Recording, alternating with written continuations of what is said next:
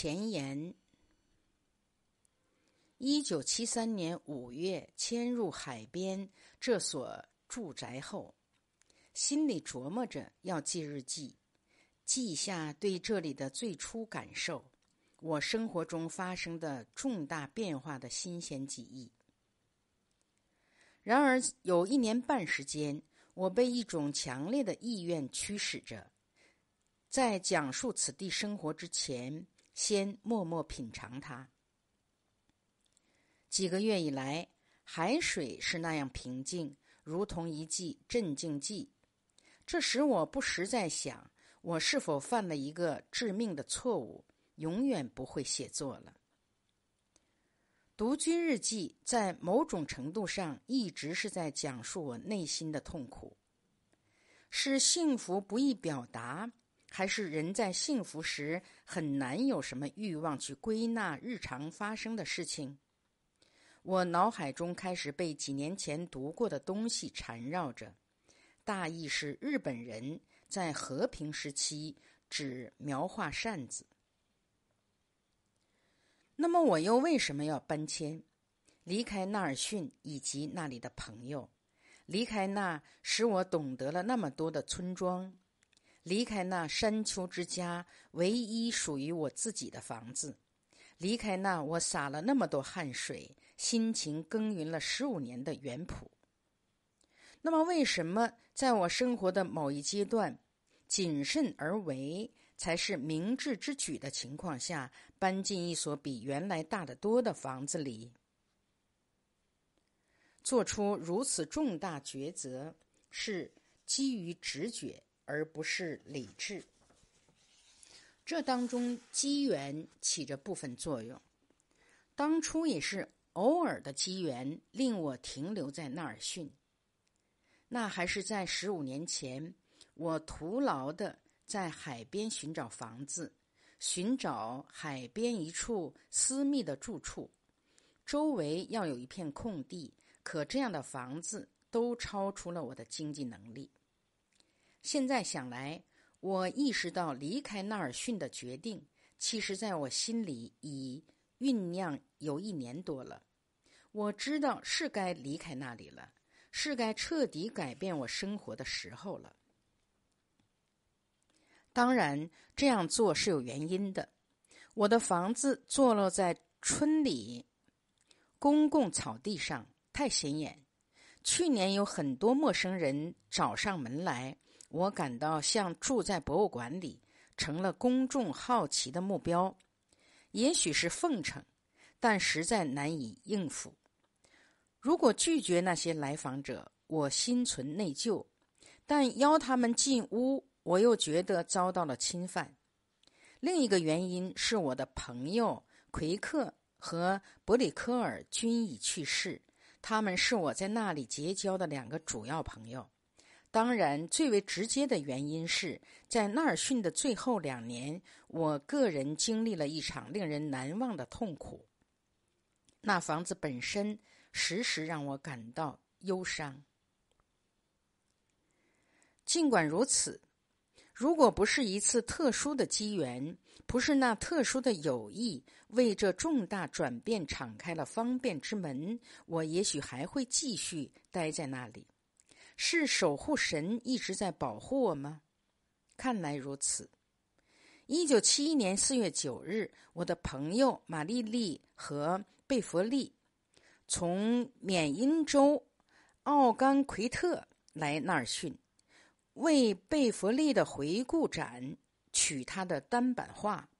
他们极为兴奋，因为刚在约克海边买了一个旧庄园。正计划在礁石上造一所现代化的房子。两人主动的描绘着庄园里开阔的田野、礁石、海滨、池塘、一片沼泽地。庄园后有一大片树林。他们还把照片拿给我看，我倾听着。之后，我告诉他们，我心情抑郁。好像生命走进了一条死胡同。那时，贝弗利眼里闪闪发光，说道：“再瞧瞧那幢老房子。”我仍然不解其意。他们曾提到庄园里有一幢房子，可我不曾真正留意过，所以我再一次看那照片，一幢用木瓦盖的、有多扇窗的房子，坐落在一个山坡上。房子背靠高大树林，从那里越过漫漫田野，可以眺望大海。为什么不到这里来住，跟我们租着房子，在此安居下来？我当时吃了一惊。即使我可以搬迁，我敢吗？在这一切之后，我又怎能离开纳尔逊？难道我真的要这么做吗？我打算到那里去看看。当我站在宽阔的露台上，四下眺望那无垠平和的田野，一直延伸至闪光、宁静、蔚蓝、宽阔的大海时，便不由自主的做出了决定：我不得不来。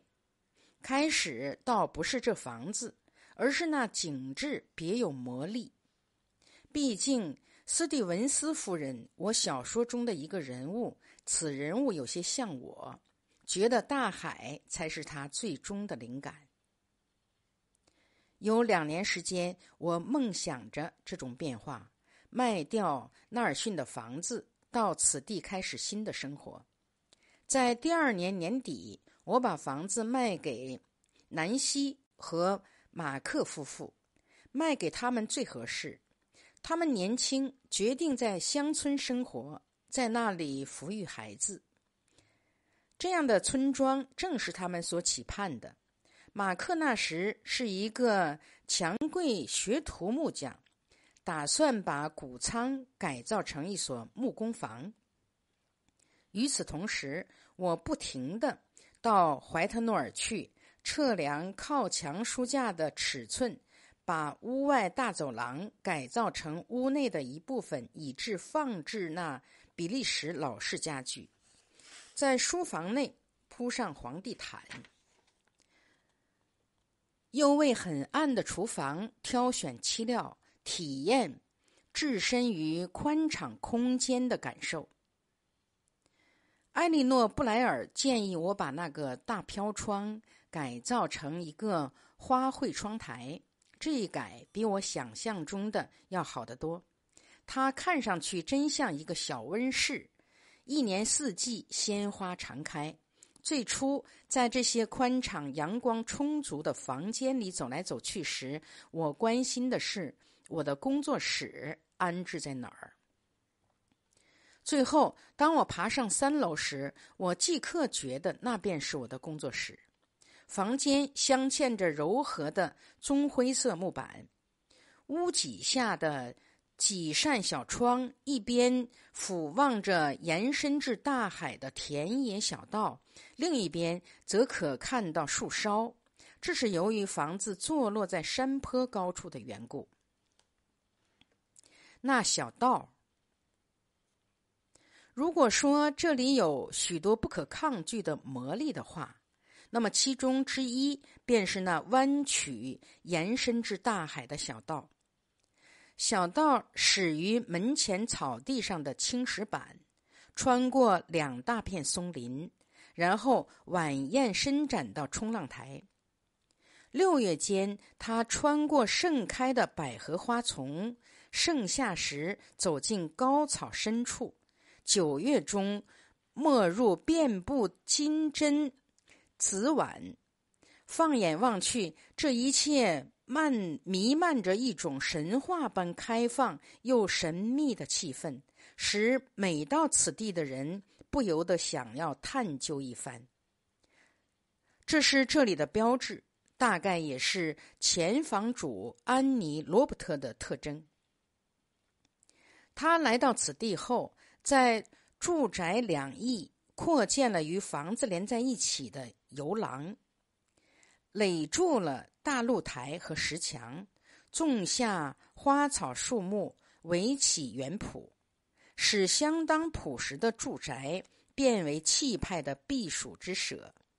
无疑，又是他安装了落地窗，围起了弯弯曲曲的山栏，搭起了六月时爬满白色、紫色铁线莲的凉亭。大概也是他在房子后栽种了松树、云杉、铁杉及橡树。这样一来，房子背靠一片小树林，上有绿荫遮蔽。它的存在无处不在，一种完全充满仁爱的存在。我在想，如果他知道又有人在耕耘他的园圃，栽种球茎、牡丹树、杜鹃花，使园圃生机勃勃，他一定会很高兴的。他爱这地方，他对这里的爱以及这里带给他的欢乐，一直在感染着后来者。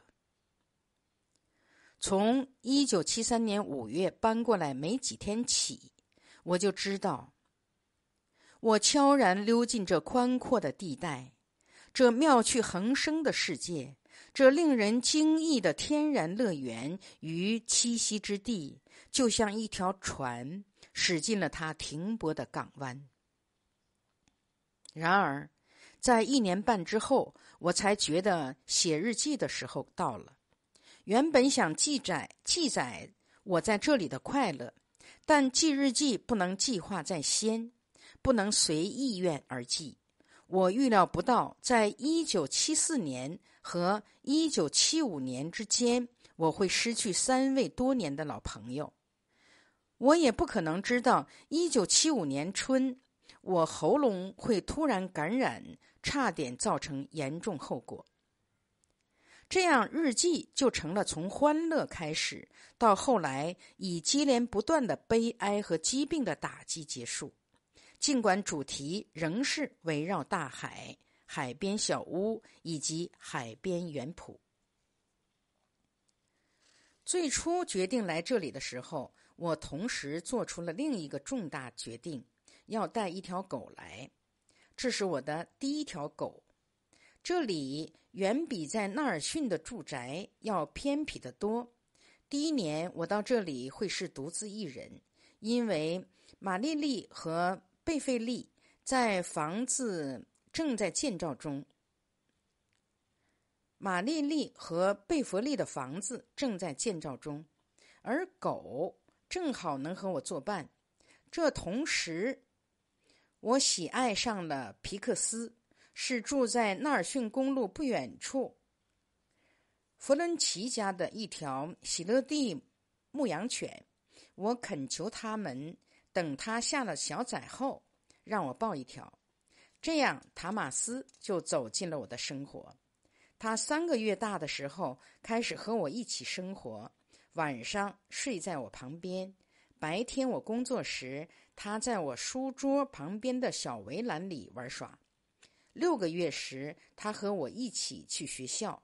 这样，到我搬进这住宅时，他已变得很乖顺了。我对有关狗的一切完全无知。我曾喜欢上一条很特别的狗，即塔马斯的妈妈，但对这类狗的品种，除了知道它们漂亮敏感外，其他我一无所知。幸运的是。喜乐蒂牧羊犬天生是看守者，而不是猎狗，所以塔马斯可以随时到外面去，很安全。即使我外出半天，它也绝不会跑丢。他还看守布兰波，那最后一只我在纳尔逊驯服的野猫。对他来说，这汪汪叫的小狗的到来是一件痛苦的事情。有三个星期，他都不到我的床上来，大部分时间待在外面。但马尔塔马斯却学乖了，他不再汪汪叫了。那天下午，布兰波蹲在我旁边沙发上，塔马斯走近他，很安静。那情景多么动人！我亲眼看见了这一幕，眼看他想要叫出来，然后抑制住了。那一天有那么一阵子，他们深挨深的坐着，然后一点一点的，很快成了朋友。每天早晨完成案头工作后，我们都会在中午前一起出去散步，穿过树林，在土路上顺着沼泽地绕一大圈，然后回家。晚上他们俩都睡在我床上。布兰波想进来时，就从窗户进来，然后常常是天不亮又钻了出去。有了动物，独居生活便有了一种特殊的内涵，鲜少孤独。布兰波和塔马斯为我带来安慰和快乐。生活中还有一位家庭成员，每月来逗留一两天，即朱迪斯·马特拉克。我们在剑桥一起住了许多年，现在他住在马赛诸塞州康科德市的养老院。三十多年来，他一直是我家庭生活中最亲近的成员。尽管他心智衰退。不再记得我们的欧洲之行，以及我们在纳尔逊度过的每一个夏天，但没有他在，就不会有圣诞节和感恩节。我会觉得像孤儿一样。在这部日记中，我也记载了对生活中亲密伙伴年迈衰老的体验。在怀特诺尔海边生活的岁月里。我的生活变得开阔，而不是狭小了。不仅是这里的房子比在纳尔逊的更大、更舒适，而且我的生活也改变了。在工作中认识的许多朋友的来访，滋润了我的生活。这些朋友多年来一直写信给我，最后总算会面了。这些新老朋友来自纳达克或。俄亥俄路经此地，顺便来访。每个人迟早都会到缅因州来的。我设法每次只见一个。我的意思是说，每一次会面都不是泛泛闲谈，而是对生活的真正的交流。这样单单独见面会比见一群人效果要好一些。然而，大多数时间。我仍是一人清静的独居，没有长时间的独自一人生活，尤其是在冬天来客很少的情况下，我就不会有任何产出，也就不会去敞开接受外界的赐予。独居取代了那强烈专注的个人恋情。在纳尔逊时，那强烈的情感甚至把所有的空间都占据了。独居像细水长流的爱情，随时间的推移愈发深沉。我深信，即使我自身的创造力消失了，它也不会令我失望。独居是我走向终点之路。怀特诺尔，一九七六年十月。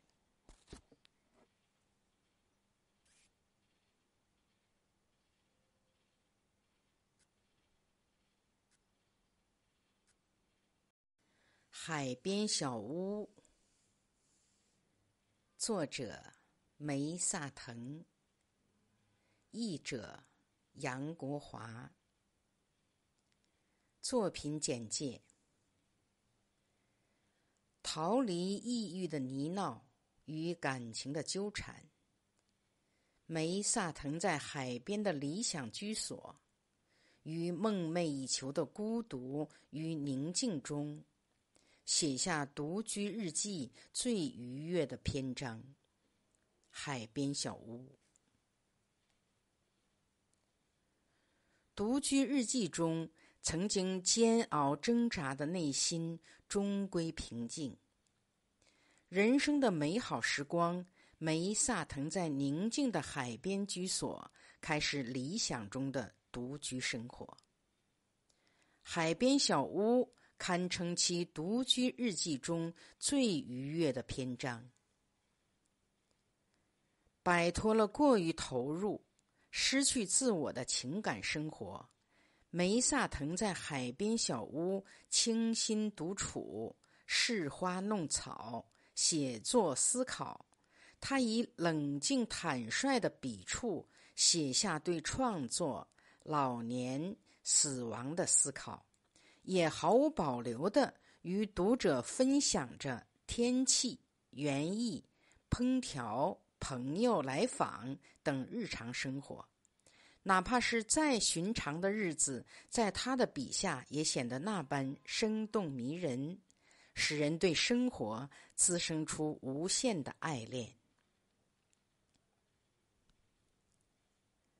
作品推荐：真实的自我是梅萨腾毕生的所求。他的经典之作必将超越一时一地的评论或趣味，而长盛不衰。《纽约时报》书评。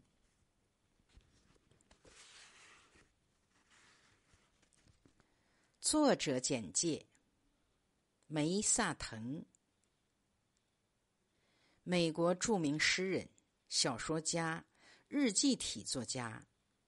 出生于比利时，四岁时因第一次世界大战爆发，随父母移民美国。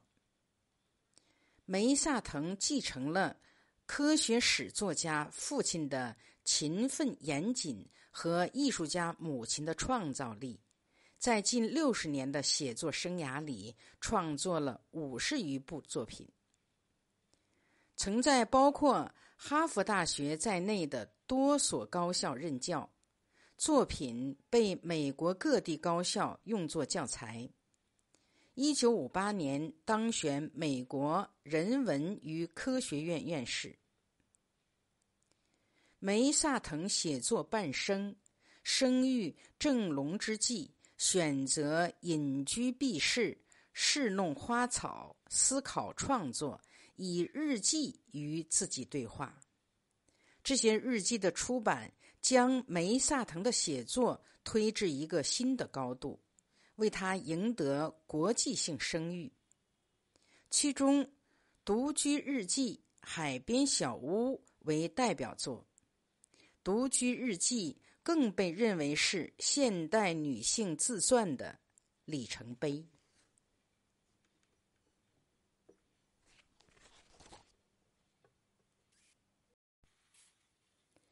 一月六日，星期一。意识到新年后的第一个星期已经过去，不由得感到一阵紧张。我都做了些什么？新年那天，我倒是勾勒出一首诗来，可自由体诗并不能使我满意，兴奋不起来。也许我可以把它再改一下，弄得好一些。我已经着手写报恩这个人物了，那些埋藏很深的不悦记忆都喷涌了出来，而且在一九三六年到二战爆发期间的那几年里，似乎出于偶然，我得到了很多机会。现在想来，对那时理所当然的接受给予感到惊愕不已。我心情不快的部分原因在于。在我这种年龄回头看去，年轻人是多么心安理得、想当然的接受。三十年前，你不会理解那令人愉快的晚餐聚会背后包含着女主人多少周密的考虑和她所付出的时间和精力。当你作为客人出现的时候，看上去一切都是那么轻松诱人。殊不知，你接纳的慷慨施舍是无法估量的。我仍然没有琢磨出同时处理三件事情的好办法：记日记、写一本以报恩为首的人物群像的书，以及诗歌创作。唯一要做的是赶紧让自己沉浸进去，好像一个人一头扎入冰水里一样。期待发现自己可以游至安全地带，这就是我眼下要做的。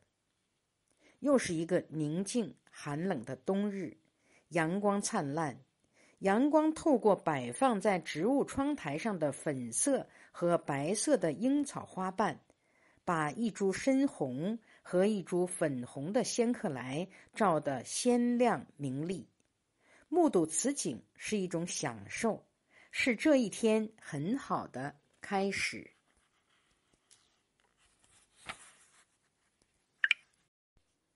一月七日，星期二。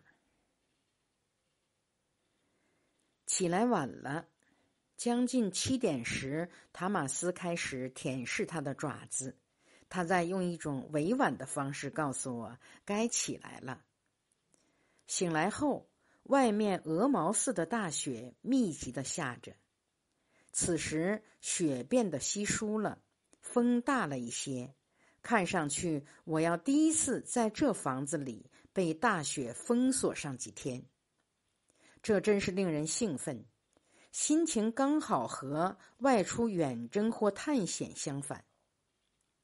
激动的是，突然间我成了一个自给自足的囚犯，我不必再在十一点时惦记着去取信，时间不复存在，内心世界向外敞开着。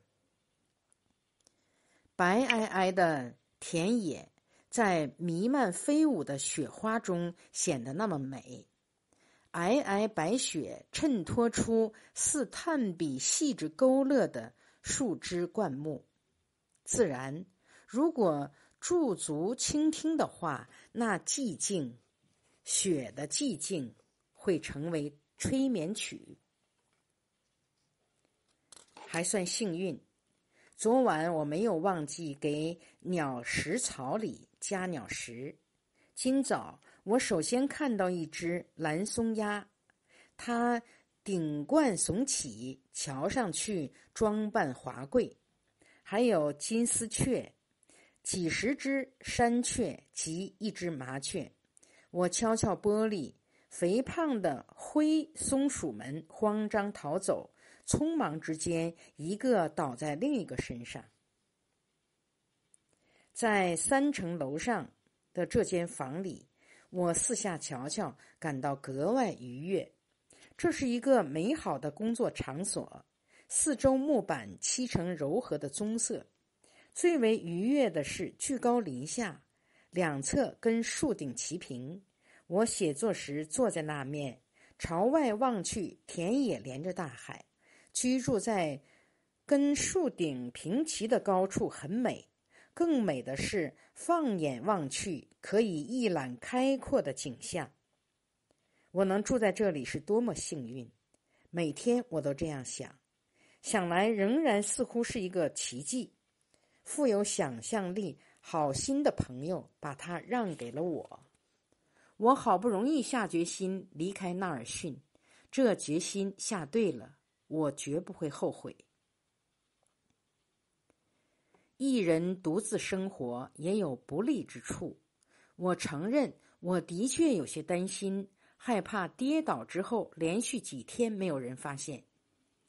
一天来来回回在四段楼梯间跑上跑下，地下室楼梯又很陡，我想起了奥特曼女士，她住在弗利湾一幢小房子里。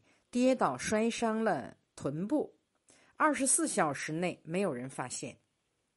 当然，如果玛丽丽知道我在家，她会注意到屋子里没开灯。还有，每当我处于困境中，雷蒙德靠着他的第六感觉总会不期而至。有一天，我穿戴好，准备外出演讲，衣服背后的拉锁被缠住了。我朝窗外望去，雷蒙德正从草坪上走过来，真是神奇之人。人到了六十岁的时候，内心深处总有一种深深的顾虑，那就是对死亡的恐惧，或者说，我应该这样说，是怕死的不体面，让人嫌弃，诸如长期卧病，让人照看。实际上，有时想到塔马斯，我不由吓出一身冷汗。万一我跌倒摔断了脖子，塔马斯可就出不去了。为什么我要说这些？这是因为我们把这些事情埋藏在心底，从不流露出来。如果这些事情从不提起，记日记又有什么用？从很大程度上讲，生活的实质就是面对它的欢乐与忧愁。没有忧愁，生活也就没有什么滋味。但一个人的确会感到所有生物都格外脆弱，植物、动物、人都面临一种威胁，都会轻易的由于浇水过多被肉食禽兽捕捉，心脏病突发而窒息死亡。布兰波叼进来的那些老鼠身上均无什么伤痕。我估计是受惊而死的，可怜的小家伙们。我在这里的欢乐是无限的，所以承受一些痛苦忧愁也是很公平的。然而最近几年来，我一直强烈意识到，从现在起就要做好死的准备，一定要考虑死亡，而且要尽量把事情办得周到些。我年轻时。死亡是一个浪漫的梦，每逢感情受挫，就像渴望睡眠一样渴望死去。谁会怕死？十九岁时会这么说。我们害怕我们所不能想象的，对仍未发生或描述过的事情根本没法想象。我们走向死亡，却意识不到这点。可我们却明白，当我们年龄越来越大时，对生活强烈的爱必须和一种更强大的超然意识结合起来，亦或是我们所依赖的起了什么变化？那时，我又沉陷到佛罗里达斯科特麦克斯韦尔的杰作《岁月的尺度》里。过去四五年来。有两三本书确实一直在滋养我的心灵，这本书就是其中之一。整部书都是那样亲切的娓娓道来，我很想抄几页下来。可今天我得继续写伊丽莎白·报恩，写作已进行的很顺利，势头良好。起初我对他记忆繁多，不知从何处下手，总是。琢磨怎样将它塑造出来。一月八日，星期四。我但愿能有连续好多日子什么事也不干，没有打扰，只是思考放松。当然这是不可能的。三天前的早晨，一位叫乔迪的年轻女子从。波特兰打来电话，询问他是否可以来访。他曾在十一月间写信来说，他有可能搭车过来。对此，我恐怕不是那么乐意。我对有客将至不免有些气馁。那日早晨，再没有继续工作下去。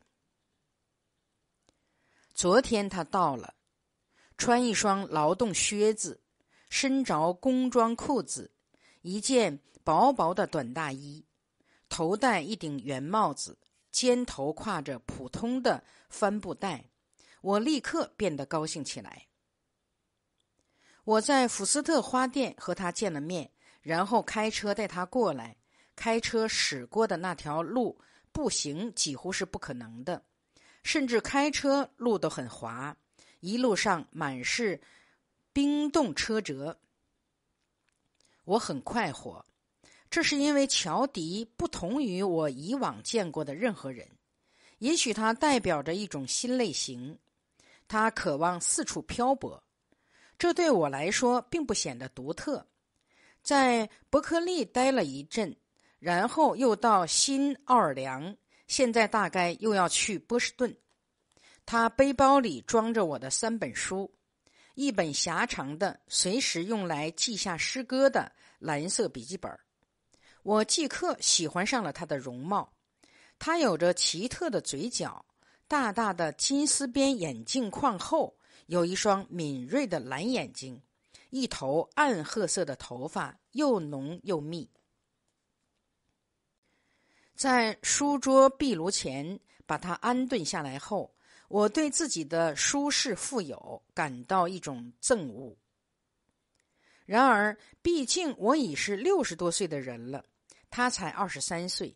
在他那种年纪时，我也是到处漂泊，而且那时我不断恋爱，为此烦忧。但两者之间却有不同。乔迪时不时的吸毒，我想他吸毒是出于心理上的恐惧，他害怕自己，不知何处是自己的去向。同时，他也明白时间不等人，不久他就会二十五岁，再过去就是三十岁了。当我问他为什么认为我写的东西对年轻人有吸引力时，他的回答是：“因为他们是那样让人充满幻想。”我问他为什么那些诗句让人幻想，他说：“宏大相连。也许那强烈的情感加上疏远之情，看上去有点像是服了致幻剂后的状态。”我对他解释：“我不能吸毒，因为我要保持大脑清醒。”随便乱搅和他，那后果可是不堪设想。他热切的提到了他的父亲和母亲。他生长于一个大学城，觉得在那里非常窒息。对此，我完全能理解。他是一个被吸干了橘汁的橘子。他兄弟很有才华，却酗酒贪杯，近似于酒鬼。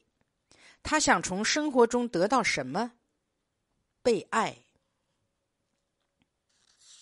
他信奉宗教，曾很有心在哥伦布市加入基督教会，大概现在还是如此。在无根无基的随意生活中，自然如饥似渴的寻求根基，寻求心灵归宿。我建议，既然他靠打零工维持生活，为何不找一份有意义的工作，比如在养老院或精神病院工作？随着我们谈话的深入，我开始对献身与责任有了清楚的认识。不敢承担尽巨大责任的风险，又如何谈得上希望寻找归宿？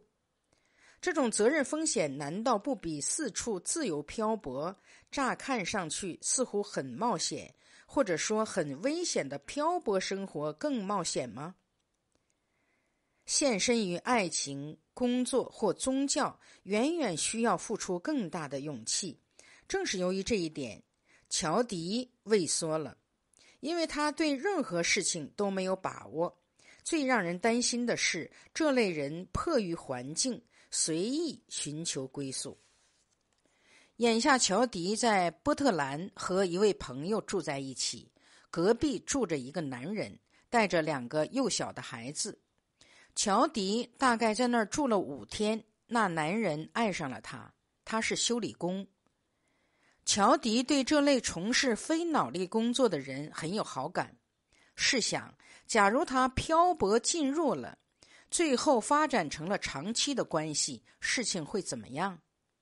假如他发现自己陷入一种困境，抚养着别的女人的孩子，几乎是出于偶然，当初并没有准备承担起责任，事情的结果又会怎么样？乔迪甚至还未开始认识到什么是献身。他写诗歌从不修改，从不分析。对待诗就像对待其他事物一样，凭一时兴趣或激情而写起。就我所知，写诗是理解心灵中真正情感的最佳办法。但要做到这一点，你必须动用大脑，对它必须像对待一件艺术品一样，而不是自我纵情。在乔迪和他。和在他那样年龄的我之间有一种天壤之别，因为那时我写诗，我知道自己在从事比我自身更伟大的事情，或至少说是我自身以外的事情。一个人绝不会在追求自我中找到自我，相反的是，在寻求别的什么事物中，通过约束规范自己，一个人才能懂得自己是谁。从而找到自己的归宿。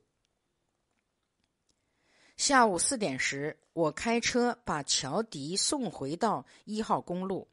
公路上有铲雪机留在那里的挡雪围栏，他就在那里下了车，就像母亲不得不让女儿离开一样。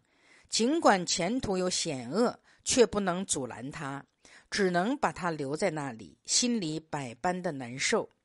我在他的帆布袋里塞了一些巧克力。送给他一条暖和的羊毛围巾。除此之外，我还能做些什么？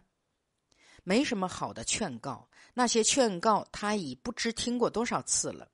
也许我希望他从我这里得到的启示是：一个人可以让自己安顿下来，在住宅周围种些美丽的花草植物，而内心依然不会古板守旧。思想依旧活跃开放。那么，从中我学到了什么？这一切足以使我关起门来写诗了。然而，生活又要把那道墙推倒，这倒也好。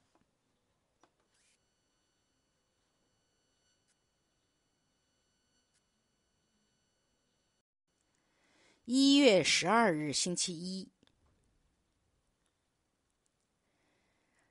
醒来后，天空灰暗，狂风呼啸，一场名副其实的暴风雪。我还从未见过雪积的有露台上的灌木以及露台墙那么高。在原有的残雪上面又覆上了八英寸的雪，都冻硬了。天气仍旧是寒冷刺骨。我发现热水罐出问题了，铲出一条可供车子掉头的路，然后又开出一条至鸟食槽的道。这之后，我返回床上吃早饭，一边长时间的思考着。在纳尔逊时，我从未体验过困在屋里不能出去时心神不安的感觉。那是因为在纳尔逊，我住在路旁，可以看到米尔格雷德的灯光，知道每到十一点时温弗伦奇会送信来，而这里却没有人每天会按时来，除了威瑟罗斯每两个星期来打扫一次房子。为此，我有时感到紧张不安。想到一旦有什么事发生，几天内不会被人发现时，我不由得冒冷汗。在内心世界里，我可以自给自足，我不需要有朋友时时刻刻待在我身边。然而，从体力上来说，我却不能自我依赖。任何需要用极大体力去做的事情，都可能引发心脏病。以我之见。对此害怕，并不是犯傻。想不到的是，李奇迹般的来了。离去时，天开始晴朗起来。虽说他在拉瓜迪亚机场遇上了暴风雪，他走路仍然不方便，上下楼梯弯曲假膝盖时会感到剧烈的疼痛。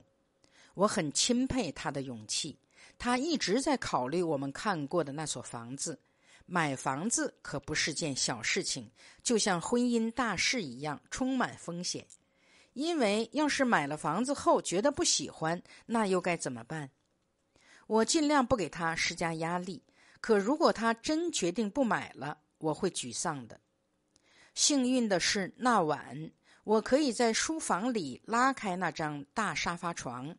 这期间，李不必再到楼上去就寝，他在书房里睡下。壁炉火还在烧着。我们在一起愉快和谐。自劳动节后，这还是第一次见到他。那时他开车过渡口，一个女人倒车撞了他的车，他的腿膝盖被撞坏，他腿上已打了好几个月的石膏了。此刻眺望田野，看到的景象很奇怪，有一种田野被抛开的幻觉。在白雪映衬下，巨浪翻滚出白沫，大雪仍然在不停的下着。看来要再过一段时间，铲雪机才能来。迪克森前来打开了冻僵的车库门，把我释放了出来。一月十三日，星期二。昨天很糟糕，好在终于又有了热水，温度上升为十度，逐渐暖和起来了。看来今天下午和晚上又要下雪。天色阴霾，阳光淡淡的，如同月光般洒在灰黑的海水上，一种忧郁的浪漫情调。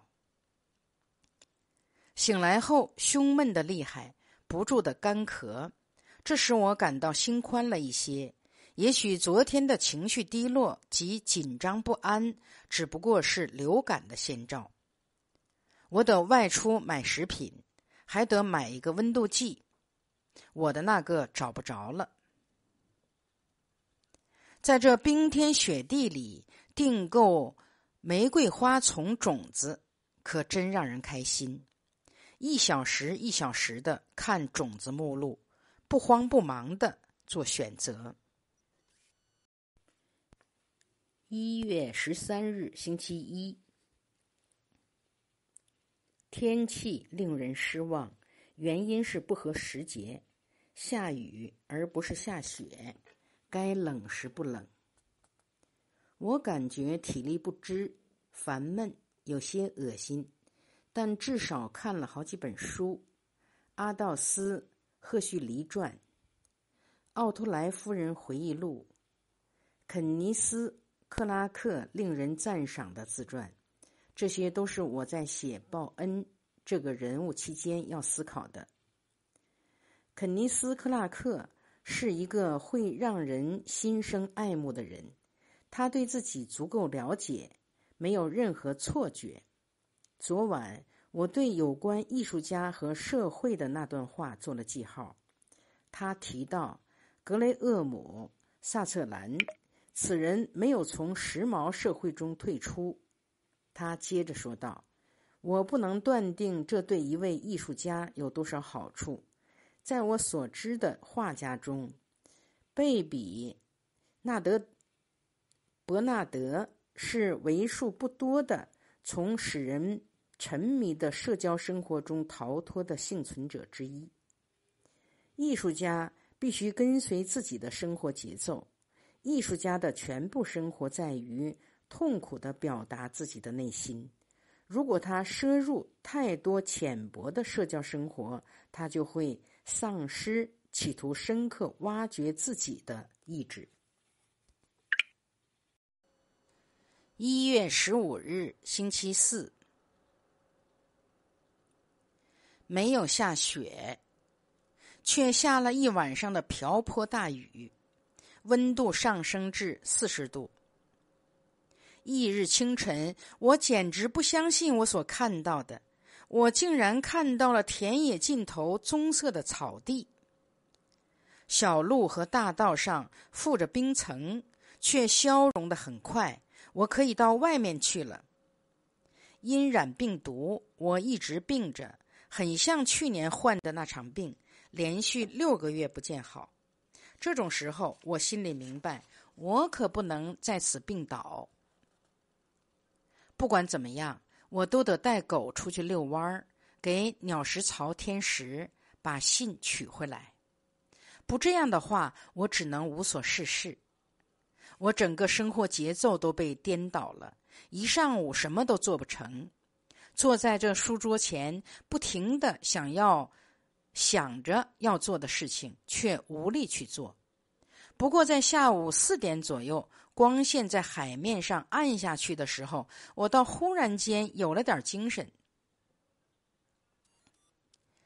李决定不买那幢房子了。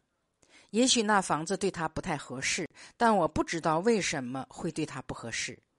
这件事也使我气馁。我付出了难得的时间精力，仅帮他找房子就用去了我四五天的时间，到头来都浪费了。浪费时间使我恼火。这些日子以来，我很清楚，留给我的时间不多了，没有几年的时间了。过去我曾吹嘘我绝不会退休养老，可现在我却有时梦想，只要生活、养花、种菜就行了，不再写书了。那该有多好！在去年糟糕的一年里，有件事却使人感到极为快乐：伊娃列高利安终于在百老百老汇火了一把，皇室引起了相当轰动。现在看新闻周刊，感觉非常美好。比如说，其中有这么一段话：伊娃列高利安使你觉得。在两个半小时里，剧院的确给人一种美感，让人体验到一种优雅丰富的精神生活。现在即将进入八十年代，列高利安女士向我们表明，生活中的一切都可以在剧院再现。她在舞台上投射出一道彩虹。一月十九日，星期日。昨天狂风夹着暴雨，气温降到零度以下。今日醒来，奇怪的很，地上的雪几乎都被冲刷掉了。空气中洋溢着春天的气息，但据说今晚气温又会降到零度以下。这到底是什么时节？这不断的变化使我既困惑又兴奋。几天来忽略了记日记，部分是因为桌上的信件又堆了起来。我原以为在圣诞节后，我差不多把桌上堆着的东西都清理了。另外一个原因是一直下意识的沉浸在对伊丽莎白报恩的人物描写创作上。西比尔。贝德福德很有说服力。读完他写的传记，我不得不承认，阿道斯看上去确实是个圣人。也许他的妻子玛利亚对他管束的太紧，离开了也没什么不好。他的第二任妻子劳拉，从他身上汲取了伟大的博爱思想。更重要的是，对他深入了解，使他懂得了不少，以及。他从他身上学会了如何去理解别人。令人感动的是，他这样一位理智之人，竟然也相信死亡是人生旅程中的终点。面临死亡，必须有一种心理上的准备。首先就是顺其自然。我深以为然。我们需在面临死亡很早之前就顺其自然，正像他自己所做的一样。这几乎是毫无觉察的发生的。有些事情看上去并没有实际那么重要，某些程度上取决于要有顺其自然的意愿，即驱动者坚决的需求者和请求者有意识的顺其自然。自然，塔马斯在这方面帮了我很大的忙。他在等待十一点半时的外出散步。我已感到累了，但本能的想再多写一会儿，结果被一声狗叫打断。我顺其自然，很高兴自己这样做了。塔马斯在抑制我内心驱动力方面帮了我很大的忙。我想考虑一下圣徒这个问题。我所关心的是哪些人是圣徒，哪些人不是。首先，根据我的经验。要想成为圣徒的人，很少成为圣徒。圣徒绝不知道他是圣徒，他太忙于为别人着想。他的着眼点主要不是考虑他自己的神圣，根本不是。此时，我想到了尤金尼·杜布瓦，他在八十岁时仍然自己料理全部家务和烹饪，像我母亲一样。过去一直有佣人帮忙，到七十岁时顾不起佣人了，就自己做饭，步行好几里揽石路去买食物，却丝毫不减少他的正常活动。他依旧热情地参与周围生活，总是富有理想、充满力量与智慧的扶持他的孙辈。如果你可以想象的话，他对所有的一切都敞开胸怀。他是一团火焰，那火焰温暖的照亮了他周围的一切。然而，我肯定他常常近乎精疲力尽。想到他，我就不止一次的又想到了妇女面临的主要问题，甚至在当今，大多数时候，妇女们不得不充当玛莎和玛丽的双重角色。这是两个性格截然不同的人。就阿道斯的情况来说，我起先觉得他的初婚妻子玛利亚似乎是一个真正的圣徒。现在我开始理解他的所作所为是有意识的在做出牺牲，未免太有些做作。罗伯特·克雷福特在对这部传记的评论中，甚至进一步指出，在这样的自我牺牲背后，定会存在。有极大的敌对情绪，有意识的成为圣徒的麻烦在于，他们在施予一种我认为是不圣洁的情感压力。想到我母亲小时候经受过的压力，我总是不由得浑身一阵紧缩。她小的时候，有一年，他父母亲到国外工作，把他托给圣公会牧师及其家人照管。他们下决心要改变小艾莉诺·梅布尔·伊尔维斯的信仰。梅布尔崇拜他的父亲，他父亲是废边社社员。某种程度上，出于对父亲的忠诚，无疑他是不会屈从的。结果，他被当作麻风病人般对待。显然，他患有某种精神衰弱症，也许他的偏头痛。就是从那时开始的，那样的情感压迫实在可恶。我自己也有过几次同样的经历。几年前，有一天我邀一位朋友吃饭，他声称他在斋戒，他不会吃什么东西的。我不予理睬，我要吃午饭。他从没想到这种意愿压力使我不舒服。我们每次见面时的紧张气氛让人很难忍受。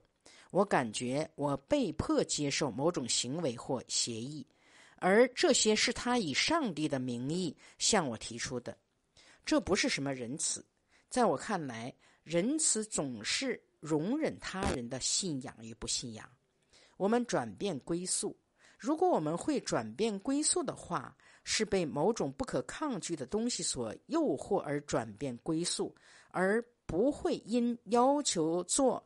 不可能之事的个人意愿而去转变归宿。一月十九日，星期一。这一星期很糟，天气又变得寒冷难忍。昨日温度降到零度以下，今天是零下八度。尽管灿烂的阳光照耀在田野上，脚下的冰雪在消失。你却觉得冷得很。我退烧了，但仍然觉得身体不适。尽量不去做什么费力的事情，甚至写封信都觉得很吃力。我很欣赏这幢房子，宽敞的空间，充足的光线，窗台上鲜花盛开，有樱草、秋海棠，从园子里移进来的。深蓝紫色蓝樱花依旧那般娇美异常，小橘子树上挂满了圆圆的橘子。令人惊奇的是，淡紫色伞形虎眼万年青依旧垂钓星星般的小花。那盆优雅的纯白水仙花，香气四溢。每每走过它时，我都会心醉神迷。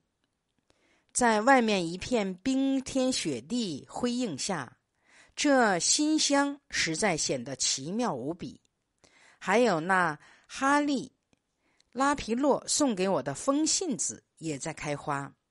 巴舍送来了一大束春季鲜花，有红白相间的郁金香、蝴蝶花以及水仙花。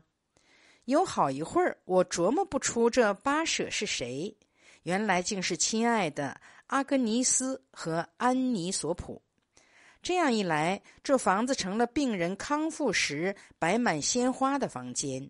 这是我想象中最好的医院。生病时，我的确感到这里冷落孤凄。昨日实在冷得厉害。塔马斯那时的出去遛弯，就在带他出去前，我退缩了。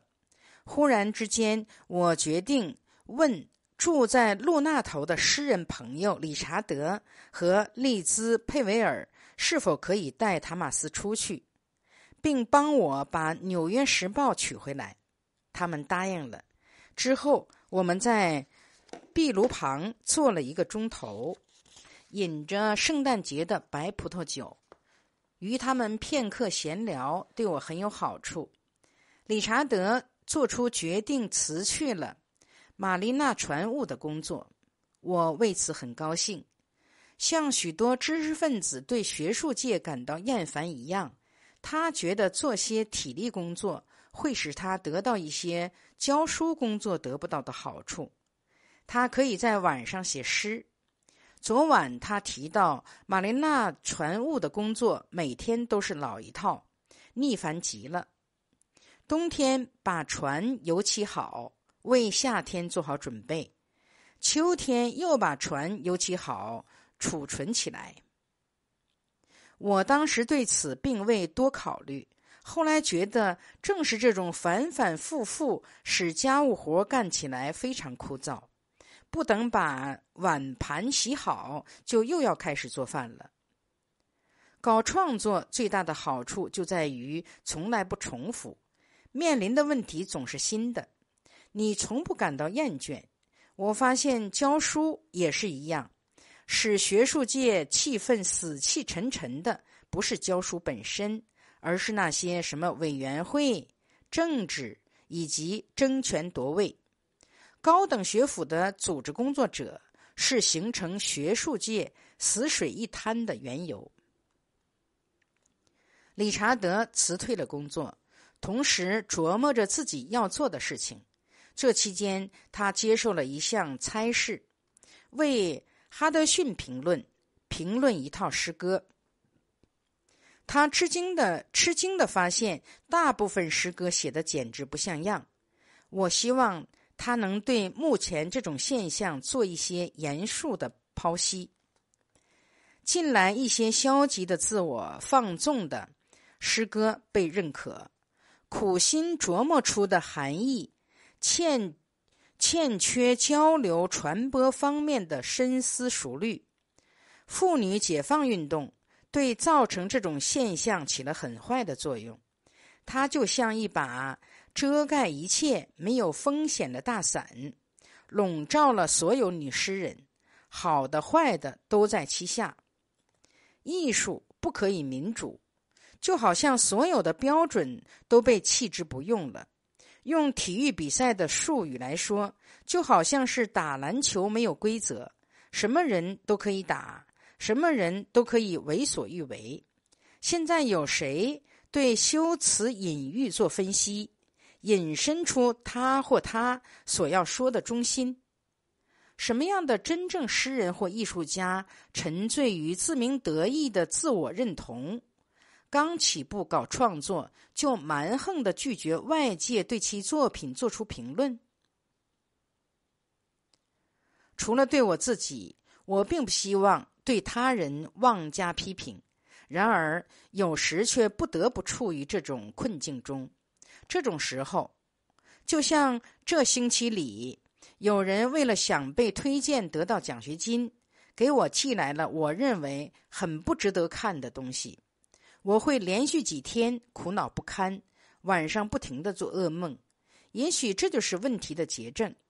我们都是软弱之人。太富有同情心，太害怕得罪人，因而不敢说真话。而年轻的诗人如果只喜欢奉承，又怎么会学到东西？我不客气的回复了一封信，为此我付出了很大的代价。一月二十一日，星期三，早晨起来后，想要做点事情，实在是吃力的很。今天我让自己分分心。看了看帕克公司的花种目录，此刻已是上午九点半，除了订购花种子之外，什么也没做。醒来后，橘黄色的太阳在升起，海水蔚蓝平静。我下决心要把这些日子以来真实的思考讲出来。首先要说的是死亡，不是死亡本身，而是死亡过程。对孤独死去的恐怖心理，然而这又是为什么？我们每个人都在孤独中死去，不管他如何被亲戚好友围绕着。从我母亲临终起，我对此便有所了解。我深知他付出了多么大的勇气，一点一点的渐渐离我们远去。人步入老年也是如此。我想，一个人可以认为老年本身就是死亡过程，这是因为老年本身也在对生活中的依恋逐一放弃。尽头又是什么？如果一个人把死亡看作是到达真正目的的旅行，而不完全是一个空白的虚度，也许一切又会充满了意义。有一天晚上，我看电视。听到一位荷兰女医生说，她一直热衷于死亡。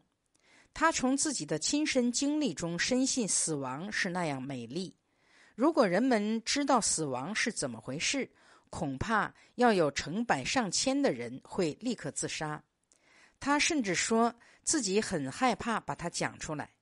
他的证据便是他的病人，那些病人们进入了死亡线，又复生了。奇怪的很，这和我想象中的一模一样。在奇切斯特市，我看到一位死去后被救活的人醒来，变得异常愠怒的情形。我因而写了那首诗：“不得不复活后是多么糟糕。”多少年来，除了相信自己的作品也许有可能，尤其是诗歌永恒不朽外，我已不再相信什么了，但是我逐渐感到人类在毁灭自己和自己居住的星球，或者说，也许将来会这样。想到此，我的希望破灭了，我生活中闪光的部分失去了。假如生命不再延续，不再延续，我们所在的星球上的生命将要永久的灭亡。甚至我们信以为会永垂不朽的艺术作品也将如此。那么我失望悲观不是没有道理的。我们赖以为生的是什么？我不知道。我只知道，当听到那位荷兰医生兴奋地谈到死亡，说死亡不是人生旅途的终点，而是新的旅途起点时，我感到慰藉。好似一股柔和液体流过了我的静脉，我意识到这几个月来情绪极极为消极低沉，这的确使我振作了起来。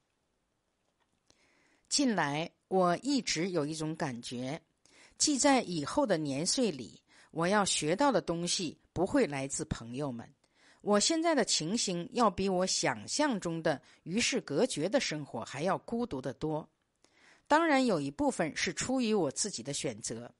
在最近感冒生病期间，与这里孤零零的大房子相比，尽管周围有着辽阔的景致，我意识到纳尔逊的住宅竟是那样温馨舒适。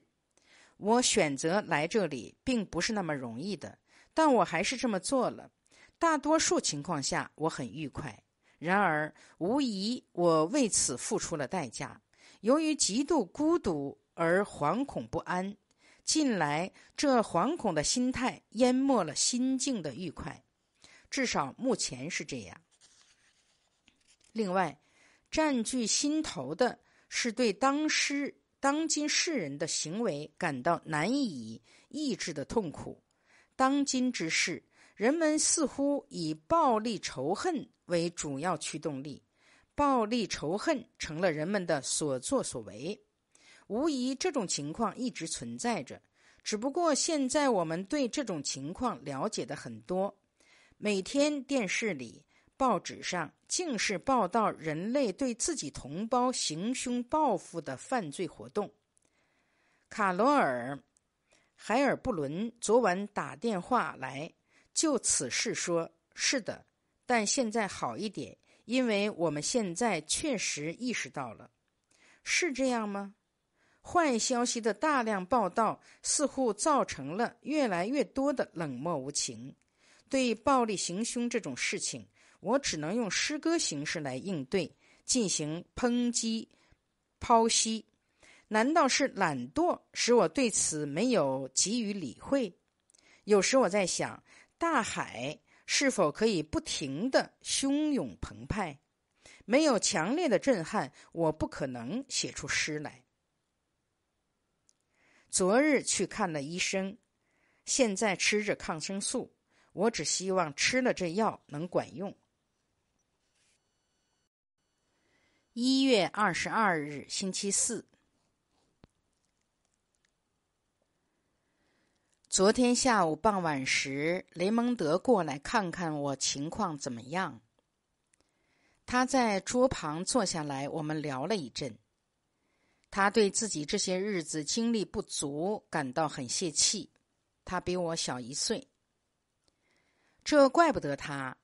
他一夏天都过得不顺心，要照顾两个人：姐姐患抑郁症，母亲吃力的过活，九十五岁的高龄了。可怜的老妇人，人们只能祈愿她不久能在安睡中去世。收到了来自伦敦珍妮·斯托克伍德的一封信。现在上了年龄，很令人担忧。他说道：“朋友们一天天在退化、萎缩、死去，或中风倒下了。我尽量像平常一样四处奔走，尽量不去照镜子看自己的脸。”对此，我不得不提出异议。真多米尼克告诉我，他双目几乎完全失明，他很不习惯看不到自己的容貌，觉得实在难受。我每天清晨刷牙时，总会在镜子里看看自己，但我看到的并不会使我不安，因为对脸上的皱纹我不在乎。我注视我的眼睛。这双眼睛蛮有精神。晚上，我在电视上看了有关老年的系列片的第一集。影片是由几部印象派艺术短片组成的，其中有一部叫《周末》的，表现很有表现力。看到的是一位老人被带出去进行所谓的观光，他的轮椅被绑在了。大众牌轿车的上方，吃过野餐，轻松的过了一天后，他独自坐在轮椅里。家里人拥抱他后，把他留在了那片空地的一棵树下。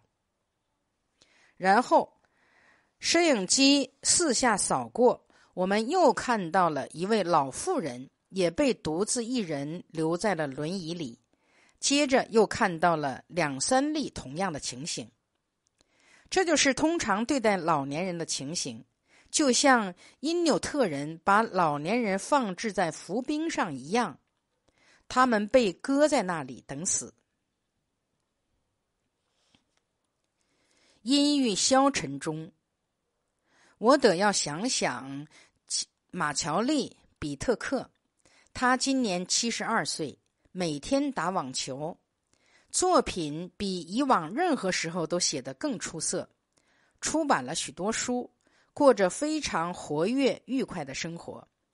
年轻时，人们有各种各样的生活；年老时也同样如此。只不过我们有时忘记了这一点。在别人苛刻的现实眼光中看到自己，有一种说不出的感觉。奥伯伦奥在《伦敦标准晚报》上对重要讲话有篇评论，对我长篇大论的挖苦。他是这样开头的：梅萨腾，这位美国六十三岁的妇人，写了三十六年的小说，却没有什么人对其感兴趣。这话不假，然而却使我感到好笑，竟然在这样讽刺漫画中看到了我。我在酝酿一部小说。这些不同的意见正好可以做小说的主题。一位相当有个性的作家，有好几部传记对他的生平创作进行追溯，每一部传记都采用同样的事实，然而描绘出的画面却完全不同。一月二十三日，星期五。今天早晨零下十二度，厨房及客人用的洗手间水管冻住了。太阳升起时，弧形的海面上烟雾朦胧，散发着蒸汽。我坐下来，飞快地构思出一首诗，一直未有的冲动此刻涌现了，一旦出现，总在心头萦绕。令人琢磨不定的猫，八点时钻了出去，到现在还没回来。大冷的天儿，它可受得了？据唐肯特说，今天早晨会有大风，使实际温度降到零下五十度。这就是为什么要有裘皮衣的缘故。有这么一个小笑话，说的是只有有钱人冬天在新英格兰过冬。穷人到佛罗里达过冬。我十二月份的暖气费是二百五十美元。几天前让管道工把热水炉修好，又花了六十九美元。现在自然又要花钱请人来给水管解冻。一月二十七日，星期二。沮丧。沉闷的一天，浓雾笼罩下，无叶的树木如同用铅笔轻轻描绘出来一样，形态非常好看。天气竟是这样变幻无常。昨天一整天都在下雨，起初雨水成冰，我寻思这可怎么出得去？连个落脚处都没有，到处是冰。然而到中午时，温度竟上升到三十多度，冰雪开始融化。与上个星期气温降到零下五十度相比，四十八个小时里，气温竟然来了一个一百八十度的转变。昨日一整天，我感到糊里糊涂，几乎什么也没做成。今天还是感觉迟钝呆滞。拖着这笨重的身体上下楼梯，设法强迫自己空空的大脑去思考。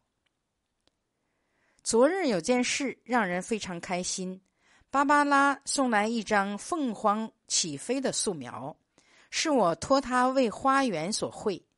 素描和我想象中的一模一样，我有些等不及，想让他赶快在那棵紫杉树前立起来。一月二十八日，星期二。今年冬天很反常，天气冷暖交替，不是下雨就是下雪，你总也安定不下来，过个正常的季节。番红花长出来了，真要命。昨日收到三位朋友的来信。这三人从各方面来说都不相同，却惊人的存在着相同的使他们忧心忡忡的问题。一位是刚结婚的年轻女子，带着两个幼小的孩子，丈夫是一位公司职员。她觉得自己被置于她的工作之外，对她随便带朋友、即顾客到家中而不预先告知，很是怨恨。尤其怨恨的是他们之间缺乏交流，因为总是找不出时间。另外，她因公出差，常不在家。第二位朋友的情况是，丈夫最近退休了。退休后，他们离开长期居住的地方，搬到靠近大海的地方定居。他的生活清闲随意，可他却感到被困了，愠怒忧郁，又不能解释为什么。第三位是一位女教授，很年轻，和一位女同事一起愉快的生活。然而，他却感到入骨的孤独。我认为，孤独和爱情有关。如果没有完美的感情交流，我们就会感到孤独。独居时，自己会和自己交流，会和自己产生和谐的关系。我可以斩钉截铁的讲，我绝不会说我现在感到入骨的孤独。尽管我在恋爱中曾体验过孤独的滋味，而且我确信这刺人的一词倒是可以经常用来描写我的母亲。一月二十九日，星期三，阴雨连绵，地上的雪都融化了。朝外望去，棕色田野尽头是无声的大海。好在我桌上有一束春天的鲜花，三支红黄色郁金香，两支平洼状水仙花，外加一小枝含羞草。为什么那只含羞草会在室内枯萎？昨天送来时轻盈融融，充满活力。此刻却已凋谢，所有绒毛都已脱落了。想到昨天回复的那三封信，我强烈的感受到，为了保持自我，人们每天得鼓起多么大的勇气，才能拒绝别人对他们的要求，那些他们不得不接受但又不愿做的事。同样，他们又需要鼓足多么大的勇气，才得以做他们所能。和必须做的事，而不至于身心疲惫。我这些结了婚的年轻朋友最大的问题是劳累，这似乎是抚养幼儿不可避免的事实，无暇休息。如果再因为丈夫常不在家，不能分担他自己应尽的责任，他自然会产生对立情绪。这样一来，事情就加倍难办，入骨的孤独。就会直接侵蚀到心灵里去。保持自我的代价实在太大，会被指责为冷酷无情，以致很少有人愿意付出如此代价。大多数人把不情愿做的事情默默的承担了下来，这样可使生活大大避免矛盾冲突。不论何时。不管多么痛苦不和，有谁又觉得吵架是好事情？这是个极为痛苦的问题。如果女人爱她的丈夫，理解他在外面忙乱紧张的工作了一天，回到家里有多么劳累，那她又何以忍心要求丈夫体贴自己，直截了当的把自己的想法向他倾诉出来？没有什么时候是合适的。多少年来，我母亲把气压在心里。有时我觉得她这样做是对的，因为在我父亲六十多岁时，他是不可能再有什么改变了。发现怒气不会有什么好结果，只能使他生气，根本不会令他突然间醒悟，意识到是他的过错，是他对他体贴不周。如此一来，我母亲只有在内心痛苦。她不再有什么发展变化，那是一出悲剧。假如事情一直都这样，不去争斗，那么只能说明在婚姻深处有某种东西在阻碍这个婚姻向前发展。稳定的获得需要付出很高的代价，有人认为这代价实在太昂贵。我很钦佩我以前的、现在结了婚的学生们，他们有勇气抗争，尽管是那么痛苦。一月三十日，星期四。昨天整天下雨，今天阳光明媚。微风吹拂，明天预报有雪。新英格兰地区就是这样，也罢。这个冬季真是太反常，使我不安。我喜欢隆冬雪季，长期封闭在家里，迫使我不得外出。我喜欢冬天，可觉得今年没有过冬的感受。谁知道呢？也许四月以前，冬天会来到。有人说，他们不喜欢从园子里摘花，把它们摆放到屋内。可他们没有想到，在屋内你可以对单独一朵花认真的品味，聚精会神的欣赏。这静思玩味带给你极大的享受。我桌上的鲜花像被聚光灯照射一样，被慢慢移动的太阳一朵一朵的。照得明丽鲜艳，阳光流泻在花瓣上，那种美令我再一次心醉神迷。每一条叶脉如浮雕般清晰可见，脉络组织突然间清晰的显露出来。此刻，我注意到平洼底水仙花中那只有鲜艳橙黄洼底的水仙花。雄蕊底部呈现出半透明的鲜绿色。我在这里再次恢复了我愉快的生活。一生中，我从未像现在这样快活过，这样持续好长一段时间的快活。到目前为止，我在这海边小屋已住了一年半，此地的美妙景致描述不尽。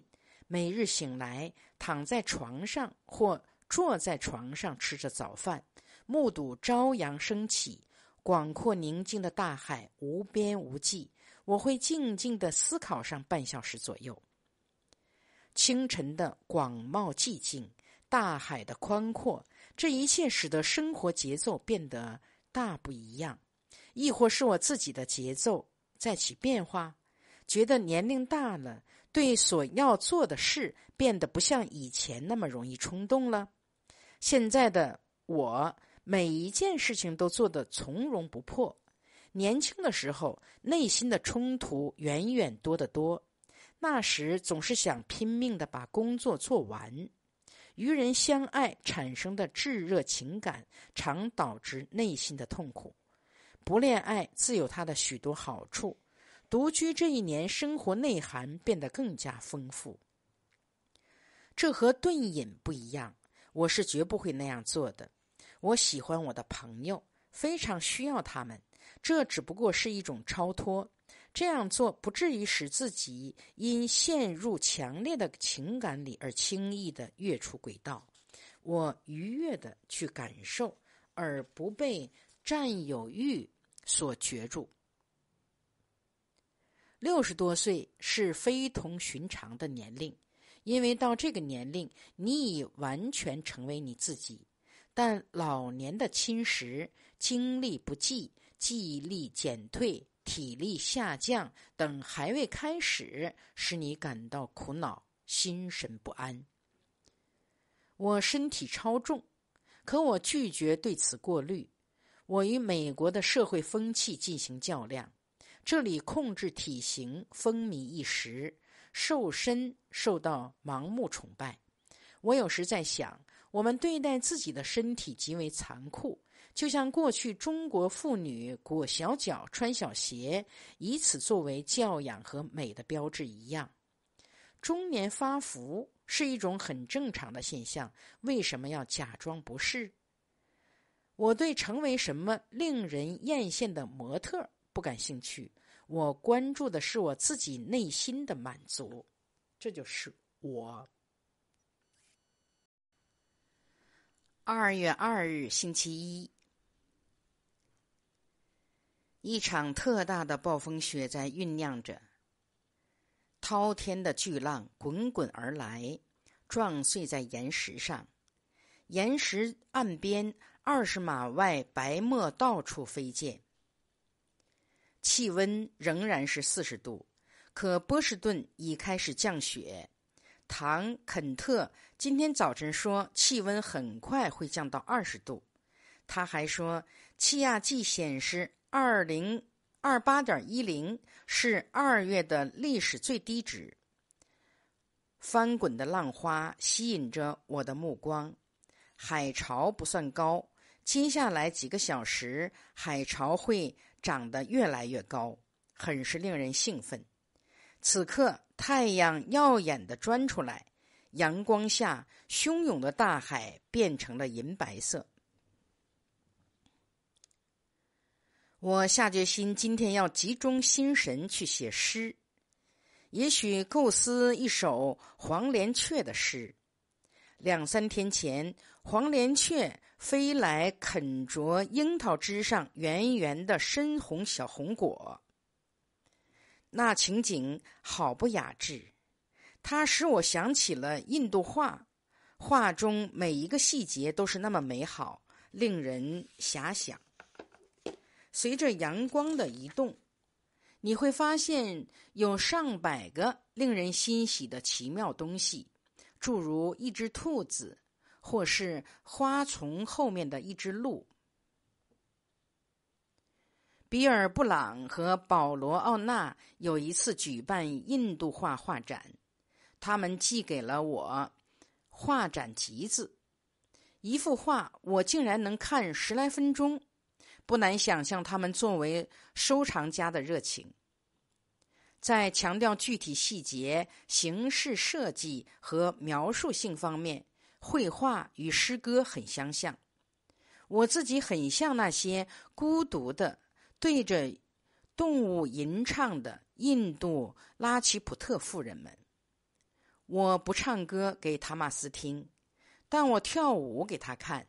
这举动把他吓得够呛，他跑过来跑过去，好像在寻找避难所，惊慌失措的汪汪叫着。在他看来，我一定像个怒气冲天的害人女神。二月三日，星期二。我的确做了一首诗，虽说外面狂风呼啸，这一天总的来说过得很好。带着塔马斯去海边岩石那里看海潮，不得不返回，担心他会被海浪卷走。做完诗后，用了一小时，从今日留恋里筛选出要朗诵的片段，高声的朗诵着。晚间应邀到圣母大学去朗诵，经他们建议，我用半小时朗诵今日留恋节选，用半小时朗诵诗，这是一次尝试。我以前从未对任何一位听众用这么长时间朗诵散文体。然而，正如一位文艺批评家所说，这部作品有韵律感，可以吟诵。朗诵此书，发现其中蕴含的情感是那样强烈，这使我不由得有些气馁。三年后的今天，那种强烈情感。受气氛驱使的强烈情感是如此遥远，我几乎很难体味出来。比之那时，现在的我要愉快得多，但某种程度上又活力不足。我很留恋那强烈蓬勃的生机。我对这里的一切非常满意：大海、花卉、动物、日常生活。却很少被狂烈的情感占据。有时我觉得心灵失去了锐气，这是不能以人的意志为转移的。也许我进入了人生的新阶段，对什么都已不在乎。这就是说我年纪大了。比如说，我不再想着要买家具或地毯什么的。为什么要在这房间里增加更多的东西？生命所剩的时间已很有限，物质生活方面我已拥有的不多不少，这就足够了。有一天看到车里有一位老年男子，有片刻功夫，我以为是一个老妇人。难道人老了，男人看上去像女人？女人看上去像男人是真的，我相信如此。女人到老时，脸上的虚荣开始减退，特征浮现了出来。男人在某种程度上争强好胜的动力不见了，变得更柔和。记得帕里科尔曾告诉我说，他不忍心再打猎捕鹿了。而在他年轻时，他对此根本想都不想。人老了的好处之一，是我们不需要再向谁逞能，不需要再对他人或对自己证明什么。我们是我们自己。这一冬以来，我一直在阅读传记作品。近来在看克里斯托弗·塞克斯写的有关他朋友英国小说家伊芙琳·奥的传记。此书东拉西扯，离题很远，对奥的婚姻状况、孩子及家庭生活几乎没有提起。所看到的是有关他在伦敦怀特俱乐部之类的事情。他是俱乐部的成员，在那里不是他侮辱别人，就是别人侮辱他，要不就是想象中他在受人侮辱。此外，是和他的男性朋友一道外出旅行，许多谈话均是一字不差的引用，他简直粗俗成疾。然而，最终我们仍然是对此人全然不了解。全书给我印象最深的是，作者在竭力维护名人雅士拥有俱乐部的优越感，成为俱乐部成员是一种满足。对此，我一点都不理解。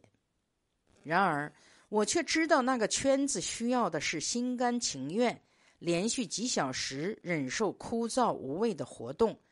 任何一个团体组织聚会、行乐、进行行动。活动比赛时间长了，都会令人感到枯燥至极。这甚至可以用来形容一些比较实用的团体组织，诸如园艺俱乐部什么的。奥的传记里有一处很有价值，我想把它记下来。海伦娜对来朝见出生耶稣的东方三贤人的祷告。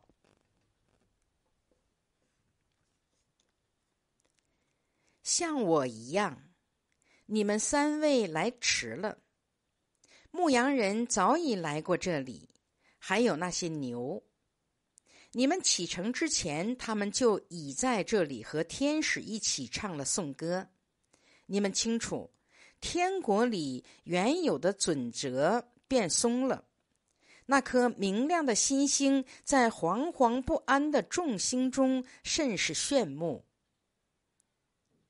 你们费尽周折至此，一路上观测计算行程，而牧羊人则是赤脚跑来。旅途中，你们看上去又是多么与众不同，衣饰豪华，众仆随侍，携有大量稀有贵重之礼物。你们终于到达了你们朝拜之旅的终点。奇异之星在你们头顶上闪耀着，你们又做了些什么？你们停下来拜见西律王，相互交换颂扬新星之词。在交换宋词时，西律王酝酿着杀机，一场无休无止的乱民官吏对无辜者的陷害之战开始了。你们到了，没有被拒之门外。你们同样在牛槽前找到了你们的位置。你们的礼物虽没有必要，但还是被收下，被小心的存放起来，因为他们载着爱心。在新诞生的仁慈准则里，同样也有你们的一席之地。在圣人之家眼里，你们跟牛马一样，同受爱心对待。你们是我的特别庇护者，是所有后来者的庇护者，是所有历经辛苦找到真理的人的庇护者。是所有对知识和思索充满困惑的人的庇护者，是所有以礼貌而令同伴愧疚的人的庇护者，是所有因富有才华而使自己处于危险之中的人的庇护者。亲爱的表兄们，请为我祈祷，为我可怜的、负担过重的儿子祈祷。愿他在生命终结之前，也在牛槽里找到下跪之地，为杰出优秀的人们祈祷，以免他们会消失殆尽。为拉克坦提厄斯、马西亚斯、特里夫斯年轻的诗人们，以及我疯狂的、盲目的祖先的灵魂祈祷。为他们精明的对手奥斯德斯及伟大的斯基努斯祈祷。圣上没有拒绝你们那稀有的礼物，为了他的缘故，请永远为所有博学之人、谨慎之人、儒雅之人祈祷。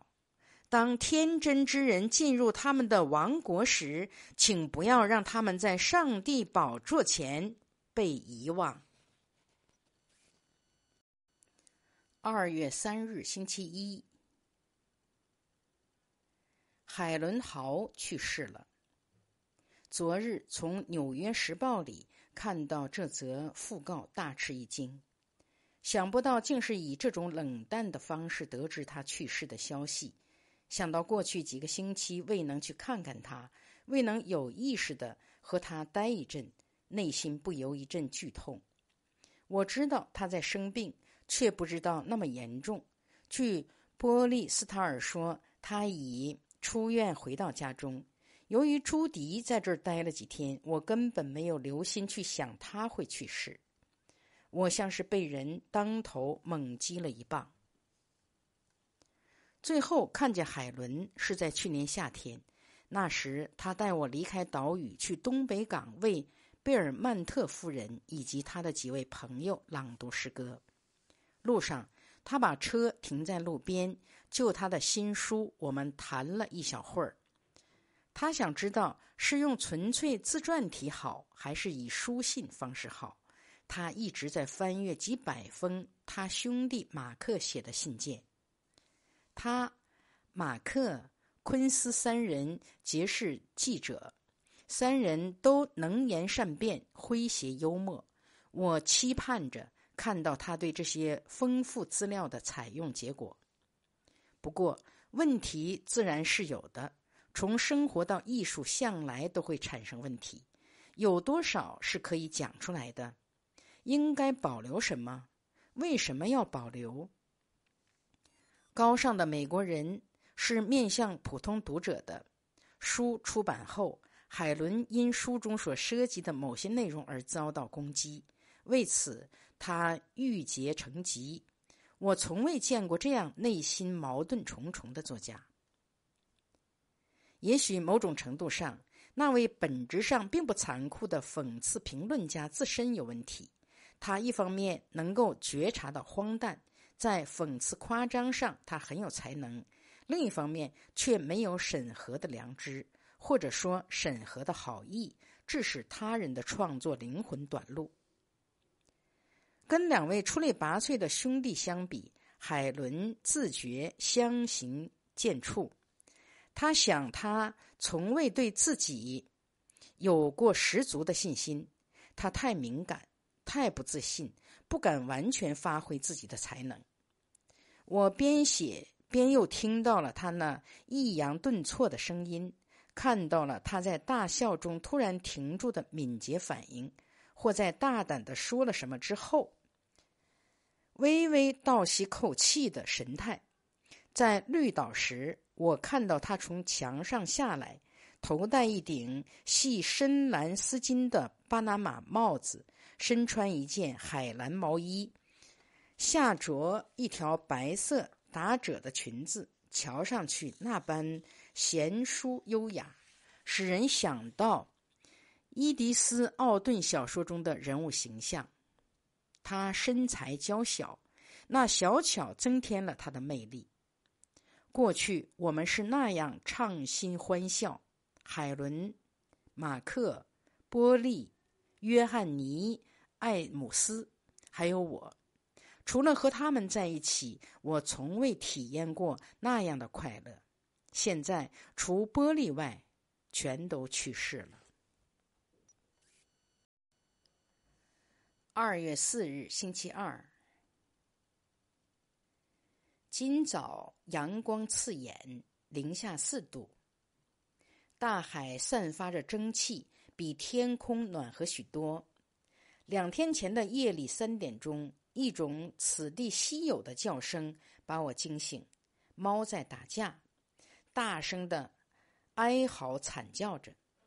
布兰波不在屋里，我自然格外担心的听着。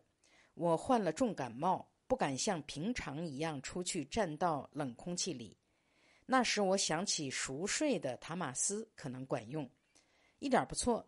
他冲下楼，跑在我的前面，早已开始汪汪的叫了起来。我一声令下：“塔马斯，到外面把你的小猫带回来。”他即飞奔出去解救。大约三分钟后，我听见他短促的叫声，那意思是让我进去，可不是。牧羊人引着羊进来了。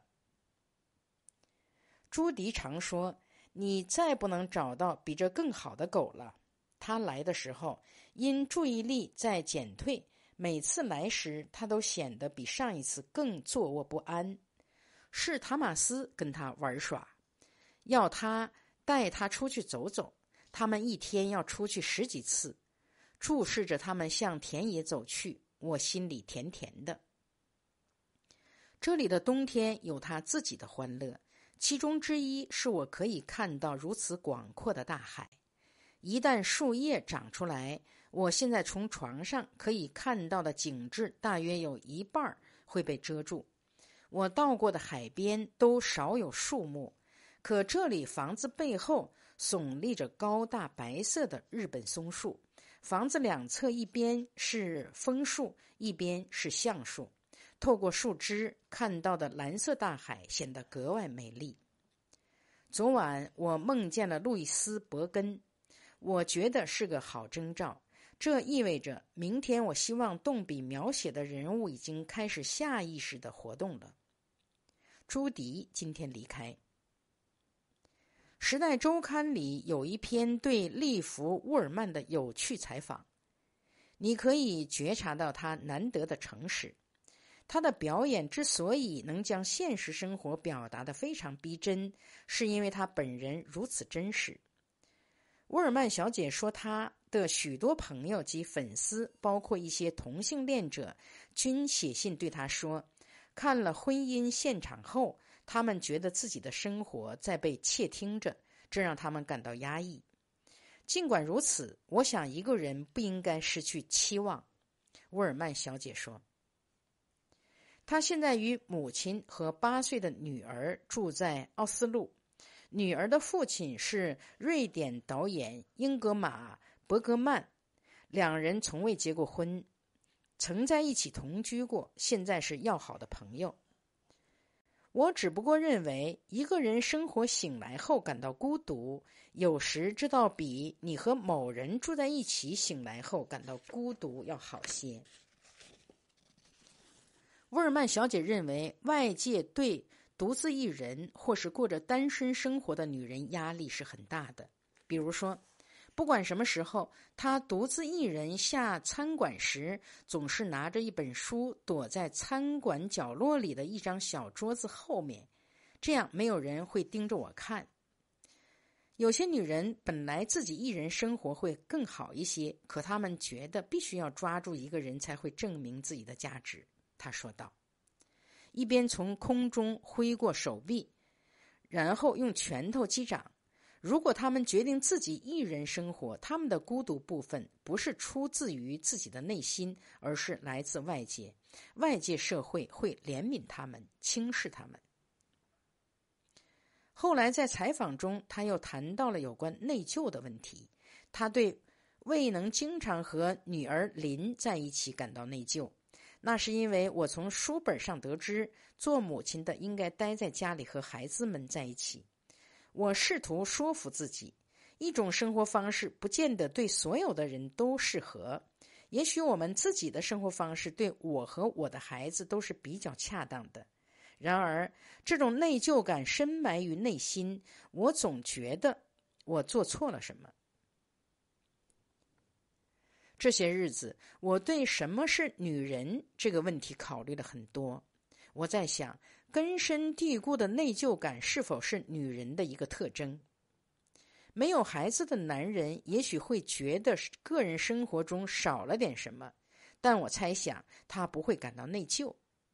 一个没有孩子的女人，却总要为自己做点辩解。二月五日，星期四，起来后温度在十度，尽管太阳看上去春天般温暖，外面却令人惊奇的寒冷。昨天很暖和。三十二度以上，无风。据说今晚要下大雪，这消息很受欢迎。眼下到处是硬厚的冰层，实在让人恼恨。终于，我们又可以穿着天鹅绒鞋子行走了。我在阅读以色列总理古尔达梅厄的传记。人们说我们缺少英雄。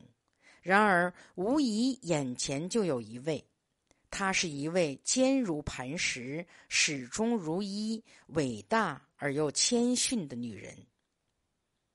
我不得不慢慢的阅读此书，因为好多时候实在是太痛苦，不忍目睹到处都是想推翻、很有可能毁灭以色列的事实。在这二百周年纪念的日子里。我们大张旗鼓的在自我庆贺，庆贺二百年前史诗般的独立战争。然而，事实是，不管那时英国再怎么强大，他们的军事基地远在千里迢迢之外。作战需要数月跨洋过海，而以色列人近乎赤手空拳，面临的。却是直接与就在家门口的武装到牙齿的强大邻国们的战斗。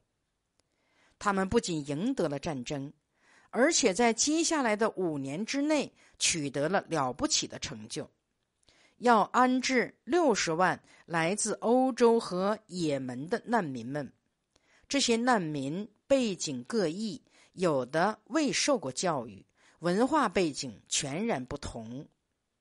要建造房屋、创办学校、解决就业问题，所有这一切均是在资金短缺、各方面都处于困境中解决的。他们二十年来所取得的成就真令人难以置信。然而，你能感觉到他们时刻受到国际共同体的轻蔑。被认为是可以抛弃的。二月六日，星期四，一直期盼的雪天终于来临了。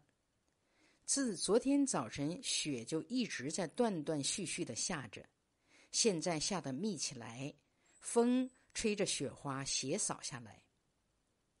大海巨大深沉的浪涛在翻涌着，不是表面上的翻滚，而是高高腾起深黑的巨浪，然后又撞得粉碎，皑皑白雪之上的白色的浪花。寂静被稳定有节奏的呼啸声打破，这我还从未见过。白雪与汹涌大海同时并存。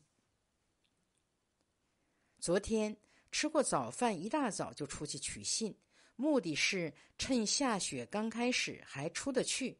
幸好我这样做了，抱回来几只白的、黄的、淡黄色的郁金香，几只蝴蝶花。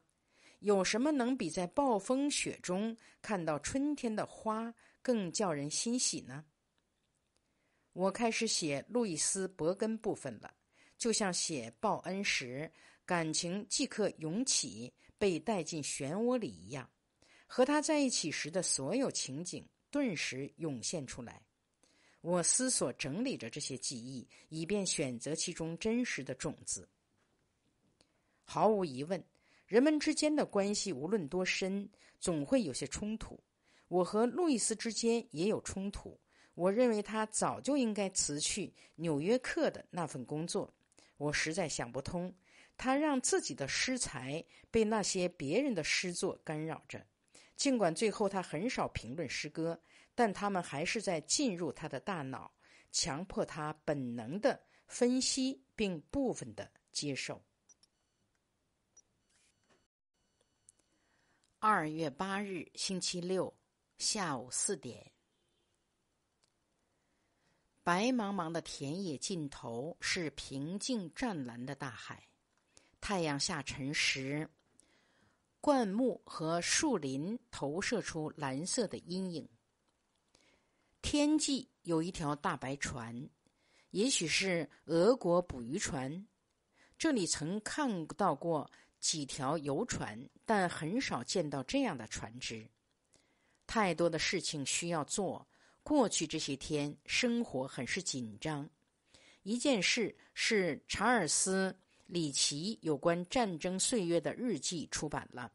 午饭后，我如饥似渴地读着，搜寻所有他提到的和伊丽莎白·报恩见面的有关事情。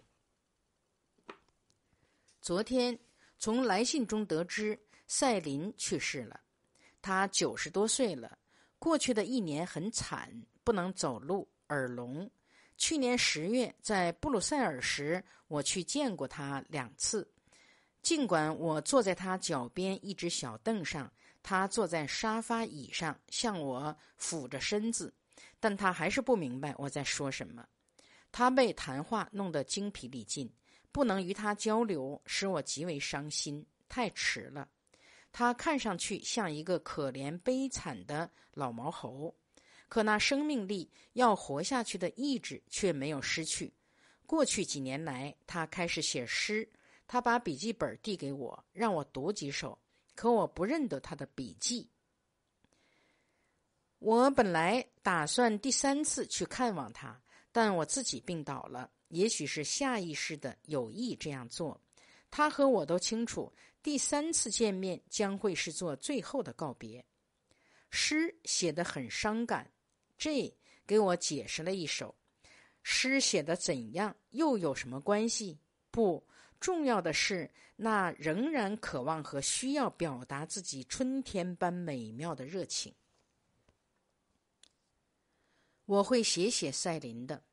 因为我非常了解他，以他为原型，曾有过一个虚构的人物。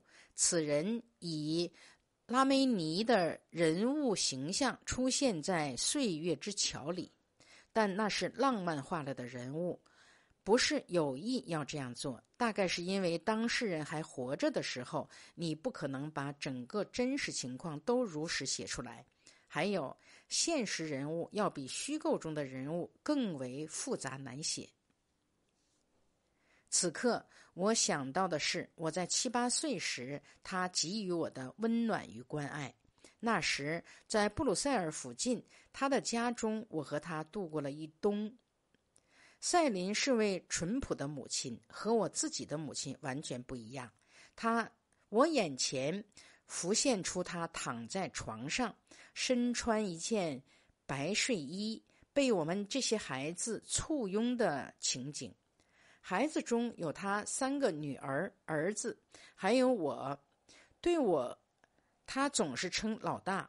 我们刚洗完澡，干干净净、粉嫩嫩的躺在他周围。每个孩子尽量往他身边靠，期待着他给我们读半个小时的故事。我记得读的是《尼尔斯骑鹅旅行记》，整个冬天我们都被那故事迷住了。他很喜欢支配一切，像个将军似的给我们下命令。在那个年龄，我很愿意受他指挥。也许因为我不是他孩子的缘故，想起来真是很有意思。尽管我们一直希望他不再承受衰老的痛苦，可在不可抗拒的命运之神到来时，我们却有些受不了这悲惨的打击。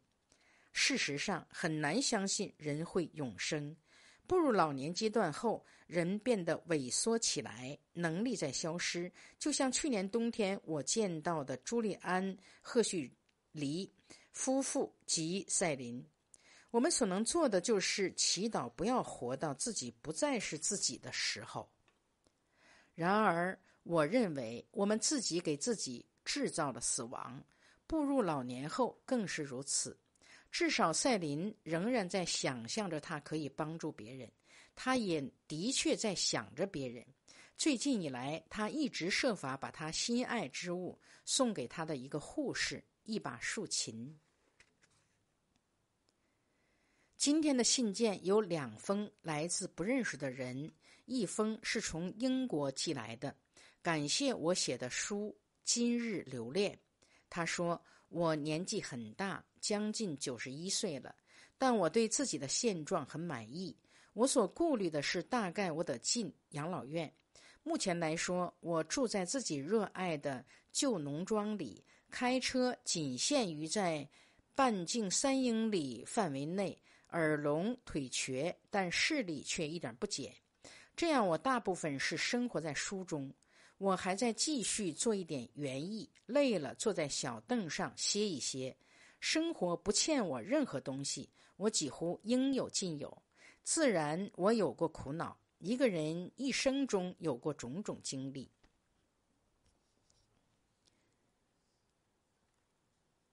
另一封信来自一位年轻的美国女孩，在讲述了她是怎样一位离群所居者后，她说道。我不知道怎样才能确切的把我的真实情况讲述出来。一年来，我在反复读你的作品，我很满意自己是女人。我对自己有健全的神经、视力以及各种感官系统感到惬意，离群所居很自在，有一种自己是自己的愉悦满足。他又接着说了很多。末了，他说道：“感谢你把老年人及老年生活真实的表达出来，使我们看到生命在于延续。这种时候，我很想有一个人来聊聊，倾吐涌入我内心的百般感受。”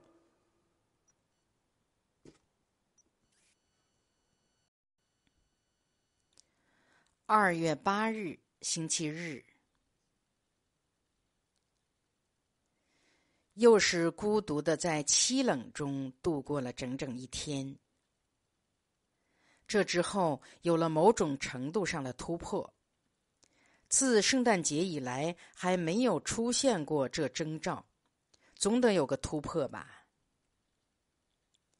我痛哭流涕起来，甚至连猫也起身过来低头看着我。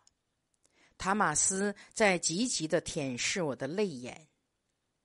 可动物的安慰是不够的，我纯粹是太孤独了，渴望着慰藉。这不是那么容易解决的。我可以给一些人打电话，如果我请他们过来吃晚饭，他们也会乐意前来。但那要付出很大的精力，会打乱我的沉思。把一天真正要做的事毁了。这不是什么上策。我需要的是一个家庭。我所指的家庭，是我可以时有走动，与家人随便吃顿饭、散散步什么的。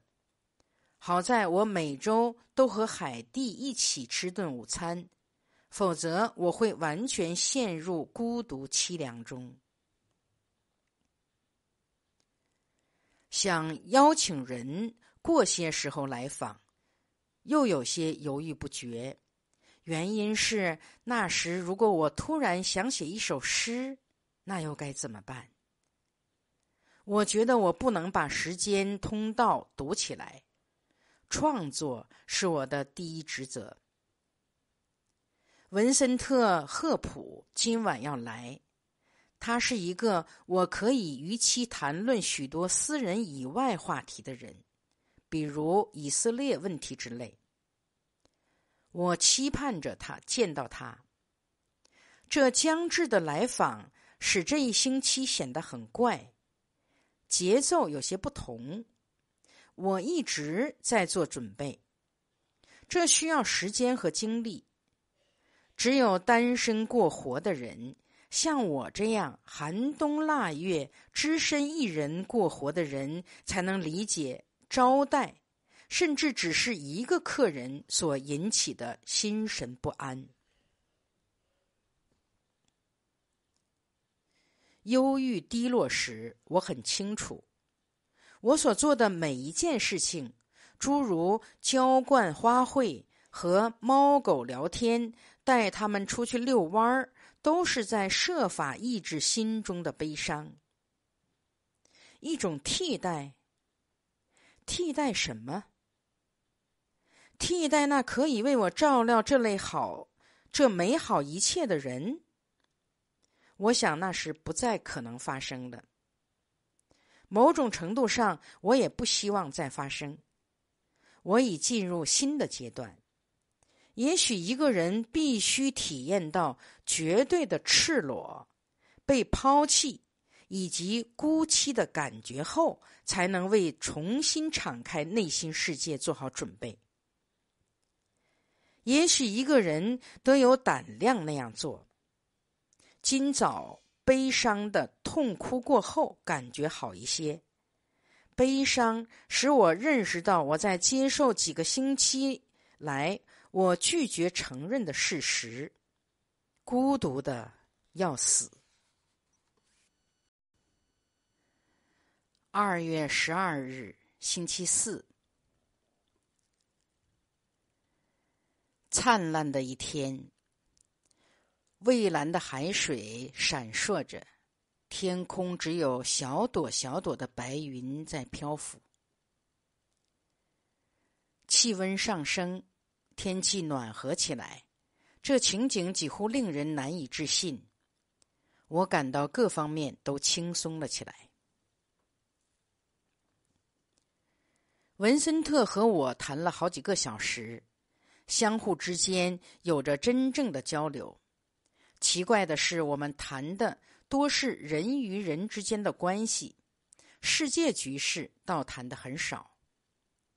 他认为家庭生活中存在的敌对紧张的关系是不可避免的，他对此能自然的接受，这使我感到惊奇。对我们来说，能承认这个事实是多么不容易。我觉得我们每一个人都生活在某种不现实的幻觉中，这幻觉起不了什么作用。恰恰相反，它使我们在压力面前感到内疚，好像承认家庭不和是一种个人的耻辱。我觉得文森特说的很有意思，他认为家庭不和是很自然的现象，不可以用什么方法去解决。只能是等它过去，就像等待一场暴风雨过去一样。他路过此地，在这里待了一许。他带他的两个儿子去加拿大哈利法克斯，给最终文件签字。也就是说，他的两个儿子可以在美国工作居住，不需要每隔一段时间就得回加拿大住一住以保留身份。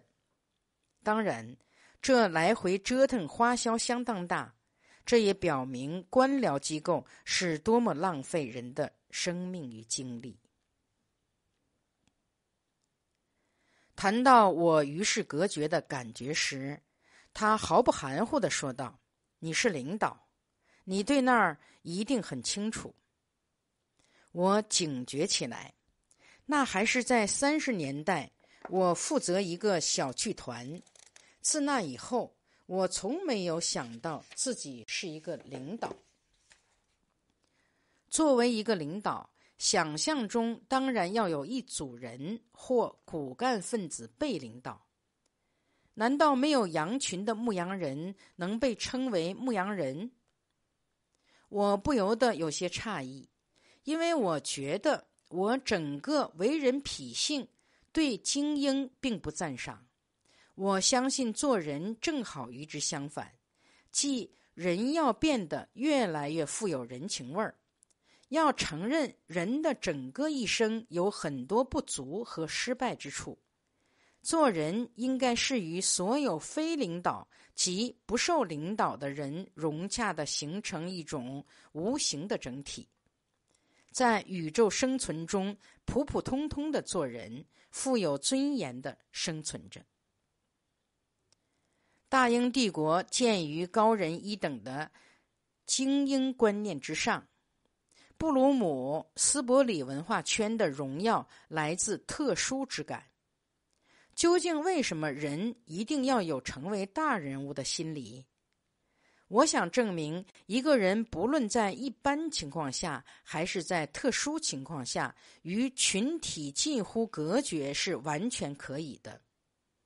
当然，付出的代价是很高的，而且一个人的十分坚强，愿意为此付出代价。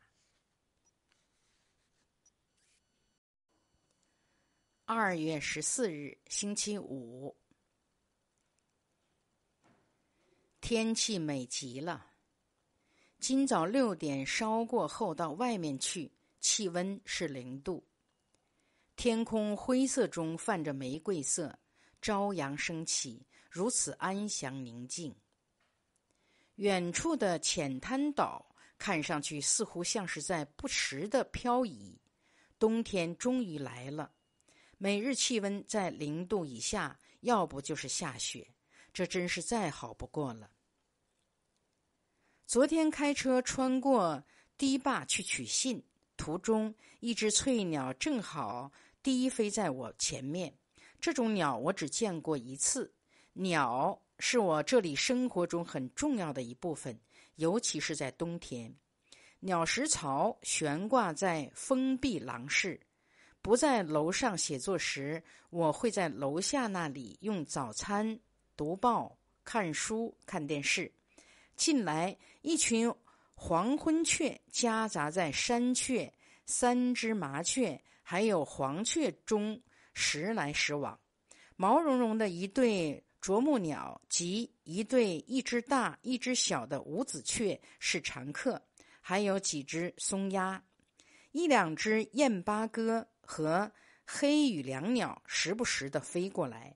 两只可爱的红松鼠及一只大灰松鼠吞噬了好多鸟食，在这极为宁静的大冷天里，持续的动态，所有那飞来飞去的翅膀，有点像空中飘荡的音乐。没有它们，便会是死一般的寂静。从这书房的窗户朝下望去。石板露台底下，雪地上印着一条花纹带子，是塔马斯和布兰波弧形和圆形的爪迹。花园低墙外是无垠的田野，覆盖着耀眼的白雪。此刻，湛蓝的海水在阳光照耀下闪闪发亮，一片一片的朝南边的岛屿涌过去。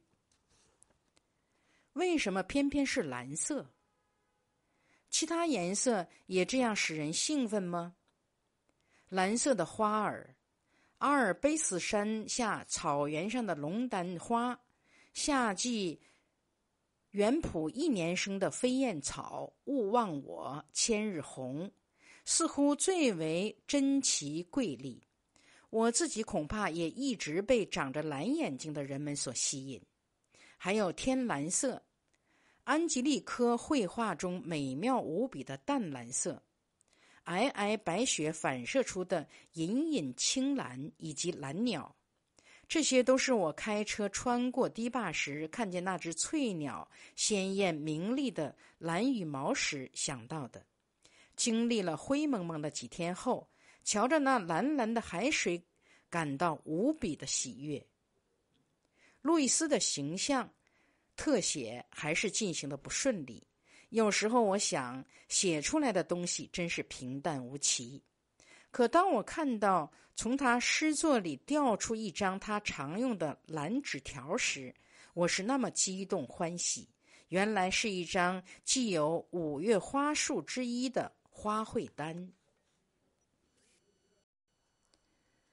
二月十七日，星期一。过去二十四小时内。冷空气开始减弱，真不可思议！天气的回温顿时生物来了精神，猫狗不停的要到户外去。气温现在是三十二度，而不是像上星期那样二十二度或是十度，再不就是零度。那只猫在树木之间穿来穿去，四下奔跑，尾巴一甩一甩的。相比之下，那条狗有点像我一样，似乎精神不济，躺在门口打盹儿。我欣喜地注意到，昨天雨下的不大，并没冲走地上的雪。海在大幅度的起伏，但不见白浪花，看上去深沉沉的，青铜似的闪着光。我书桌上情人节送来的小苍兰及玫瑰花依然秀雅姣好。这季节里就属小苍兰最佳，香气扑鼻，喇叭似的花瓣细薄淡雅。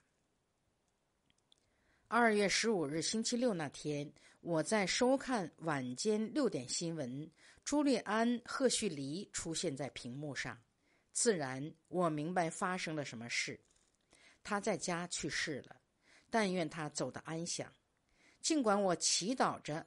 他也许悄悄的去了，但当死亡消息来临时，活着的人总会受到震惊。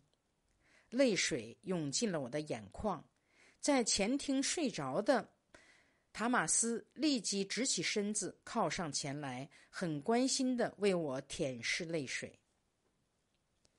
整整一晚上，我辗转反侧，不能入眠。朱利安和朱丽叶的形象。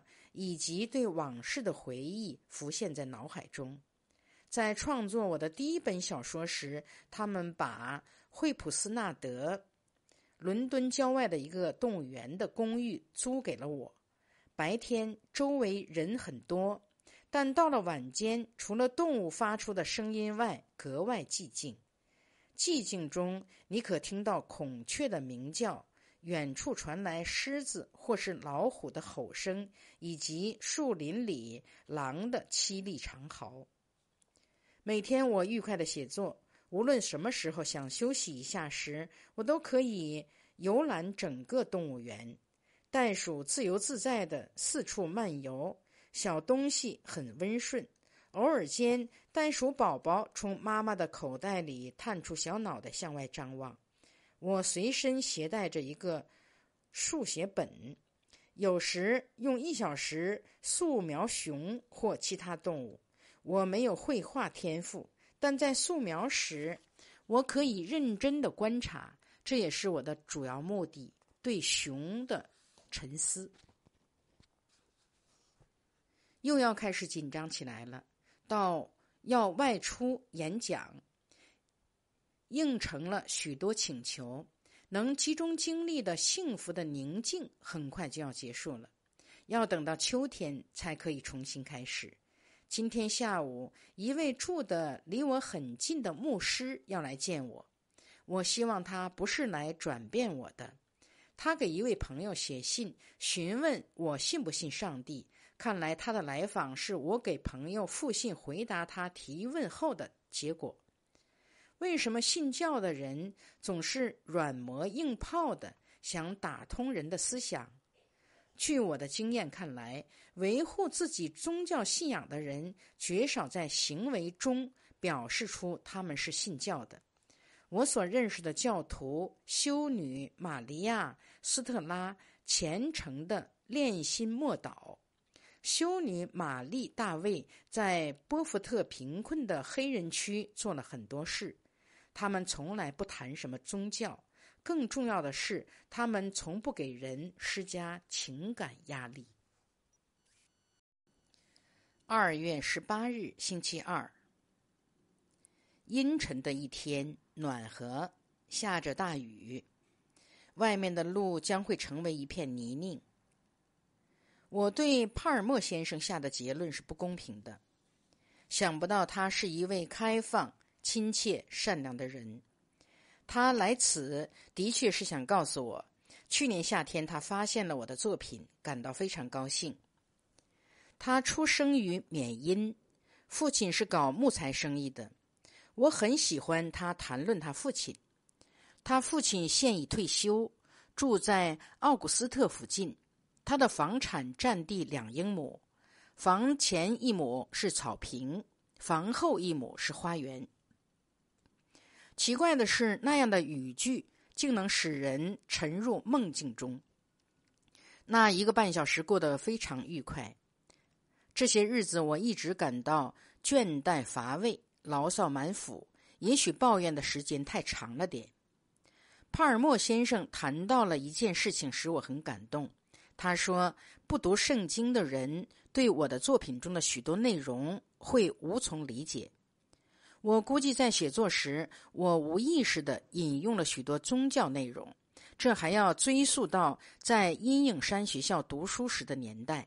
那时得到的启蒙是：不用心学赞美诗、不精通圣经的孩子，将来会在许多方面一无所知。”有一天收到一封陌生人写的信，他读了我的诗选中有关我父亲的部分后很感动，写信给我谈我父亲。他说道：“在哈佛上大学时，我选修了乔治·萨腾的一门课，他为我树立了榜样。学者该是什么样，我需要成为什么。”他学识渊博，却仍然热衷于学习，从不感到苦累厌倦。他把学习看作是一种精神享受。他谦虚无私，我觉得他对竟然有那么多学生选他的科学史课一直觉得惊讶。而且他很善良。我一九四四年在印度当兵时，他两次写信给我，从没有哪个教授做过这种事情。写信人很抱歉，在我父亲去世十五年后才写这封信，但这封记忆犹新的信要比写在十五年前珍贵的多了。今年以来，这是人们第二次向我提到我的父母，与我分享他们对我父母生动的回忆。二月二十三日，星期一。天气又变得凉爽正常了。这一星期来异常的湿热，令人焦躁不安。到圣母大学待了四天，去参加文学节活动，得知诗人路易斯·辛普森、斯坦利·库尼兹及高尔威·金内尔也前去，我不由得兴奋异常。去的时候战战兢兢，心里很担心，因为此次文学节活动没有几位诗人，而这三位又都是我一直尊敬的诗人，担心辜负了米歇尔·奎因的期望。此次文学节活动由大学二年级学生发起主办，由他们选择自己喜欢的作家参加。米歇尔是二年级学生主席。他特意邀我前去，结果文学节办得极为成功。每个人都充满了爱心与喜悦之情。那些观众实在令人难忘。漂亮的大礼堂里，六百个座位都已坐满，后进来的人只能站着。路易斯·辛普森头一天晚上的朗诵非常好，那幽默轻柔的声调与我的迥然不同。我不知道自己的作品能否感染感染观众，尤其是我要同时朗诵《今日留恋》和诗歌。结果很好。掌声一阵阵涌起，可爱的米歇尔啜泣着。记得在他那个年龄，在市民仓库剧院时，我也曾有时啜泣，流出激动欢乐的眼泪。也许最使我感动的是，有些女教师及讲师们前来向我表示感谢。他们对我说：“你所做的都是在替我们表达心声。”上述是这次经历的一部分，另外一部分也许对我来说更重要些，就是聆听那三位一流诗人的朗诵。我一直渴望置身于这种场合，渴望让自己再次感受到诗人之间情感的共鸣，渴望从自己的同行中学到些东西。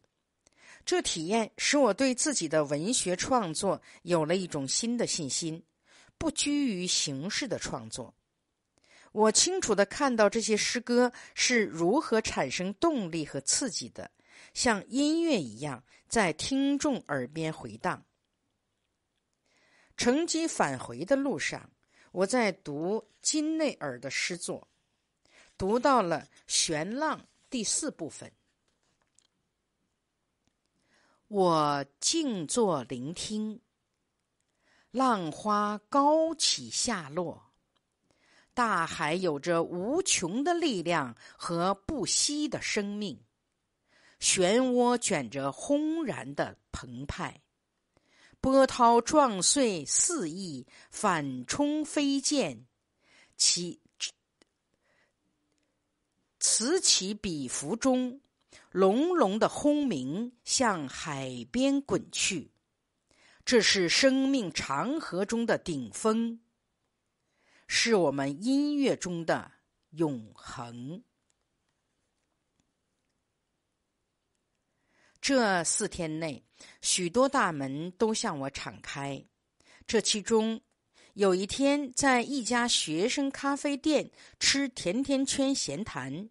有人送给我一本著名神学家蒂利希的著作《基础的动摇》，听上去好像无关紧要。偶然遇到一位年轻人和一位年轻女子，两人都是大学讲师。然而，在那种文学节气氛里，这却是相当有意义。我很需要这本书，它解决了长期以来一直让我。烦恼不安的心事，它使我又恢复了平静美好的心态。也就是在那半个小时里，那位年轻人告诉我，他的姑妈凯瑟琳·奥利诺曾给我们家做过多年管家。那时我们住在剑桥，他姑妈很爱我母亲，这可太好了！我可以给他写信。送他一本《我认识一只凤凰》，这可真使我高兴。二月二十四日，星期一，喜人的春雨斜斜的下着，似乎在二月的头两个星期里，整个冬天就过完了。我感到冬天有点被褫夺了。眼下周围总有一大群黄昏雀，它们在此地过冬。可在上星期才发现了鸟食槽。温驯的塔马斯在撕扯着一只血迹斑斑的死灰松鼠，肯定是布兰波逮住的。我看见他在一片灌木丛下折腾这只松鼠。我忘了这些和我在一起时温驯的动物。当它们本性恢复时，它们的牙齿是多么犀利无情。去年夏天，我答应了做联合研究生院两位女博士生的导师。这样安排可以使学生就近学习，和导师一年中有一星期的见面机会来讨论他们的研究课题。诺玛主修方向是私人日记，他一直在随时记日记。凯伦是想通过神话对妇女做进一步的分析研究。时不时的，他们正在搞的课题研究文章便不期而至。上星期用了两天时间在看诺玛写的东西，这引起我对怎样写日记、对作者有怎样的要求做了很多思考。我还从未这么认真思考过。我不认为记日记是年轻人的事。年轻人记日记有一种危险，像希腊神话中只爱自己的美少年纳卡索斯，极易沉浸在自我意识中。如果一本日记要对作者、对读者有价值的话，作者必须要客观地记录自己当时当地所体验到的。记日记的全部要旨就在于抓住正在进行中的事，至于具体内容，则不应是记叙，而是分析自己所得经验，至少努力归纳出最本质的东西。第二，这点比较奇怪。能使读者感到兴奋的，常常是日记中的细节琐事。除了他们自身，很少有年轻人去仔细观察任何外界的东西。然后是内容产生的背景，这是指一个人的阅历及思维、情感方面的经验。年轻人在这方面是很浅薄的。问题的核心是，我的意思是说，日记中不常都是自我。诺玛打算，而且已经开始写了很多他称之为回顾日记的东西，同时也在每天记日记。给这些不同的日记类型下定义，一直颇费思量。我觉得在自传与日记之间有相当大的不同。自传是写人的一生或是童年生活，是对过去很长时间以前发生的事情的回顾。自传是我所记忆的东西，而日记必须是我现在的情形，此刻所发生的事。我希望诺玛能找到一种合适的方法，把两者很好的交织在一起。常常是目前所经历的事情，使人联想到过去发生的某一件事，由此对过去的事突然有了新的认识。我想这是可以的。除了这以外，上星期又收到了一页又一页的莱诺拉·布劳因整理我已出版的书目，他搞了有一年多了。我得核对一下，同时我还得一点点的打开小包杂志选集等。这些字搬过来后还未打开过。平时做这些事倒还有趣，可现在却有些烦人。眼下我有那么多别的事情等着去做。第一次演讲安排在本周四，在新哈布什尔大学。演讲之后要进行有关做女诗人的问题讨论。这不又来了？今天上午我得把这一切安排妥当。二月二十六日，星期三。今春的天气令人沉醉，阳光透过云层光芒四射。此刻大海黑沉沉的，海天之间有一条长长的光束。自从去年十月惊愕的见到年迈古板的朱利安·赫胥黎后，我所了解的、爱恋过的他又重新浮现在脑海中。昨日。收到一封瑞典朋友寄来的信，这位朋友记着一九四零年前一个夏季在奥地利格伦德尔看到我们的情景，有一幕生动的景象使我不能忘怀。夹在一群客人中间，我站在吃饭的长廊前。那时我看到你和朱利安·赫胥黎从松树林里走出来。你俩苗条修长，神秘又美好，充满活力和默契。那印象我永远不能忘记。读至此，我羞惭不已，吃惊的回忆起我们在一起时的美好时光。时间的淤泥竟是这样把一切都阻塞了。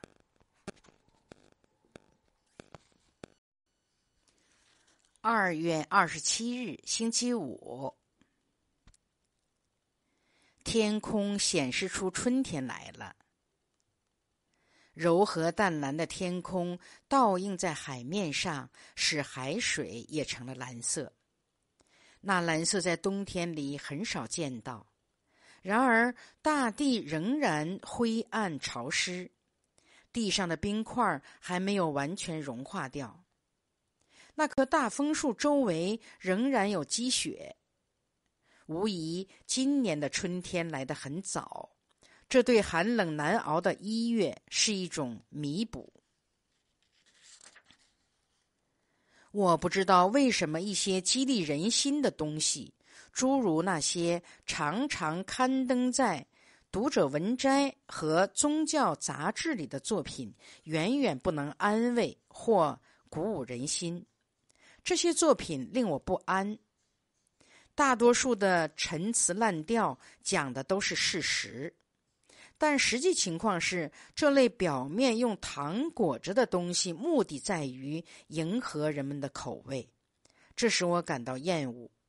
我之所以感到厌恶，是因为我感到上当受骗了。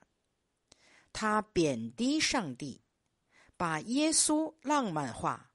而且最危险、最不合基督精神的是，他使自己的传教者感到优越于他人。这些人属于高等人士俱乐部的一部分，在此俱乐部，灵魂得救的人可以聚在一起，其他人均被关在了大门之外。面对此种状况，蒂利西像一股纯净无情的风刮了进来。在读基础的动摇时，令我感动至深的是，他对我长期以来苦恼于不知上帝何在有了解答。等待那一章是这样开始的：新约与旧约对我们自身存在于上帝之间的关系均作出描述。这关系是一种等待的关系。人与上帝的关系，首先不是拥有，不是目睹，不是认识，不是控制。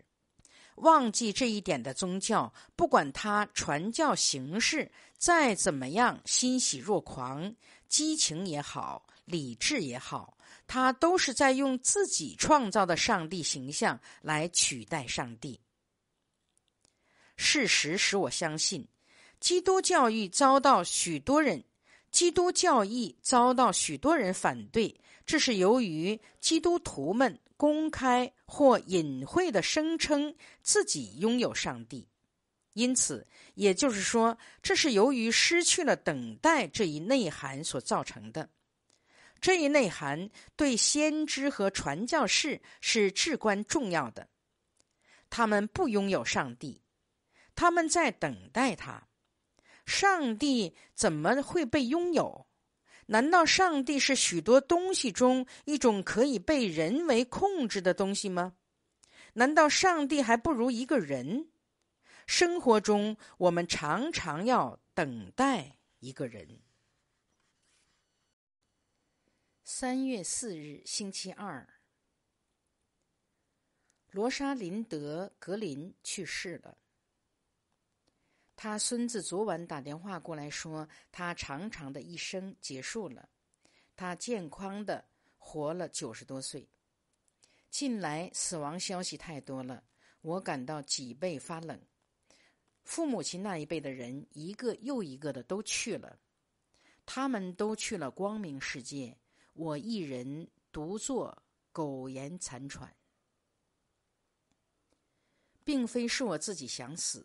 上帝知道，而是当没有什么人，比方说，从孩童时代就能记得我的人还活在世上时，生活的基本形态急剧的改变了。每次收到这类死亡消息，都是一次地震。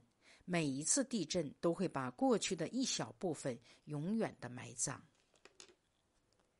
像赛琳一样，罗莎琳德与我的童年紧密联系着。那些在罗利岩沼地、霍林河地带度过的夏天，多么幸福的记忆！追赶珍妮是只山羊，它常常偷跑到沼泽地去。涨潮时，跳入深水潭里游泳，从干草垛上滑下来，让弗兰克·弗罗辛汉叔母叔叔教我们骑他的小马，发现了许多可怕的恶作剧，捉弄老年人，还有乔伊和弗朗西斯科。格林家的环境气氛令我陶醉。假期，我是他们家的一个成员，被带入他们家庭生活的戏剧里。我甚至陶醉于罗莎琳德每晚过来和每个孩子做晚祷，尽管他明显的是在演戏。毕竟他曾梦想做一名演员，要不是他兄弟阻拦，他很可能成为一位了不起的演员。他兄弟古板的不让他去当演员，对他说：“如果他胆敢上台演出，他会一枪把他崩了。”事实上，他依从了。没有去当演员，但他的一生的确好似在台上扮演英雄角色一样。罗莎琳德是个大美人儿，她是我所见到过为数不多的我称之为美人的女人之一。尽管她的四个女儿都很美艳，但无一具有她迷人的风度、女皇似的仪态、蓝宝石般的眼睛。在想她的时候，想到她所有错综复杂的性格及迷人之处，我不由得要用文学语言来形容他。他原可以成为亨利·詹姆斯笔下一位杰出的女主人公，她会富有感染力的在丰富多彩的生活画面中展开这个人物。因为我从小到大都了解她，也因为我崇拜敬爱她，对我来说，我不可能那么好的展开这个角色。但有一条线索显而易见：他的生活是有意识的，通过受上等之教、行上等之德而塑造的。对生理残缺，他从不抱怨。甚至到老年因关节炎导致腿瘸，也不曾抱怨过。他生活节俭，却慷慨给予。对背景不同的人们而言，他是一位令人愉快的朋友。罗莎琳德一生都在写诗。假如他那时真的要写，也愿意冒险接受批评的话，他会成为一位很不错的诗人。可。我也注意到，他对他的孩子们要求太高。在他们刚开始萌发雄心时，那点雄心就像被酸腐蚀盘子一样，一点一点被蚀掉了。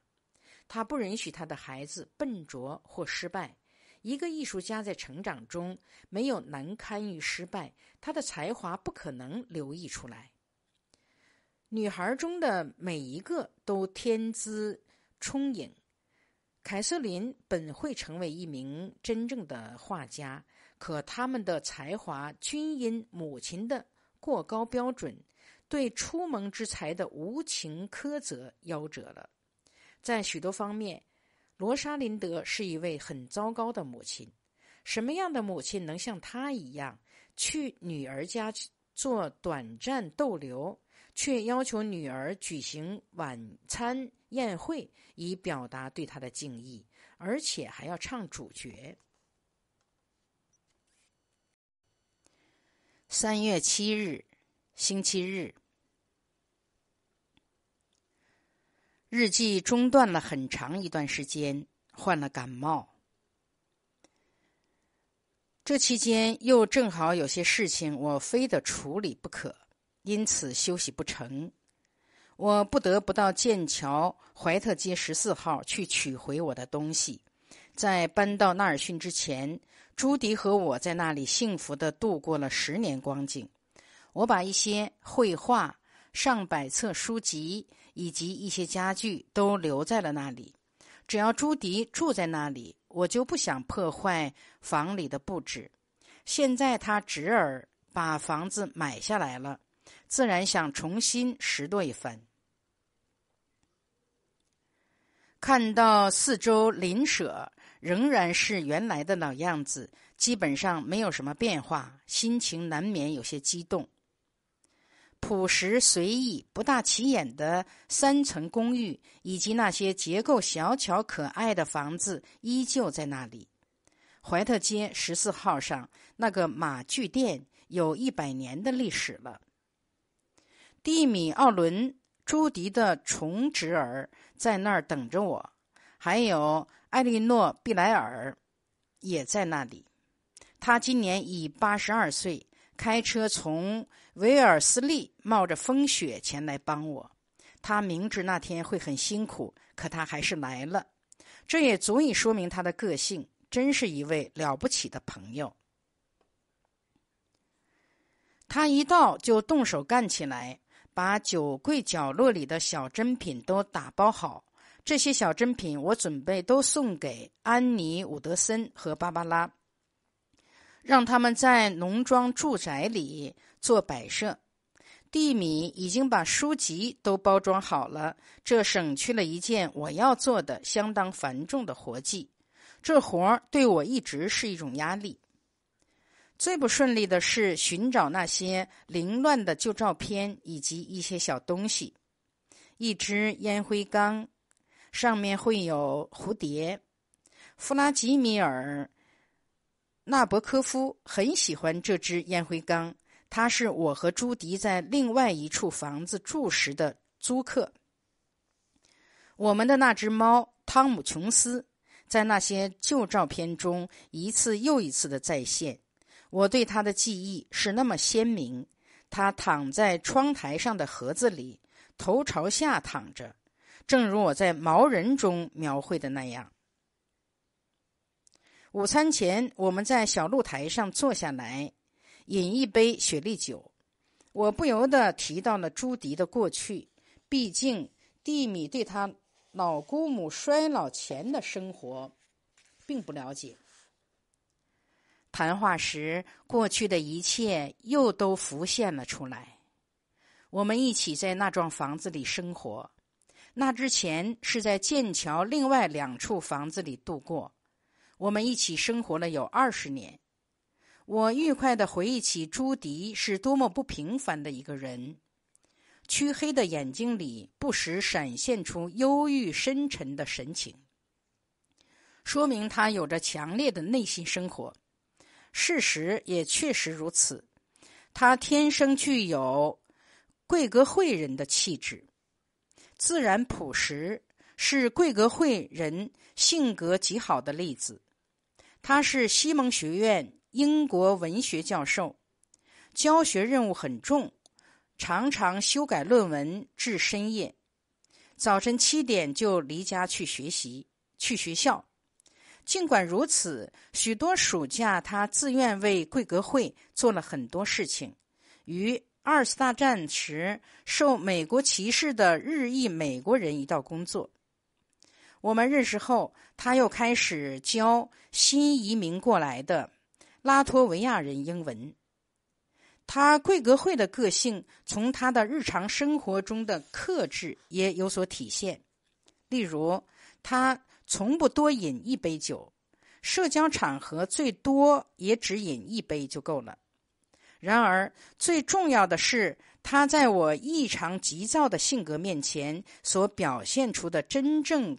贵格会人的宽容、从容、镇静的风风度，这也是某种程度上我们关系可以持久的缘故。朱迪出生于新英格兰安全高尚的西牛顿市一个富有的家庭，然而当他十九岁，在史密斯学院上大学一年级时，他赖以生存的世界在他脚下可怕的坍塌了。母亲精神完全崩溃，在精神病院度过了余生。父亲破产。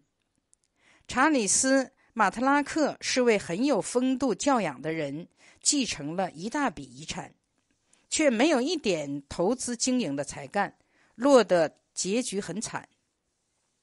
他的大女儿很早就结了婚，还算幸运。可朱迪和他妹妹不仅失去了母亲，而且还面临立刻寻找谋生出路的困境。朱迪靠奖学金设法读完了大学，然后感谢一位朋友的慷慨援助，到牛津，到英国牛津大学待了一冬天。这以后，他开始了教学生涯。朱迪交友很有天赋，我想这是由于他有一种特别善于认认真聆听他人的能力。他对待朋友的方式很少见。也正是因为这一点，当我们在圣菲作为室友初次相遇时，他深深吸引了我。我们在一起生活的很美满。冬天，他整天在外工作，我在家写作，愉快的期盼着他回来，一起喝茶、散散步。之后，他上楼备课、改论文。夏天，我们不止一次的去欧洲旅行。不能忘怀的是二次大战后的一次旅行，我们开车到另外两个英国朋友沿多尔多涅河到法国南部去。在伦敦经历了长时间的战争岁月后，心中充满了对阳光、佳肴、法兰西本身的渴望。搬到纳尔逊后，每逢节假日，我们仍然在一起度过。夏天，他到我那里住了一个来月。所以，当他变得越来越恍惚，现在解开的是多年来编织网结在一起，现在依旧经纬交错的我所经历过的最深的关系。三月七日，星期五。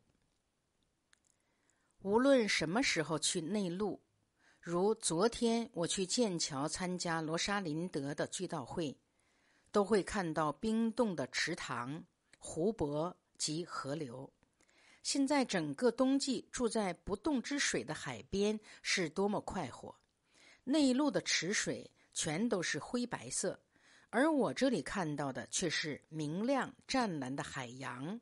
趁着早春惨淡阴灰的天际。此情此景，总会令人眼前一亮。追悼会在剑桥的基督教堂举行，教堂庄严肃穆，建于十七世纪。我有意提前一点进了教堂。灵柩上蓝色蝴蝶花和银莲花令我立刻动情的流出了眼泪。这花卉似乎完全表现了那火焰。罗莎琳德自己的那把蓝火焰。前头第一排的长椅上只有乔伊，她是罗莎琳德唯一还在世的女儿，还有扎着马尾辫的小弗朗西斯科。小女孩是罗莎琳德的曾孙女之一。这孩子生下来时，我特别介意任何人用弗朗西斯科这个名字。这名字是他过世外祖母的名字。我是那样爱他的外祖母弗朗西斯科，她是那样的美。然而，现在这个家庭中好多成员都已去世了。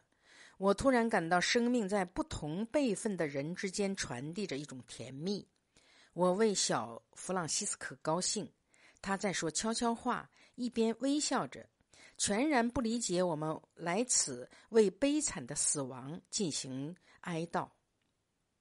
后来，在弗朗罗公园，我们聚在一起，乔伊和我聊了一阵。我们一向如此，相处十分融洽。三十多年来，我一直和罗莎琳德的女儿们接触着，想探究他们母亲身上的神秘之处。凯瑟琳常常对母亲抱有强烈的抗拒态度，下决心在去世前要自己安排后事，不让罗莎琳德插手，就像他插手长期患病的弗朗西斯科的后事一样。罗莎琳德不算是一位好母亲，但却是一个颇不错的外祖母。我在说这话的时候，乔伊接过去，不错，祖孙们闪闪发亮，我们却被烤焦了。听到此处，心头思绪种种，不由得想赶快离开，回头再去想这事。对我来说，罗莎琳德是位英雄。就在几个月前，我听到一位年轻人这样说。三月九日，星期二。昨天去看了医生，得了流感，没有什么好办法。他说只能等一个月或六周后才能逐渐好转起来。很快又要外出演讲，一想到此，我不免有些心慌。更糟的是，什么事也没有做成，诗的梦幻。都到哪儿去了？还有这日记，晚间躺在床上不由得出汗，心中有那么多的所思所虑，可记载下来的却那么少。其中之一是对濒临死亡和死亡的深切体会。这并不是说我自认为得了不治之症，只不过是我觉得死亡在沉重的威胁着我，我在向死亡走去。觉得一天天在走近他，另外是对自己生活极度的不满意。屋里乱七八糟，从怀特街取回来的书箱子到处都是，没有精力去整理。有好多星期了，一直有气无力，提不起神儿来。这情形其实自一月份起就开始了。一月份时，我至少还写了几首小诗。我挣扎着想用什么办法来解决这种低沉、低沉、消极的现象。第一个办法就是随他去算了，欣赏一下阳光底下盛开的鲜花。昨日书桌上的白色水仙花及蝴蝶花开得很美，享受一下这美好的住宅，体验和动物在一起的喜悦。每天生活的缓慢安静，这对恢复身体健康很有益处。另外，就是更多的自我寻找，驱使自己，希望自己能进入更深、更真实的思维空间里去。唯一我所创作而有收获的事，如果可以称之为创作的话，是我让摆放花卉的大窗台上。开满各色鲜艳瓜叶菊的梦想成了现实。从下种到开花，整整十个月，十个月的担心。先是在地下室灯光底下栽培幼苗，然后从平盘上移植到泥炭盒里，然后再移至大花盆里。十个月中，不停的要驱赶。粉虱，又担心它们在寒冷的一月份里受冻。现在它们都摆放在楼上，有一株是深蓝色，非常鲜艳，像食物一样滋养我心灵；有一株开的是紫花，花瓣边缘有一圈白色；还有一株也是有白边的粉红色花，粉色也有浓淡深浅之分。有浅橙红、深粉红及鲜艳的洋红。收到了一封卡米尔·麦朗的长信，他今年八十七岁。信的内容使我很生气。我们交往有很长时间，这几乎还是第一次令我觉得我们之间有一道鸿沟。对许多事情，我们都有不同的看法。他对当今之事不能接受的事情太多了，想写封回信，可甚至只是想想要怎么答复他，都使我感到精疲力尽。最使我生气的是，他说法国人总是把政治与道德分开来讲。说到水门事件，他认为对此事件的处理是小题大做。我想说的是，一旦把政治与道德分开来讲，人类的文明势必要灭亡。他拒绝承认对越南的战争是不义之战，也不认为竭力反对战争的人是有道德的人。对此，我怎么会有那份精力去答复他？再看看这桌上这些像等待被食物、被喂食的动物一样的一大堆信件。三月十一日，星期四。今天属三月里的正常天气。早晨开始下雪，此刻放晴了。天空布满春天的云彩，大海平静蔚蓝，雪在消融，地上很泥泞。我设法开车去康科德看了看朱迪，像以往一样。每次看他回来，心里感觉好受多了。有一个月没有看到他那张熟悉可亲的面孔，心里竟是那样牵挂着。受内心驱使，我只得去了。两天前，电视上有一个九十分钟的人物介绍节目，介绍皮亚福。那九十分钟可真令人愉快。又一次听到了那些伤感之曲，其中有他以前的情人们及熟人同事对他的评价，让人很开眼界。有一位用了法语“魔鬼”一词来形容他，其实我相信这个词应该是怪杰。就我所知，英语中没有相对应的词可以来代替。但是我想是指某人大于生活本身，由天赋造就，天赋使之与众不同，天赋令其异常难以对付，同时又杰出非凡。另外一个人说道：“他需要情人，就像需要氧气一样。”听此，我很吃惊，这是因为他说的很对。拿我自己来说，甚至在很小的方面都是如此。如果不是情人，至少也是能重新带给我新生活的人，可以使人重新振奋、富有吸引力的邂逅者。很长时间以前，我曾有过这样的经历，也许我再也不会有这样的经历了。三月十六日，星期日。我有些感染，不太严重。最后星期五还是去看医生罗森菲尔德，所以眼下吃的尽是什么抗生素之类的药。自我感觉像一只又大又沉的口袋，无论怎样都提不起来。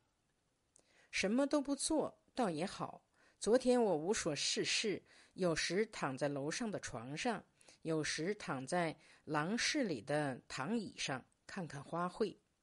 我很喜欢这屋子里宜人的居室，舒适宽敞，光线十足。读了几页昨天寄来的弗朗西斯·赫胥黎的《神圣之路》，书里充满严谨周密的定义，有时的中途停下来想一想。两天前，紫朱雀又出现了。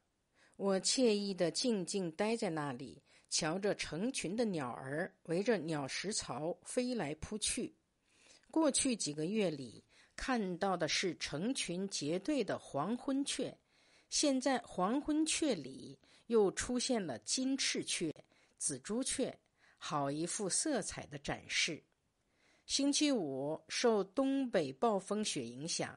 地上积了一点雪，晨歌在空中飞翔。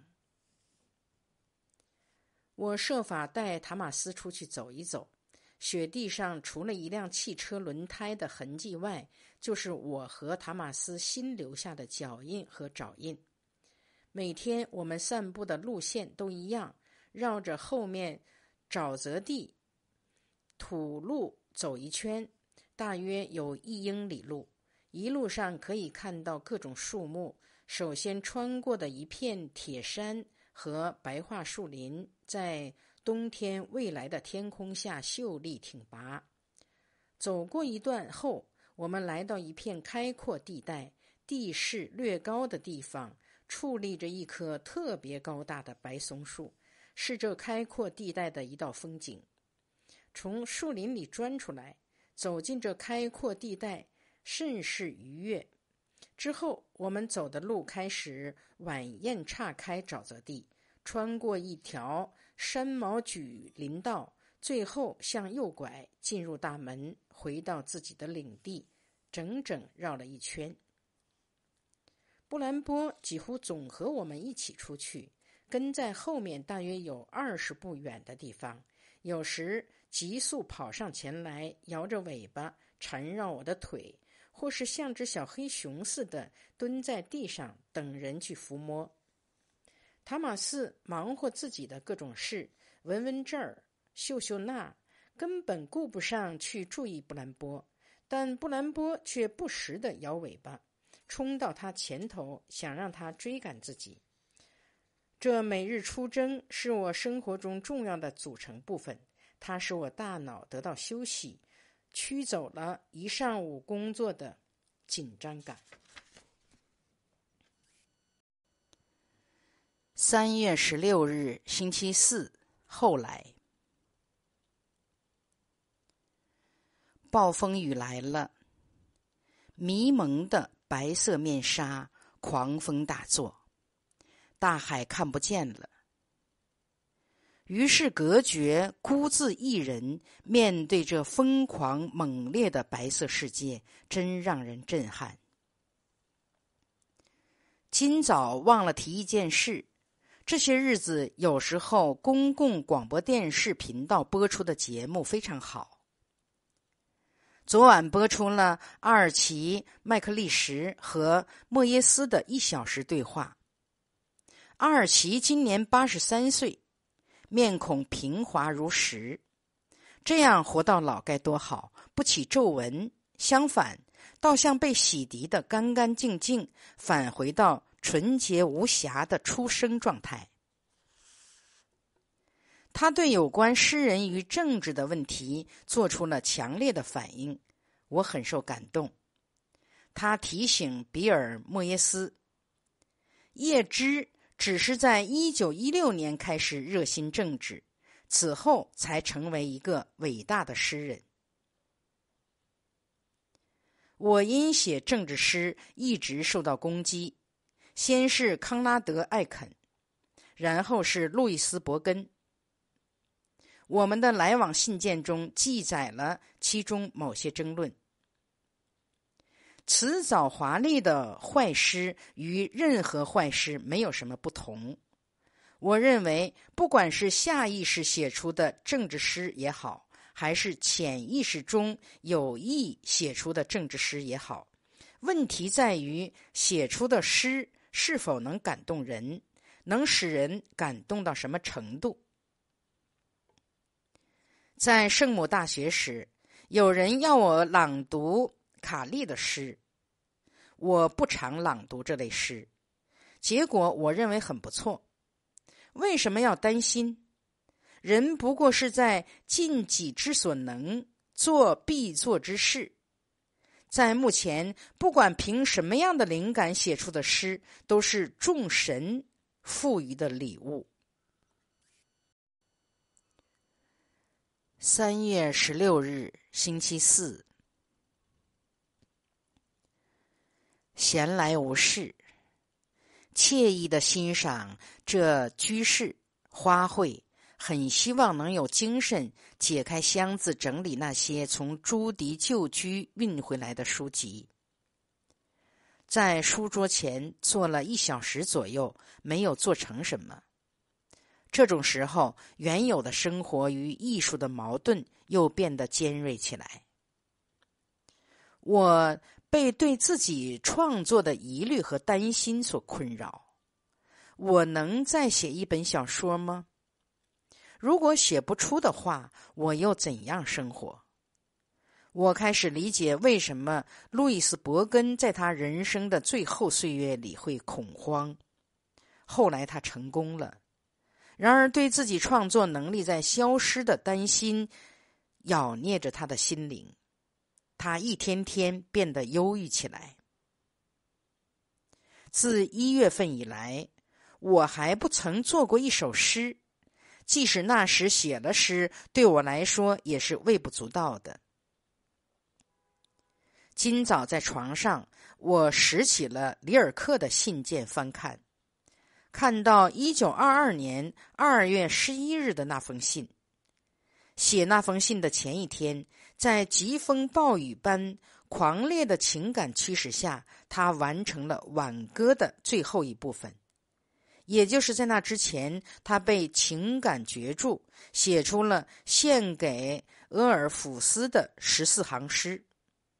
这都是在经过了那么多年的沉寂后发生的，长时间的思考及情感的酝酿，痛苦不安的耐心等待。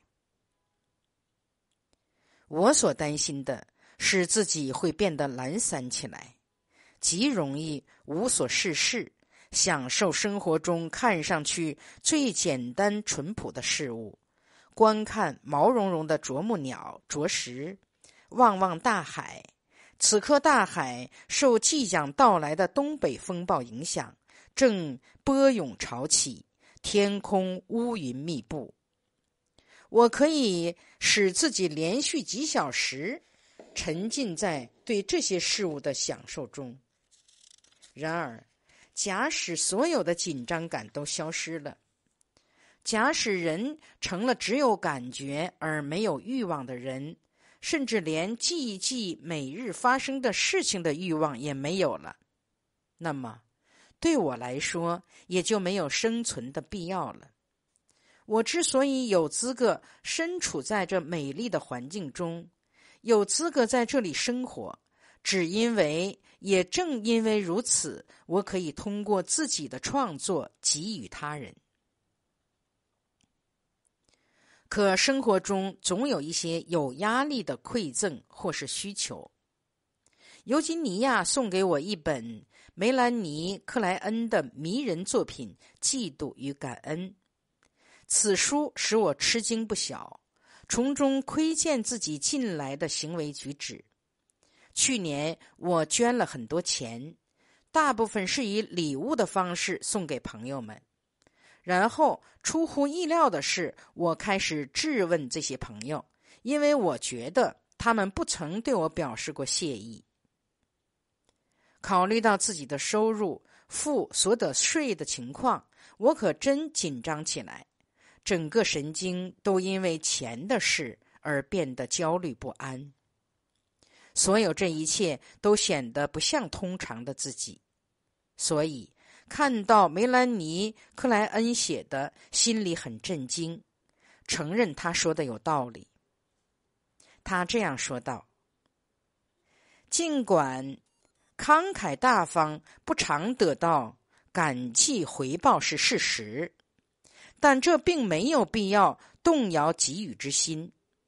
相反的是，人如果没有在内心建立起足够的充实富有的感觉，每次慷慨给予后，总会伴随着极想得到感恩回报的心理需求，其结果是忧心忡忡，感到被剥夺殆尽。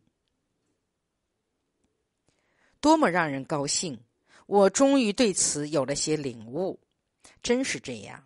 自从以礼物形式捐赠出一大笔钱后，我一直感到被掠尽财物。对前途感到惊恐不安。现在我猜想，这都是由于对自己的创作有恐慌的感觉，担心不能再把钱挣回来的缘故。三月十七日，星期三，地上约有一英尺厚的雪，被风吹着。露台至墙边满是积雪，好大的暴风雪。早晨六点钟起来，为塔马斯铲出来一条道，填满了鸟食槽，然后又回到床上，懒懒的和布兰波躺着。每到暴风雪，他都能从头睡到尾。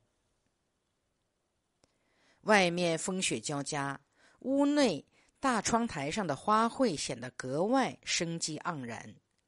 瓜叶菊依旧鲜艳夺目，还有一棵仙客来，白花紫茎，很漂亮。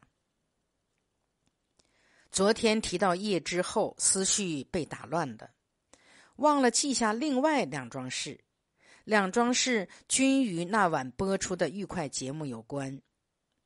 阿尔奇·麦克利什坐在他康威住宅的大池塘边。这把我带回到三年前和他们在一起的生动回忆中。我开车从纳尔逊到他们那里。午饭前，我们到池塘里游泳，在鳟鱼群中游泳。那地方神秘美丽，四周绿树环绕，一条小溪缓缓流过。整整一天，艾达、阿尔奇和我。三人完美融洽的交流着，过得那么愉快，以致我觉得不能再去了。正如昨天我在给阿尔奇的信中说的，完美是不可能再重复的。艾达井然有序的花园里，水仙花盛开着，每到一处，我所看到的都是他们多年共同劳作的标志。他们把周围环境创造的既规整又随意自在，难忘的一日。后来那晚电视上有一小时，肯尼斯·克拉科谈爱德华时代人的童年，他和阿尔奇之间有很多相同之处，各自都是通过奋斗为自己开辟出一个理想的世界。而不是靠什么继承遗产致富。两人都善于结交朋友，但不同之处是，作为搞创作的人，克拉克没有经历过阿尔奇所经历过的痛苦创伤。莫耶斯对痛苦创伤进行追问，阿尔奇回答的真好。是的，生活中悲惨之事不断。一位兄弟在一战中死了，然后又是儿子。说到这里，他是这样表示的：这些哀伤是可以被容忍和接受的，是可以把它们交织进生活里，使之成为富有意义的生活的一部分的。真正的痛苦，阿尔奇说道，在于创作本身，在于创作的艰难坎坷。昨天收到了查尔斯·鲍勃从英国写的一封长信，在海外过了颇有收获的一年后，他开始觉得应该返家了。住在异国他乡，觉得非常疲惫，眼界开阔了许多，经常被人请求做事，以及经常被人盯着看。不同文化之间的茶余饭后笑料。本来也没什么好笑的，时间长了，所有那些天南地北的瞎扯也都变得不新鲜了。我十分理解他说的这些。无论如何，欧洲人对美国人有一种难以掩盖的轻蔑，可你看上去不大像美国人是对你的一种褒奖。过去我对此的反应是暴怒反诘。另外，查尔斯对学术界的生活也厌倦了。那个圈子竟分析一些缺乏创意的艺术作品。三月十九日，星期五。出奇的巧合，打开从怀特街运回来的纸箱。无意中从一本旧日记中发现了多年来一直在寻找的罗斯金《永久的快乐》中的一段话。之所以说是巧合，是因为今天早晨我发现了这段话。年轻的摩根·米德就来吃午饭，庆祝他的处女作将要在杂志《美国人》上发表。只有年轻人，罗斯金写道，才对人们的夸奖给予很大的关注。人年纪大了，变得强大，远远超越你，根本不在乎你对他们有什么样的看法。你可以对他们表示同情、鼓励，可以对他们赞叹不已，但他们却不认为你出自内心的替他们高兴。他们蔑视你的夸奖。假如你真心实意的对他们赞叹过，那么你的赞叹可以使他们愉快的回想起他们走过的美好的青壮年旅程。你可以使他们脸上露出对自己过去感到骄傲的荣光。他们年轻时雄心勃勃，奋力向自己的目标冲去，目标达到了。真不错。可现在他们的欢乐在记忆中，雄心已泯灭。他们可以对你很好，可你却不能再更多的讨好他们了。当然，从另一方面讲，淡然无忧或自感安全，不期望再被褒奖什么，这是最为理想的。但我恐怕永远不会这样。我很担心自己对摩根的小说不会有什么太大的热情。结果，我对他的创作非常欣赏，小说写得引人入胜。我觉得他是位小说家。在这篇幅不长的小说里，他容纳进了丰富的内容，字里行间展现出他的想象力。能告诉他这一点，我心里非常高兴。总之，这一天过得很美好。尽管开始雪下的很大，地上湿乎乎的，几乎有两英寸厚。我非常担心他没法从哈特福德过来了。他和我是真正的朋友，我们之间无忧无虑，无所不谈。他喜欢我，正如我也喜欢他。我们每年相见都似过节一样，我们之间年龄几乎相差四十岁，真不可思议。三月二十五日，星期四。一年多来，我外出演讲多次，这还是第一次遇上了阳光灿烂的温暖天气，整整三天都是好天气。我真有点不敢相信。在纽约，连桥已吐艳，公共图书馆前的木兰花也即将开放。在里弗德尔的圣文森特山大学，我要谈的以及诗歌朗读的主题是独居的经历。我只在那里停留了两夜，却好像在那儿住了很长时间。昨天下午回到家中，非常高兴。微风送暖，春意亦然。蔚蓝的海水在起伏。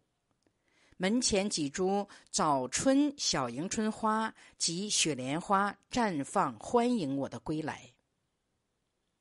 是该对一些事情有所醒悟了。有些人说他们对人没有任何要求，正是说这些话的人们。不管他们意识到没有，要求的最多，恨不得视他人血，摄他人魂，主宰他人的生命。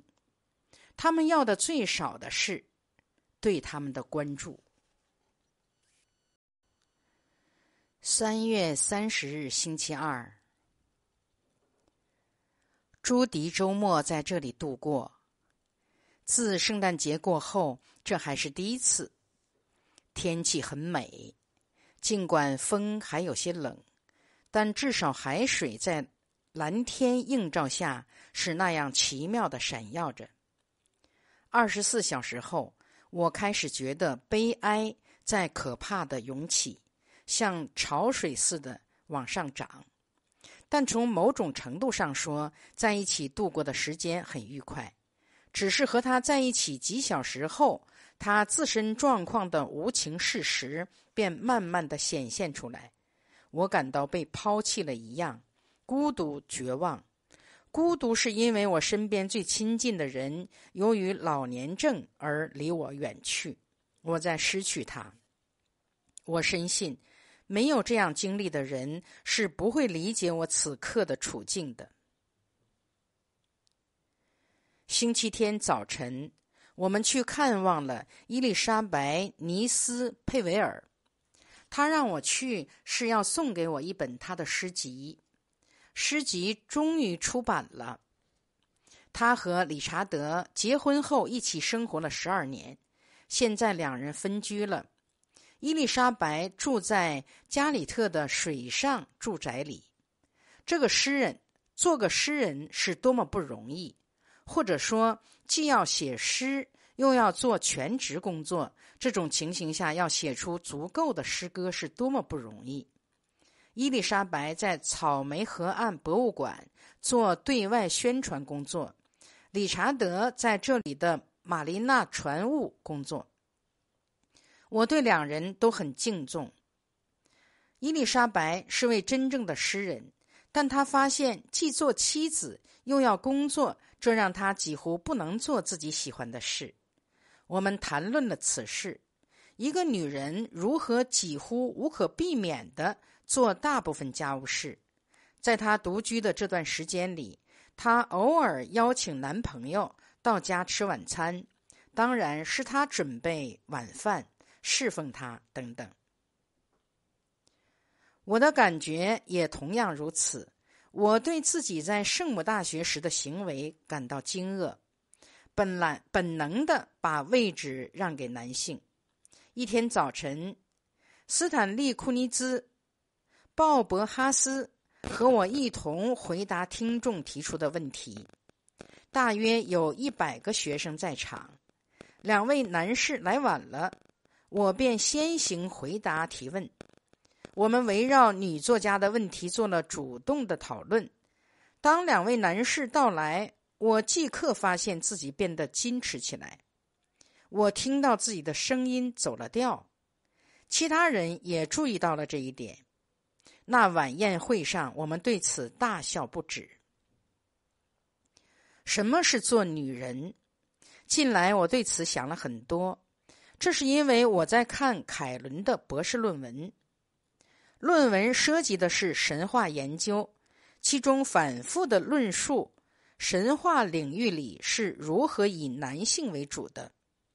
我们生来受教育读的是欧律狄克。处于被动地位，不得不被丈夫厄尔卜斯拯救等诸如此类的东西，还有乐达。然而，神话并非是凭空捏造出来的。想要情况有什么变化，我们得以自己为中心，而不是把自己看作辅助陪衬。我们得靠自己，其中包括多方面培养。以及多方面自我保全，这不是通过反对男人就可以取得的。问题的结症正在于此。正是这一点，使我对当今许多女权主义文学缺乏热情。这个问题不是不怎么就怎么的问题，不是女人反对男人的问题。不管有没有男人，女人得找到真正的自己。而不是去反对男人。再想想我自己，我认识到我自己的生活竟是这么单纯，这都是出于运气，或是个人意愿，以及与生俱来的独立的生存能力所致。这一切并不是我得靠苦苦奋斗才取得的。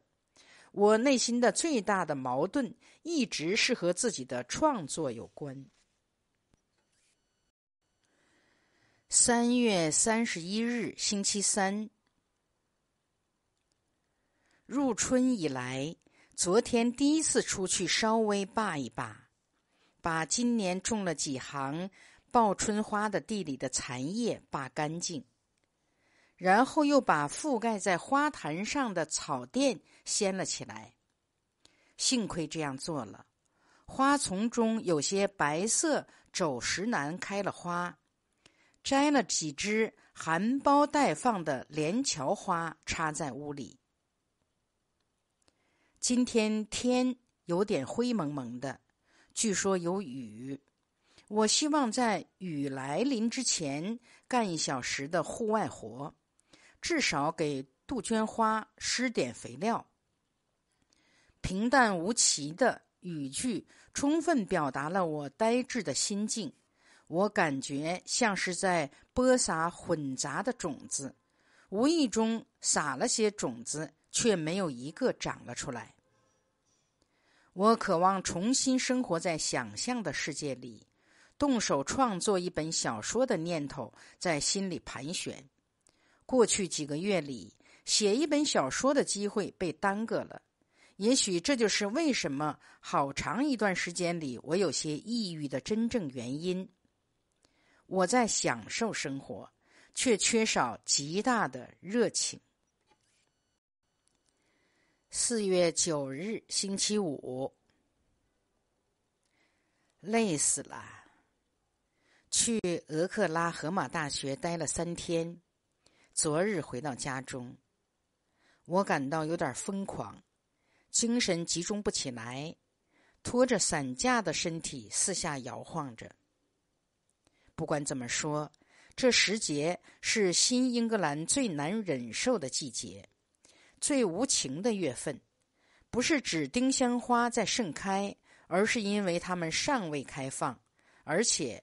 除了不多几枝迎春花之外，其他所有花也都没有开。眼前是一片灰冷的世界，我自己也感到寒冷、衰老了。外出所消耗的每一分精力，最终自然会算到自己身上。那些短时间内集中的演讲、兼讲课。以及高强度的社交生活需要相当的精力。与一百多张新面孔见面，每一个人都认为我们是老朋友，因为他们已经读过了我的那些书。现在更糟的是，下星期要去克拉科大学住一宿，那之后的另一个星期要去瓦萨及纽约。和卡罗尔相约一起吃晚饭，算是我的指望的一点安慰。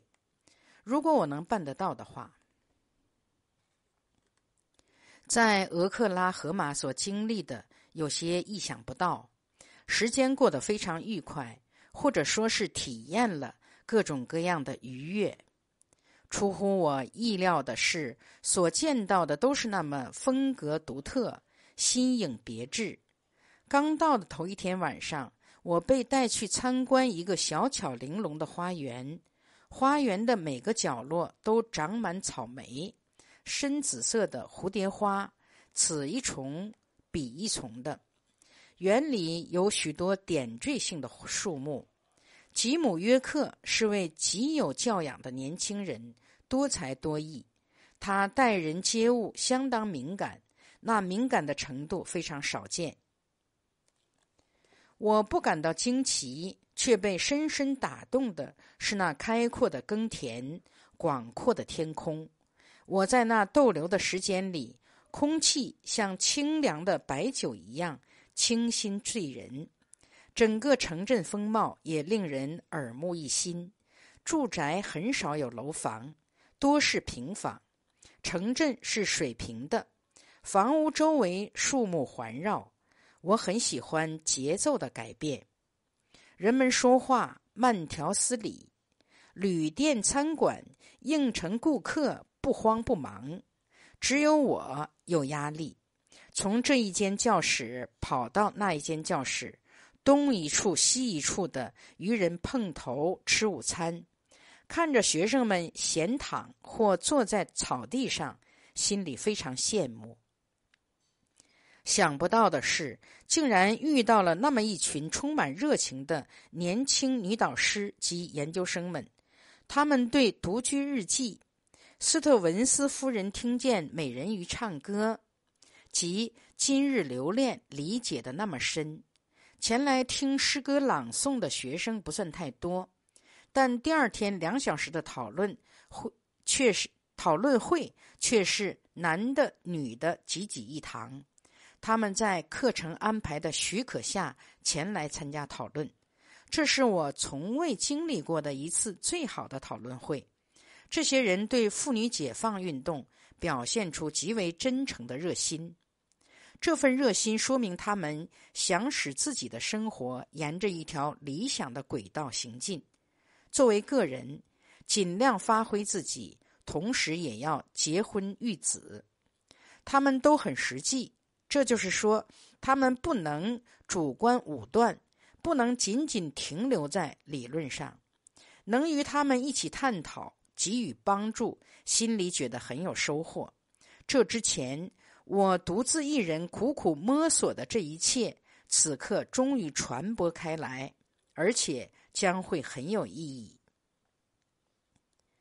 热烈的讨论，悦耳的赞誉。自然是创作的一个极端。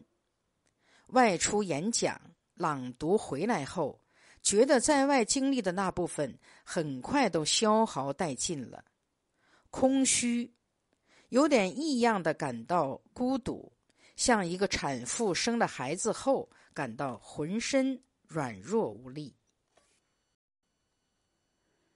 四月十日，星期六。昨天几乎什么也没有做成，只带着布兰波和塔马斯到树林里好好的散了散步。树林里溪水在奔流，雪融化后汇入溪水，溪水上涨，只有这溪流在标志着节奏的变化，预示着即将来临的春天的活力。《纽约时报》中有一篇对约翰·霍尔·惠洛克的报道，报道他在一所文学艺术学院特别庆祝活动中朗读诗歌。他九十岁了，使我感受很深的是，他说了这么一段话：随着生活的延续，生活会变得越来越密集，因为有那么多的交往。那么多对往事的回忆，那么多你所爱的人去了，生活几乎变成了两个世界：死去的和活着的。你生活在两者之间。难道生活真是随着年龄的增长变得越来越密集？我的感觉是我生活的密集程度大不如前。我几乎每天早晨醒来后，都在想着点什么，想到某人、某事，有时某件极小的、早已忘却的事情，会在记忆的潮汐中美好的呈现出来。我的确过着两种生活：过去和现在。有时过去会远远比现在更生动鲜明。惠洛克对他妻子费利斯一直充满激情的爱着，真令人感动。在他新作的几首诗中，有一首他是这样描绘初见他时的情景的：以他从大海中走来为开头，漆黑的眼睛从冰雪般的大海中涌出，你来了。四月十二日，星期一。蔚蓝的大海明净闪亮，但昨晚从加拿大急速涌来的一股寒流，冷风刺骨。今天早晨温度是十八度，雪花飘落在地上，景象凄凉。今天上午，刺骨的寒风依旧呼啸不止。我终于感到元气在静脉中上升，小说开始有了轮廓。关键是不能催促，要让它自生自发。这萌芽也许成活，也许不成活。我在苦苦思索着主人公的名字，一旦有了名字，角色会自然成型。此刻小说表露的均是我去年经验的积累。朱利安的去世，以及有关朱利安的问题，他是谁，在我心头已萦绕有好多个月。再就是从朱迪旧居搬运回的东西，寻找往日信件等。最主要的是圣诞节前那段日子里，我内心恐惧，担心我会时日无多，因而不由激动起来，被一种死也要死的像个样子的冲动推动着。听起来有些荒诞不经，但对那时的我来说。要死的心理状态，也许最终激发了我创作的热情。昨日被一位不速之客搞得实在是烦扰不堪。大约一点半时，我在床上睡着。从厄克拉荷马回来后，这还是第一次完全的放松休闲。塔马斯卧在床的一边。布兰波打着呼噜，蜷缩在另一边，十分安宁。我刚刚睡着，就见布兰波闪电般的窜起，跳至窗前。接着，我听到了汽车驶进车道的声音。塔马斯开始狂吠。我起身注视那辆汽车，它转了个圈，开走了。有时候，人们出于好奇，想开车进来。这种时候，我总有些不放心。也许他们四下窥看，企图在别的时间里入室行窃。我返回床上躺了下来。几分钟后，汽车又折了回来，停在种着东西的地里。我打开窗户喊道：“你找谁？”“我在找梅萨腾，我是 B 的朋友。”“你的车压了水仙花。”我说道：“突然间，我有些怒不可遏。此人不仅贸然闯入，而且如此粗鲁无礼。我就是梅萨腾。”当这人进来时，我尽量以礼相待，端上了咖啡，可心里却不舒服，像一只猫被抚摸错了地方。我有种被人破门而入的感觉。像以往一样，借口无非是来不及打招呼，不知道什么时候才能再来这里。来这里主要是完成拍照任务等。这些借口历来都是一样的，皆因对闯入者方便，所以他们便闯入了。我希望这种时候有位仆役，一位面目可憎的仆役，打开门后说：“很遗憾，萨腾女士不能见你。”正因为我没有这样的仆役，得自己出面应付，我很不客气。这一次来人恼羞成怒的离去了，其结果是我自己心烦意乱，怒火填胸。这件事以后，我心绪很坏，什么也做不成，回去睡又不可能，所以起来了。整理整理那些从朱迪旧居取回来的满是灰尘的书籍，这不是什么开心的活儿，但无疑最后还得要做。眼下做这活儿，就像希腊神话里的西绪福斯推巨石一样没完没了。最后在四点时，我决定去看雷蒙德，确认一下他能否在星期三照看塔马斯。带他出去遛弯儿，坐在他们的客厅，感觉安宁怡然。客厅里常常摆满非洲紫罗兰及其他植物，是他姐姐薇奥拉种的。门前围着几只品种奇特的猫，大睁着圆溜溜的眼睛，期待着有东西吃。我们畅聊了一阵。回来后，心境又一次恢复了平和安宁。雷蒙德的母亲明天就九十六岁了。三张美好的面孔充满了同情心和幽默感，带给我安慰。我感到安慰的是，因为我们能够彼此理解。四月十九日，星期一，我们正遭遇一股突如其来的热浪。昨天波士顿气温高达九十度。复活节时，我在烈日炎炎下开车去康科德和朱迪一家团聚吃饭，给朱迪带去一篮子巧克力蛋，一小把由番红花、棉枣儿扎成的花束，中间夹着四个齿。菲利斯和蒂米很善于组织安排家人聚会，大家在一起觉得随意自在。我很喜欢自己是其中的一员。这些人年龄从八岁到八十岁不等。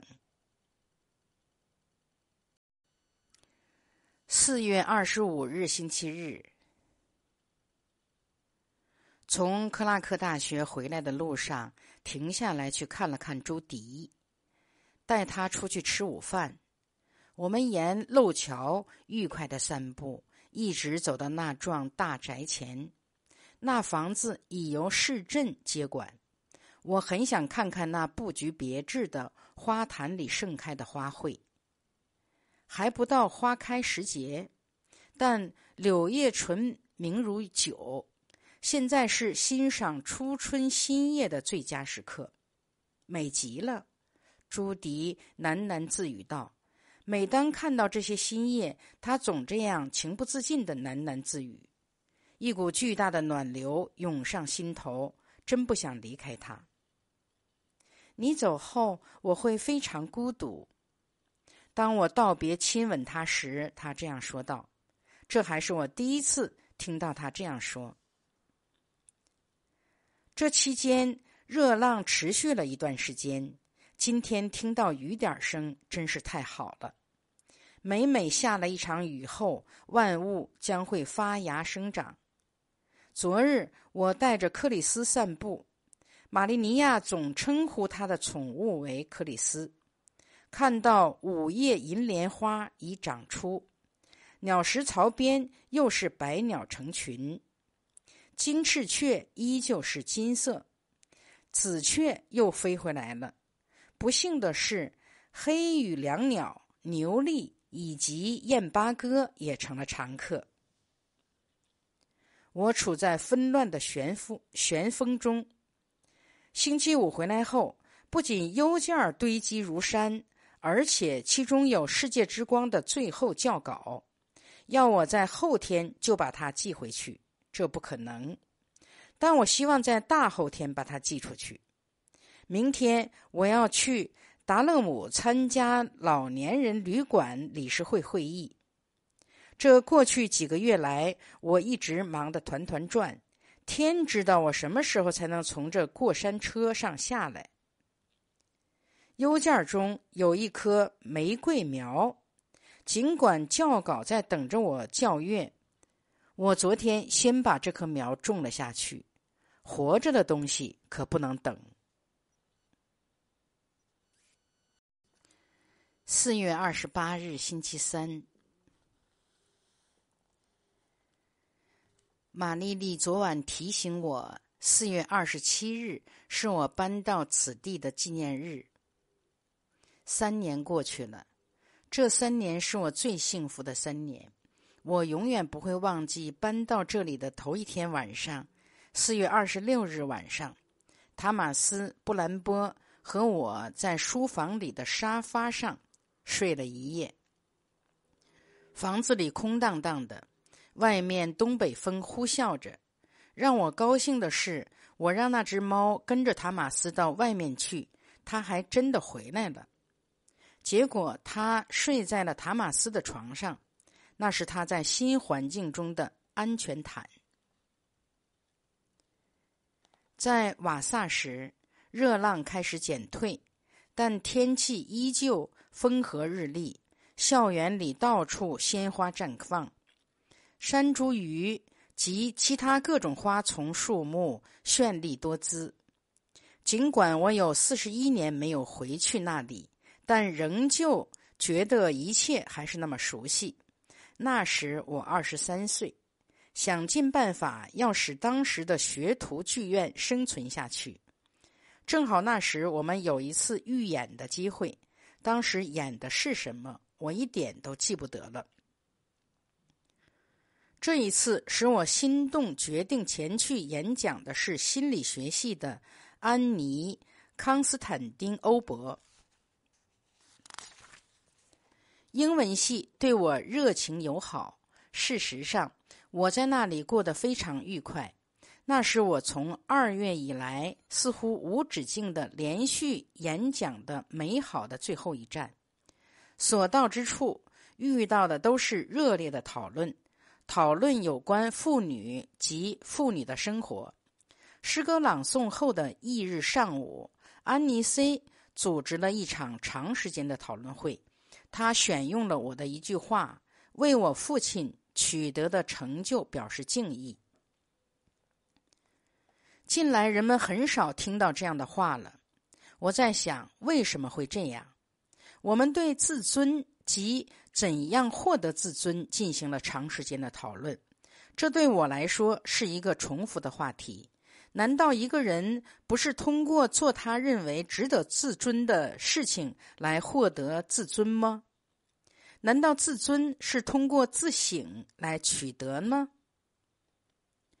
叫人高兴的是，现在人们对好多看法都接受了。人们可以开诚布公的谈论女人之间可以相互给予什么。谈论作为一个女人的女诗人缪斯等等，妇女解放运动已大大的扭转了人们的看法。然而，所有这一切又都归结于一个问题上：什么是做女人？我们女人又都是怎样在与男人的关系方面依旧沿袭陈规那种根深蒂固的区别？在一幢雅致的住宅里吃午餐，房子坐落在陡峭的斜坡上，看上去像是坐落在树顶上。我们就男女之间的挑衅心理争论的相当热烈。女主人的丈夫丹尼尔先生似乎认为，女人方面的挑衅程度和男人方面没有什么两样。但总体上说，无疑是丈夫动手在打妻子。总的来讲，是男人在残酷折磨其他的男人和女人。尽管不时也有例外，在德国纳粹集中营里，我们知道纳粹女人和纳粹男人一样凶狠残忍。从总体上来说，是男人喜欢残酷的竞争挑衅。女人不也同样残酷无情吗？我被委婉的挑衅着，到最后我不得不反驳道：“男人强奸女人，这你不得不承认。”一位来自密西西比的年轻男孩一直坐在我的右边，聚精会神的听着。这时，他拍手发出低沉的掌声。后来他听说我第二天一早要乘火车去纽约，对我说他要来为我擦洗火车座位上的窗户，这样我可以看到河流。我当时认为他只不过是这样说说而已，却不料他真的来了，带着一把长海绵拖擦拖把，以及一瓶玻璃洗涤剂。我从来也没有经历过这样美好的送行，我感到自己像是一位女王。火车在薄雾缭绕中行进，感觉好像在梦境中。峰峦上云雾笼罩，瞧上去好似中国的山水画。一路上山林野地里，山茱萸开得优雅壮观。岸边维多利亚式城镇，虽因年久失修显得有些荒凉，但却极富韵味儿，叫人心驰神往。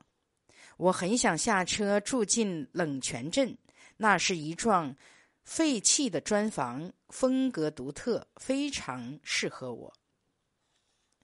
某种程度上，整个外出旅行都是在过去回忆中的旅行。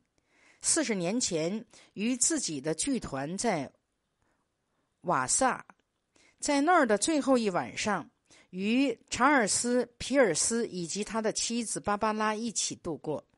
谈到他的教母格雷斯·艾略特·达德利姑姑，以及他在瓦佛勒住的房子，在《世界之光》里，我描述了那所房子。在写他的那章里，我不得不尽量压缩对他婚姻生活的描写。他去世后，查尔斯和芭芭拉搬到了图卢斯定居。能与身为他的为人处事所感动人，谈谈他的婚姻生活，感觉非常好。我觉得格雷斯要是能看到我们在那里。在小皮尔斯漂亮的住宅里，我们三人一道热烈的谈论他，他一定会非常高兴的。那算是对过去的一种回忆。另外，翌日沿哈德逊河之行，又使我生动的记起了在杨克斯附近的比克兰兹家的大房子。房子坐落在一处高耸的悬崖上。俯瞰哈德逊河，我们最初看到的美国，首先就是那条河。引起对过去回想的最后一站是当地国际俱乐部，那记忆却并不怎么愉快。六年前，玛丽尼亚·法纳姆以为他永远的离开了新哈布什尔，他和我一起到了那里，结果非常狼狈。自那以后，我还是第一次回去。也就在那次一道旅行中，我才发现他脑子有点不太清楚。可那时已来不及了。我们到了那里，他行李中根本没有什么任何可换的鞋子。很显然，他只是把衣橱里的所有食物扔进了一只行李箱，另外一只箱子里装着几件摆设之物。那时我觉得恐慌不安，非常别扭。最后不得不让他一人待在那儿，自己返回了家。接下来的几个月，他拖着他那条小猎狗上下火车，全国各地东游西逛，到了佛罗里达、明尼苏达，最后返回了新哈布什尔。我为他担心，忧心如焚的。竟然也有点像精神病似的，可那还不是悲剧的结尾，比那更糟的还在后面呢。和卡罗尔亲密的长谈驱散了心中不快，感觉好多了。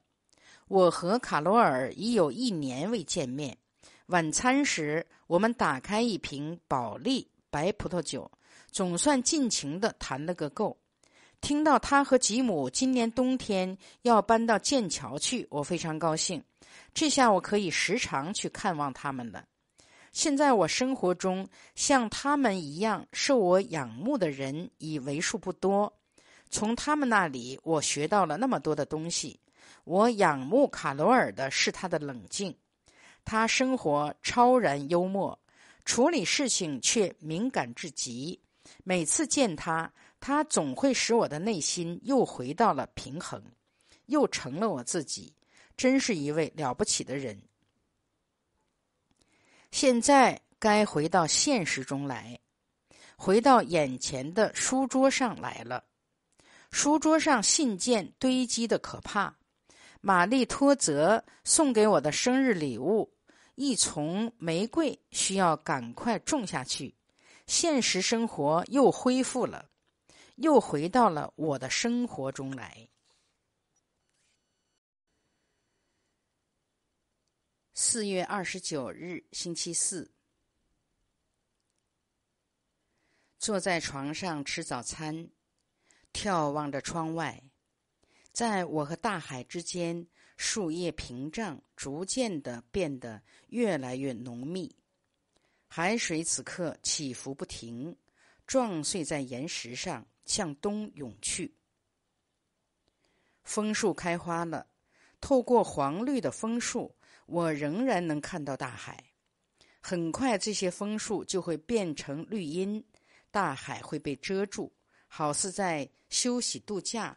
要等到十一月时才会露面。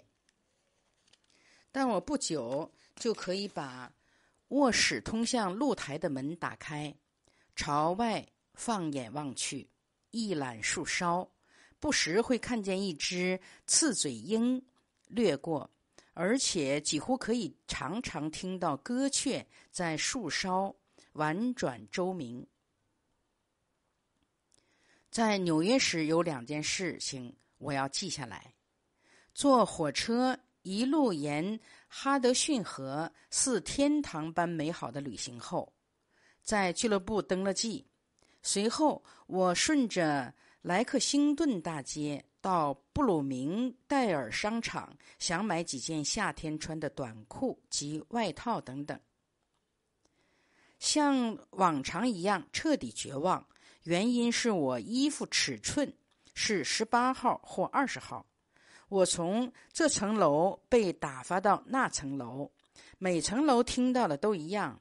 哦，女士，我们没有那型号，我们只有八号到十六号，到三楼去找找看。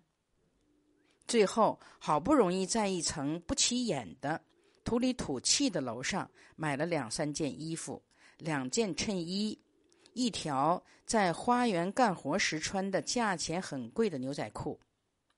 与此同时，上上下下在电梯上看到三分之二的妇女，显然都不是穿什么十六号衣服的。为什么我们横躺在那儿，任时尚任意宰割，羞辱我们？我在想，肥豹党人不妨发起一场运动。高举大大的海报，上面一边是瘦骨伶仃、看上去神色不安、形如百岁的老女人，在她旁边则是丰腴圆润、面颊绯红的愉快的女人。不妨以这样的方式开始。四月三十日，星期五。今天格外美好，真正完美的春日。海水温柔蔚蓝，无风无浪。我一定得把上周去纽约的另外一次经历记载下来。在布鲁明戴尔商场失意的买完衣服后，因当时正下雷阵雨，我走进了一家法国小餐馆。看着一本刚买到手的书，想不到是一本很好的书——海伦·贝温顿的六十几岁的日记。餐馆里很拥挤，我的桌子正对着门。我一边呷着饮料，等待我点的鱼排，一边可以观察走进来的人们。那时我意识到，坐在那里。不是迫不及待的在等待某一个人，而是消闲自在、无牵无挂，心里没有一点忐忑，那感觉非常美好。结果在那儿的一小时，让我觉得好像是在度着一天美好的假日，怡然自得，非常享受。五月三日，星期一。我六十四岁的生日过得特别美好。不到五点就醒来了，布兰波发出很大的呼噜声。我静静的躺了一会儿，倾听着大海轻柔的叹息。外面雾很浓，塔马斯舔舔我的手，示意我该起来了。我起身下了床。正好瞥见紫雀以及金翅雀围着鸟食槽在啄食，在床上吃早餐时，打开了布卢送的生日礼物，是为外出旅行时以防万一用的针线盒。他想的真周到。吃过早餐后，又打开玛丽的礼物。玛丽总是把我宠得有些过分。现在她是唯一一个能想到一家人之间应该送什么样礼物的人。这一次是浅蓝的床单被罩，一条浅蓝的毯子。李、布鲁、劳利、玛丽丽以及瑞娜分别都在九点前打电话过来。然而，尽管有这些好友，泪水突然之间涌上了眼眶。我想到了我母亲。半夜时，我曾做了一个奇怪又可怕的梦，梦见我出生、挣扎以及充满恐惧。此刻我很难捕捉梦的具体情形，但我知道我梦见了翁德尔海姆。梦中置身在了那种气氛中，欢乐与悲哀同在。难道两者一定要相伴相随？这个生日过得很愉快，我觉得自己今年比以往任何时候更成为自己。星期六得知我又要获得一个荣誉学位，这一次是由新罕布什尔大学授予的。这可真有意思。对于一个只上过高中的人来说，这荣誉难免含有一点恶作剧式的揶揄。我是自学成才的。也许我感到幸福的最重要的原因是我学会了不再跟自己过不去。他叮嘱我生活要悠闲从容，就像青草长在坝堰上。我变得沉静，对自己更有信心。这并不是说所有的问题都解决了，只是冲突不再那么具有摧毁性了。我在想，艺术与生活的冲突，自然那是永远不可能解决的。但我开始趋向于做力所能及的事情，能回信时就回信。做不到的情况下，也不再感到那么内疚了。也许我感到幸福的另外一个原因，是我前些时候担心自己再也写不出一部小说的恐惧心理不再影响我了。我很清楚，最近两年里我要做些什么。昨天种了些甜豌豆，一些不同阶段成熟的混合小红萝卜。一盒勿忘我，还在平台上种下一大株白色瑞士三色堇。瞧着一大片已经耕耘就绪的土地，我不知道什么时候才能做完播种活计。这个月以来，几乎每隔一天都会有客人来。出于兴趣，我决定试着种些土豆。星期六一天的大部分时间是带着吉尔到普茨茅斯去吃午饭。他今年二十三岁，对生活充满了希望。我对他很尊重，很尊重他以自己是一个犹太人为荣的强烈情感。但我同时也感觉感觉到他在相互之间关系如此密切的。犹太人圈子里长大是多么危险！出了那圈子，一个人好似外星人一样。他在新罕布什尔大学读书，那里碰巧几乎没有什么犹太教授或学生。我想，当初他一定觉得像是到了异国一样感到陌生。他是那样坦率、天真，充满爱心。非犹太人社会的冲击力使他很受震动。他对我很坦诚，也许我能帮他一些忙。他也知道我是同情他的，知道他对职业创作怀有幻想。我心里不由一阵刺痛。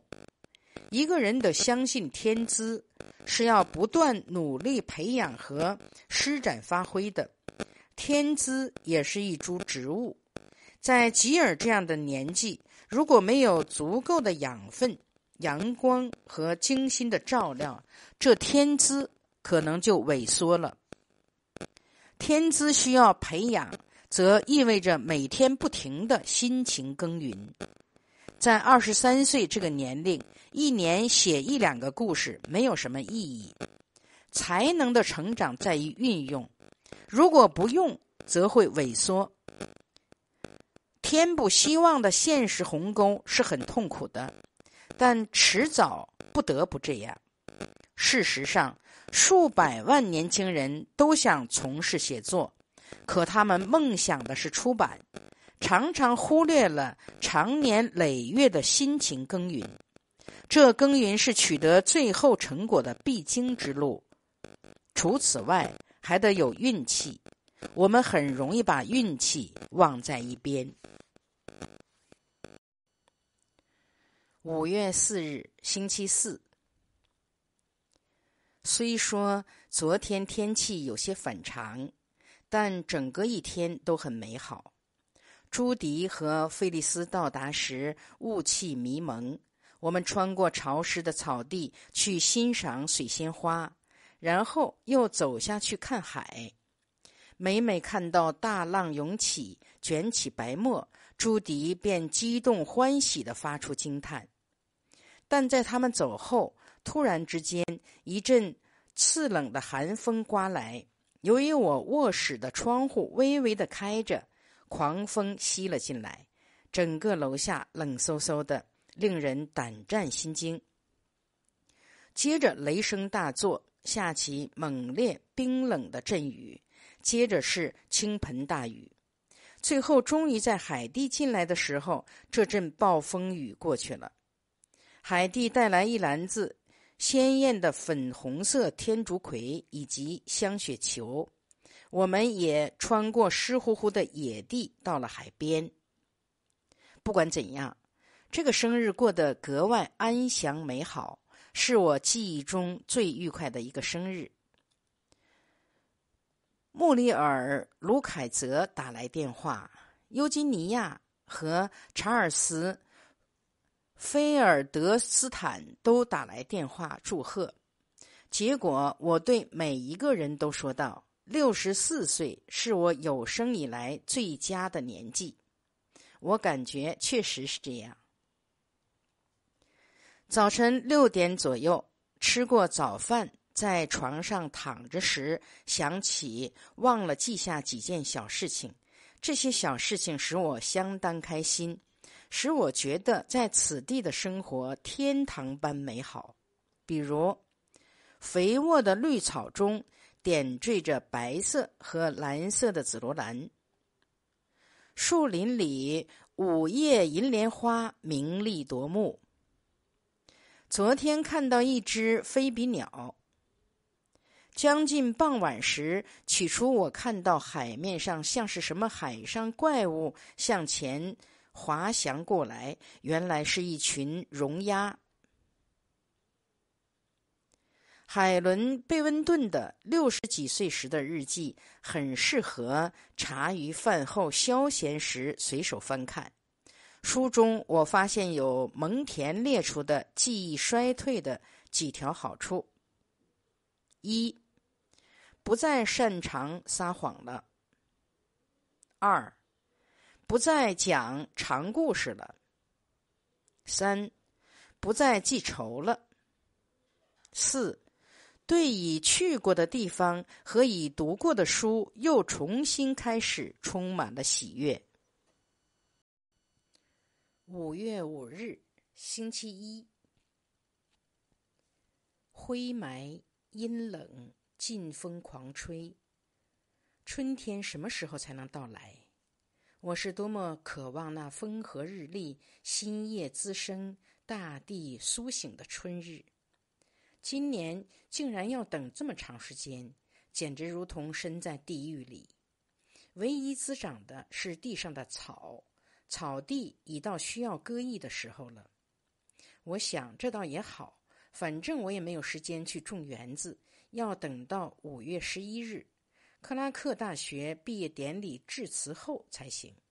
那是明天在新英格兰大学的演讲之之后最后的艰巨考验。值得回忆的是昨天的生日庆祝。多罗西·华莱士开车把凯瑟琳·泰勒带到这里来吃午饭。凯瑟琳·泰勒今年八十六岁，瘦得吓人，拄着一根拐棍，走路颤颤巍巍的，可精神矍铄，头脑像以往一样敏锐。他那不论与谁在一起，不论男女老少，都使人感到一种倾心相待的热情依然如故。这是一次欢乐重逢的盛宴。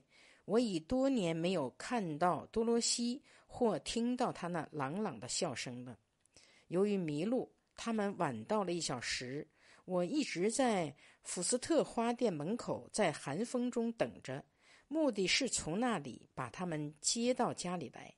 当时我不由想到可能发生的各种可怕的事情。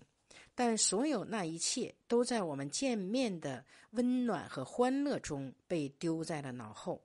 我们围着壁炉交谈着，喝饮料，吃龙虾，饮着多罗西带来的上等白酒。不用说，大海像往常一样是灰色的。我多么希望它是蓝色的！我又在做长梦，梦见了赫胥黎夫妇。自他去世后，几乎每星期都这样。我在想朱丽叶，渴望有时间好好给他写封信，但现在忙于外面事务，要到五月中旬才行。这段时间忙得连喘口气的机会都没有。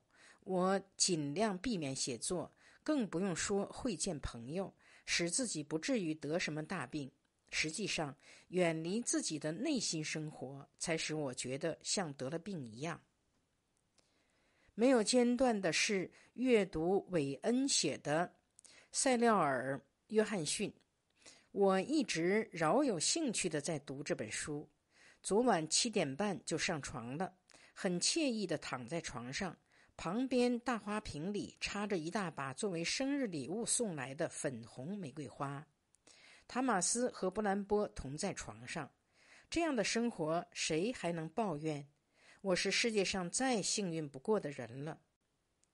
整个这一年来，我感到时间上断断续续，太多不幸的死亡消息使人难以承受。我想从现在起，我必须少接受外面演讲的邀请，即便是一次外出演讲，也会把我认为是真正生活的空间占去很多。与社会接触。那正是我觉得我可以拒绝的。五月六日，星期四。真正过生日还是昨天。安妮和芭芭拉来此地庆祝一年一度安妮和我的生日，我俩的生日很接近。风和日丽，看上去一切都是那么令人心醉神迷。水仙花在傍晚余晖的映照下高声吟唱，大片的郁金香也在亭亭舒展。他们给我带来了凤凰石雕，是我托芭芭拉帮我凿刻的。贝弗利过来给石雕拍照，雷蒙德也来帮忙，把它从一处抬到另一处的一棵紫杉树下。最后，我们选择了一处有碧。有遮蔽的地方，那里石雕仍然可以受到阳光不同角度的照射。今天一大早，朝阳升起，阳光倾泻在凤凰的双翅上，火焰般的明丽，真令人激动。和我想象中的一模一样，它在表达一种意象：凤凰从火焰中升起，坚硬的翅膀向上突出。我的梦幻最美，最富有诗意。守卫吧，守卫！我们围着凤凰石雕站着，欣赏了片刻。安妮和芭芭拉开车把长钢柱拉进来，撑起石雕。之后，我们在露台上坐下来，瞎杯饮料。好长时间了，这还是第一次，一连几天这么暖和。一只鹪鹩不停的鸣唱着。突然间，我们瞧见两对燕子在田野里绕来绕去，它们飞回来了。末了，我们觉得有点凉飕飕的，回到书房里，围着壁炉坐下来聊着。炉上煮着螃蟹，最为惬意的是我们长时间安静的聊天，谈到了我们的生活，以及我们现在各自都在做些什么。今天早晨醒来，心里想着携手痊愈。我朋友身患癌症，浑身疼痛难忍，他一直在进行放疗。每天只能在椅子里坐一个小时，在疼痛中强烈的体验着活着的世界。他这样说道：“我想寻找些合适的词句写给他。今天早上我得把这件事做了。”五月七日，星期五。从我的三楼窗口望水仙花最美。从这里我可以一览全景。不规则的花环环绕着礁石和丛丛灌木，几乎围成了一个整圈。随路边延伸密布的是行行洁白无瑕的水仙花，在这日灰蒙蒙的天空下显得异常夺目。昨日带着塔马斯和布兰波悠闲地穿过树林，我们走得很慢，因为塔马斯有点瘸，而且头顶树梢上有许多鸟在鸣唱，我得停下来聆听，想确定一下啾鸣声是从什么地方传出的。昨天我瞧见一只黑白相间的林莺和一只画眉，听到。鹪鹩和绿鹃在鸣叫，但只闻其声，不见其影。两天前，在取信开车回来的路上，见到一只山芋正在急急的啃啄什么东西吃。为不使它受惊动，我猛地刹住了车。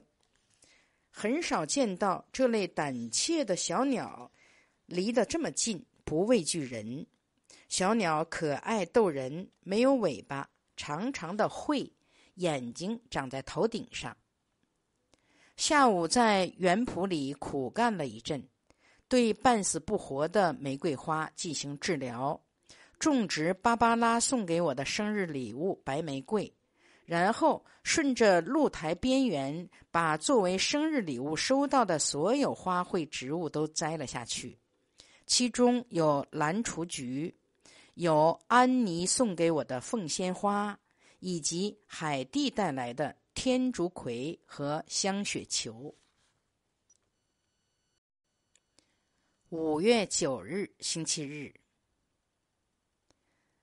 事情一直没完没了，很难安定下来。又一天开始了，大枫树上一只黄鹂清亮的鸣唱着，我跑出去看看它在哪儿。再没有比那火焰般艳丽的黄黑色更叫人兴奋激动的了。那之后，我一直不停的忙活着，洗早餐用具，整理床铺，剥豌豆，摆桌子，把坐垫放到露台上的椅子上，摘小香葱拌新土豆，焯煮洋葱。然后把煮的半熟的洋葱撒在烤肉上，放入烤箱里。做这些活计时，随手采了一些蓝白三色堇、长春花以及樱草，扎成一小束，摆在桌子中央。今天真是再美不过了。安妮索普和阿格尼斯要来吃晚饭，一切都是那么明丽鲜亮。却又好景不长，这一切都会在刹那间过去。水仙花几乎已完全凋谢，各类果树开始吐艳。昨日同样也是春光明媚，尽管还在刮着风，稍有点冷。我们在露台上坐了半小时。对劳力阿姆斯特朗，我突然有一股爱恋涌上心头。他不会在这个世界上再滞留多久了。他是那么刚强，充满活力，很难想象他已是相当高龄的人了。她丈夫本二十年前就去世了，这可能吗？他那深色的眼睛、优雅的身材依旧清晰可见。我仍然可以听到那开心的朗朗笑声，那是一种在知心好友面前尽情开怀的笑声。他们的婚姻属于一种完美的婚姻，很罕见的完美婚姻。劳力的女儿朱棣是第一次来我这里，她对这里的一切都饶有兴趣，甚至樱草花中间的五角星，他都留意到了。比尔寄钱到福斯特花店，让我挑选生日花卉。我用此钱买了一株白色的杜鹃花。我想用这株杜鹃花把那凋谢干枯的紫杉树遮掩住。安妮去年十月时帮我把那棵高大的紫杉修剪了一番。这样一来，那棵小紫杉不能与其抗争，逐渐凋谢枯萎。显得凌乱刺眼，心里很感激比尔，把他最近寄给我的一封信翻了出来。信是在复活节写的。他说：“又一次不出我们所料，两年前你送给我的那棵杜鹃树已如期开花了。我希望自己也能很快绽放。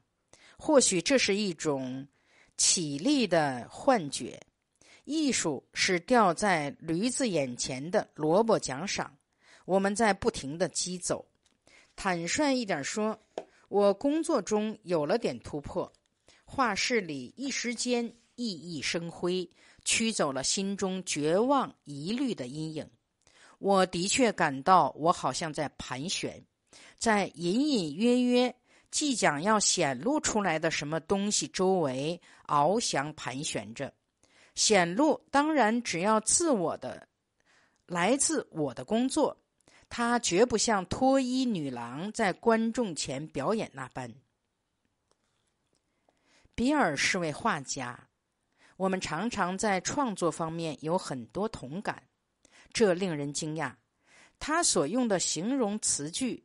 在隐隐约约即将要显露出来的什么东西周围翱翔盘旋着，正是我这些日子以来的心理状态。而且正像他一样，我一直明白，如果给予充分的余地，这个东西会慢慢显露；如果不停的督促，结果反倒不怎么好。五月十日，星期一。浅蓝色的大海上，漂浮着轻柔的雾霭。雾霭底下的田野，瞧上去绿莹莹的。小鸟在懒散的鸣唱。今天又将是五月风和日丽的一天。我想回味一下昨天安妮索普在这儿的情形。昨日真是难得的愉快，充满了温暖的阳光与爱。多少年来，早在我父母亲和他父母亲都还健在时，我们每每相聚都会是这样。像朱迪一样，他几乎完全生活在此时此刻，眼前的一切对他来说都是那么富有趣味。每观赏一朵花时，他都会像新生儿一样，眼里充满了新奇的光芒。我们散步到海边去。后来又到了露台上，在躺椅里躺下来，他合上眼睛，倾听着大海冲刷礁石发出的温柔的咆哮声。我们吃午饭时，看到松鼠及小鸟在鸟食槽前啄食，在露台外的樱花树丛中戏耍扑腾。他完全忘记了吃饭，满心欢喜的观看着他们。当然，没有阿格斯尼斯·斯威夫特，没有他的精心照料与体贴周到，这一切都是不可能的。他是一只亲爱老羊的牧羊人，眼下这只老羊变得越来越像只小羊羔了。没想到安妮，总想到他那高挑纤细的身段，在朗弗罗家打网球，以及在那里每年五一国际劳动节时跳民间舞蹈的情形。此刻却亲眼看见他颤颤巍巍、弯腰驼背、行动不便的样子。然而他自己无视这种变化，因为他生活在永恒的不变中。他那双蓝色的眼睛比以往更加晶莹透明，像往日一样。每当有什么使他深深激动时，那双眼睛里便会放射出灼灼的光芒。不是涌起泪水，而是增添了一种光亮。正是这一点使他显得格外不同。他的姐妹当中没有人有像他这样的眼睛，我也从未在其他任何地方见到过这样的眼睛。春日伤情，因为花开不会长久，一定要抓住时光，及时采摘欣赏。不久，一切都会消逝而去。眼下有那么多的朋友，都已年逾八十。对我来说，今年比往年更叫人伤感。五月十三日，星期四。今天出奇的明丽清新，海水在闪烁，没有一丝风。今春以来，我第一次把走廊通向外面的门大敞开来，这样一来，可以直接从房间里看到大海。今天早晨，我读着荣格的作品，有这么一句：“人过中年后，只有准备与生活同生共死的人，才能保持旺盛的生命力。”我在想。这话对我来说，是否意味着我得承认诗歌创作是有阶段性的？承认诗歌创作的阶段已经过去了。然而，有时我觉得我处在边缘地带，一种觉察不到的、极为下意识的东西正在蠕动着。也许这下意识的东西会再次把那扇门打开。毫无疑问。过去一段时间，我自身的一部分绷得太紧，像一只紧握的拳头，迫切的想取得成就。此刻，那拳头松了开来。这个月里，我只是存在，而不是做事。做事是指创作的结果，至少是针对写作而言。这时节让人开心的事情实在太多。开心，我指的是种园子。它使我充满了喜悦之情。五月十六日，星期日，又是一个明丽柔美的春日。我欣喜若狂的注视着飞鸟，注视着它们陡然直飞，穿过露台。每当看到某只鸟紧裹翅膀，像鱼雷似的在空中穿梭而过，心中不由一阵惊喜。那只行踪无定的黄鹂，此刻到处飞扑，在枫树和苹果树花丛中跃来跳去，但我还是很难迷到它的影子。我很想念那只白喉麻雀，怎么不见飞回来？陈哥现在成了鸟食槽的常客。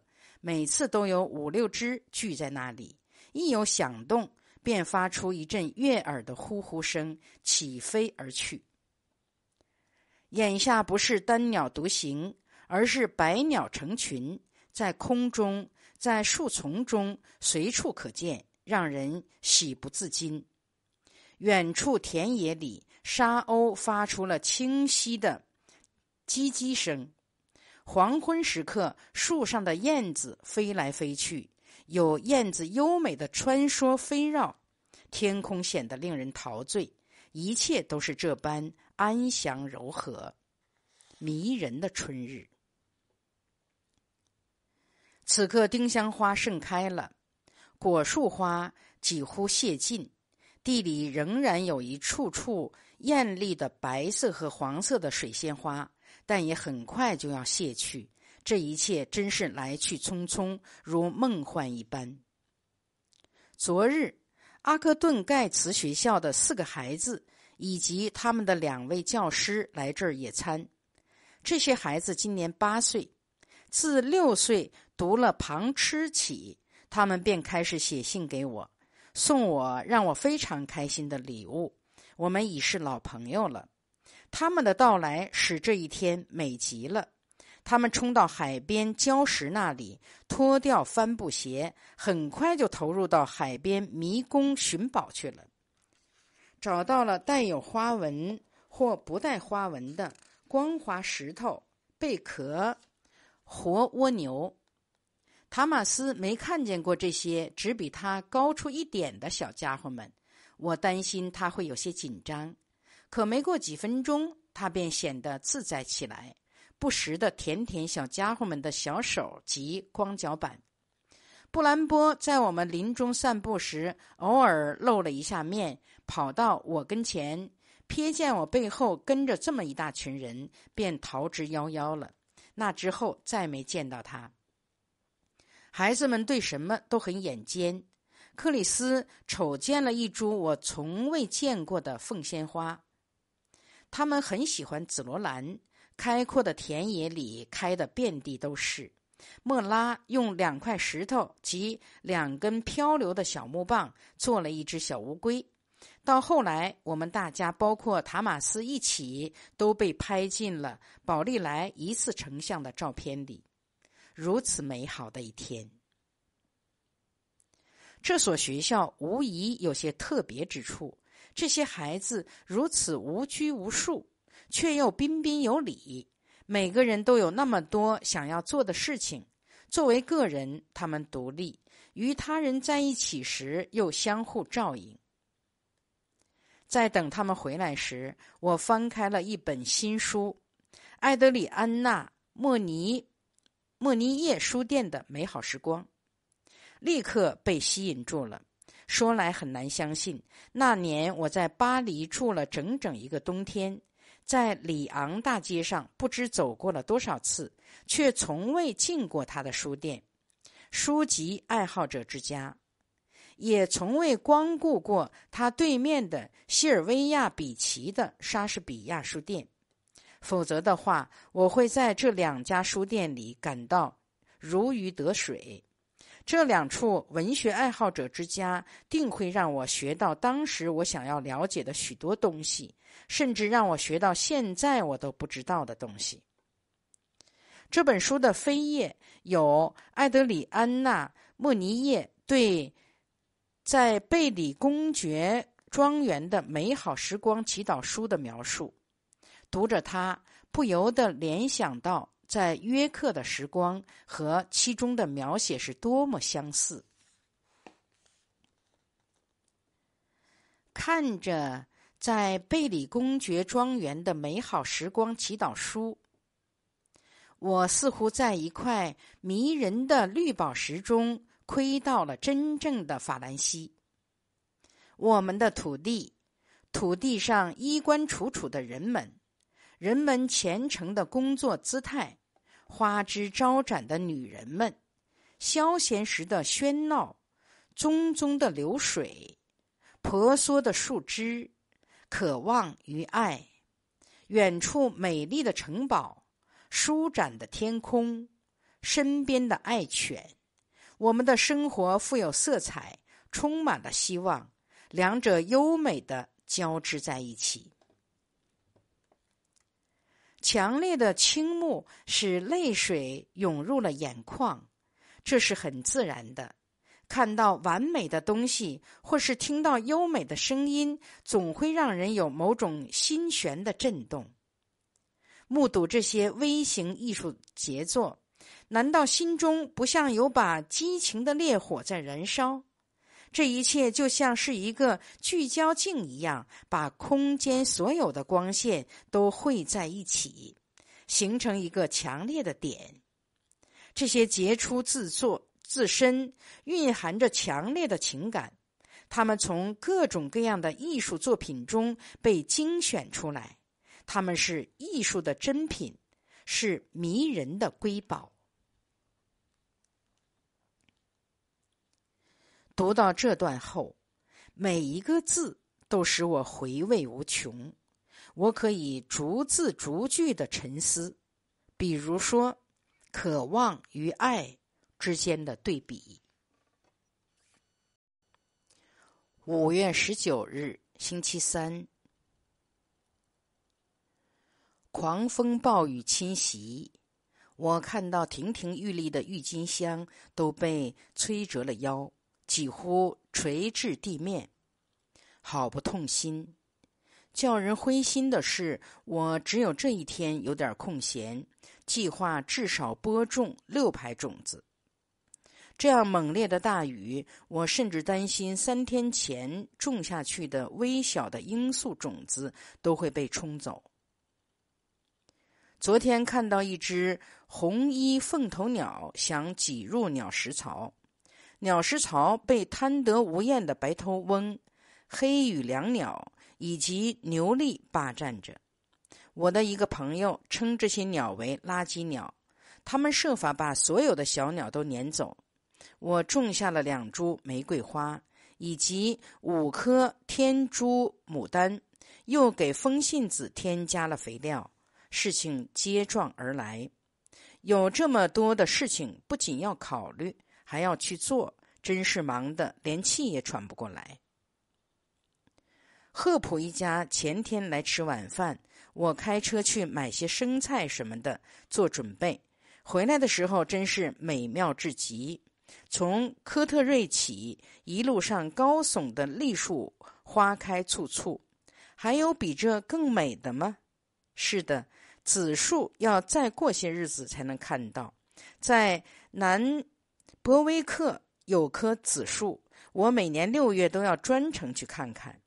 眼下正值栗树开花季节，这些树挺拔威严，白色的尖顶直入云霄。还有丁香花的花，丁香树的花也在盛开，周围奇花异草如此之多，而这一天竟然被搞得什么也做不成，心中气恼。雨下了又下。五月二十三日，星期五。上星期我应邀写一篇悼念朱利安·赫胥黎的简短悼词。追悼会六月七日在纽约举行，我终于决定以一位朋友的身份来写悼词。尽管这等于是在追逐自己的过去，我还是很高兴的接受了，因为这迫使我回顾最初岁月里我们之间的友谊，他对我所有的热心帮忙，以及他身上所具有的非凡魅力。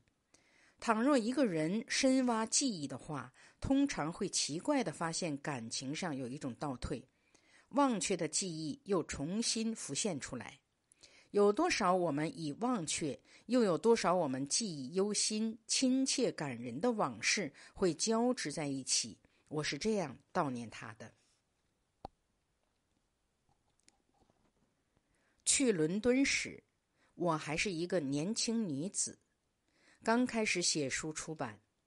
朱利安·赫胥黎夫妇接受了我，把我作为一个朋友带进了他们神奇的世界。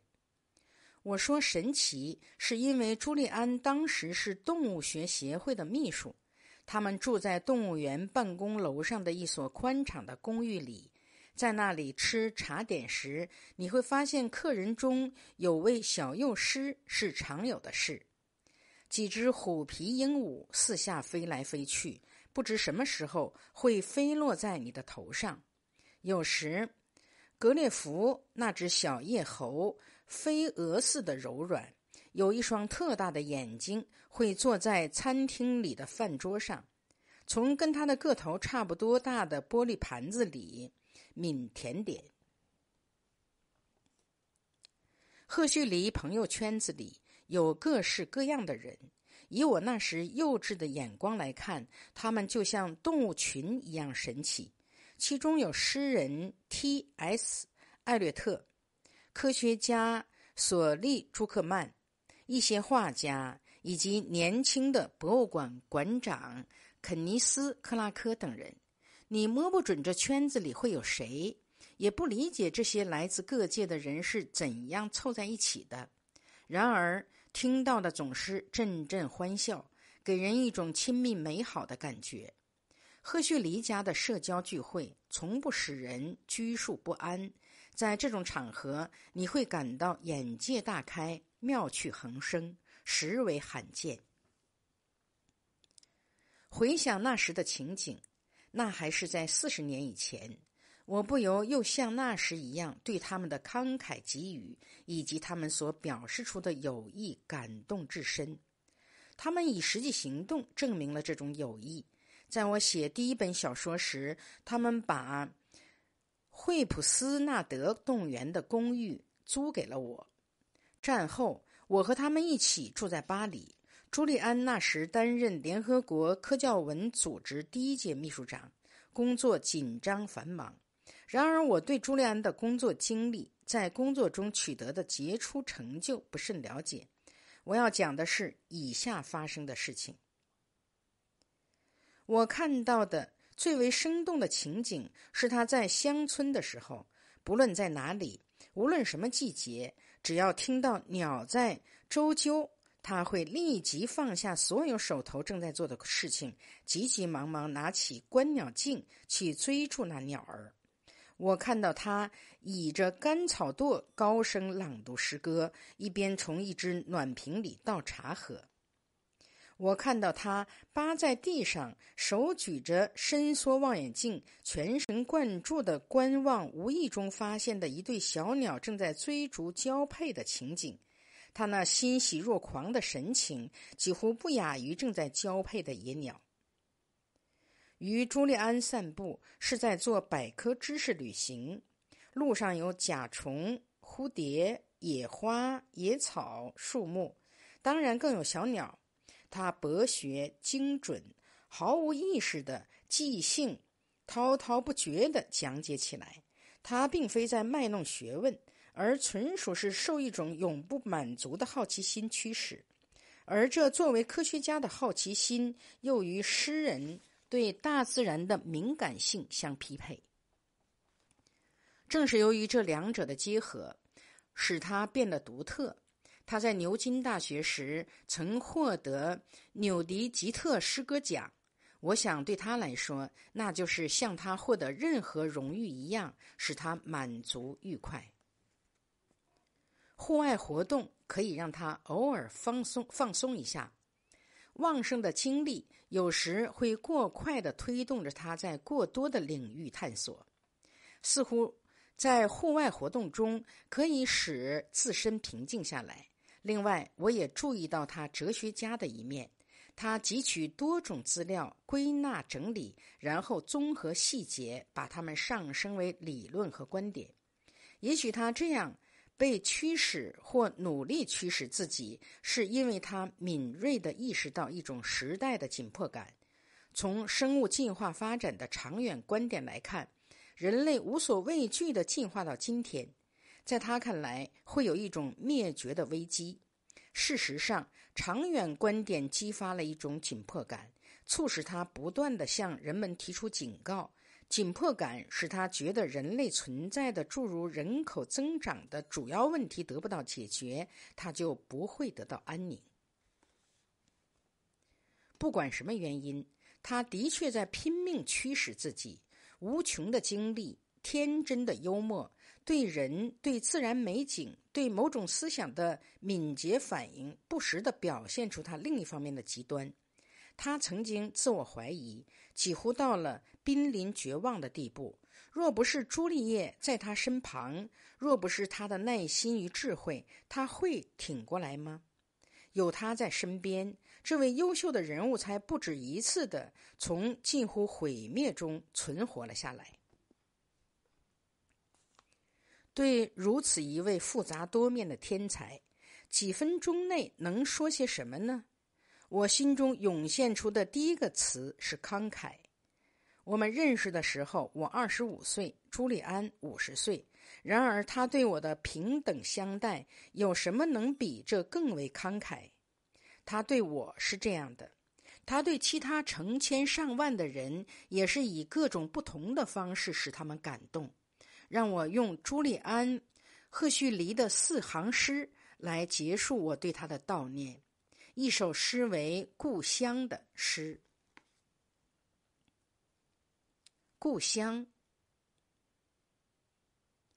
像枯树突然开花，记忆在发芽；似春天匆匆探寻的蜜蜂。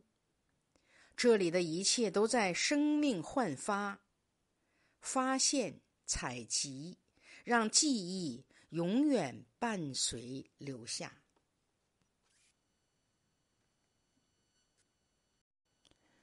五月二十五日，星期二。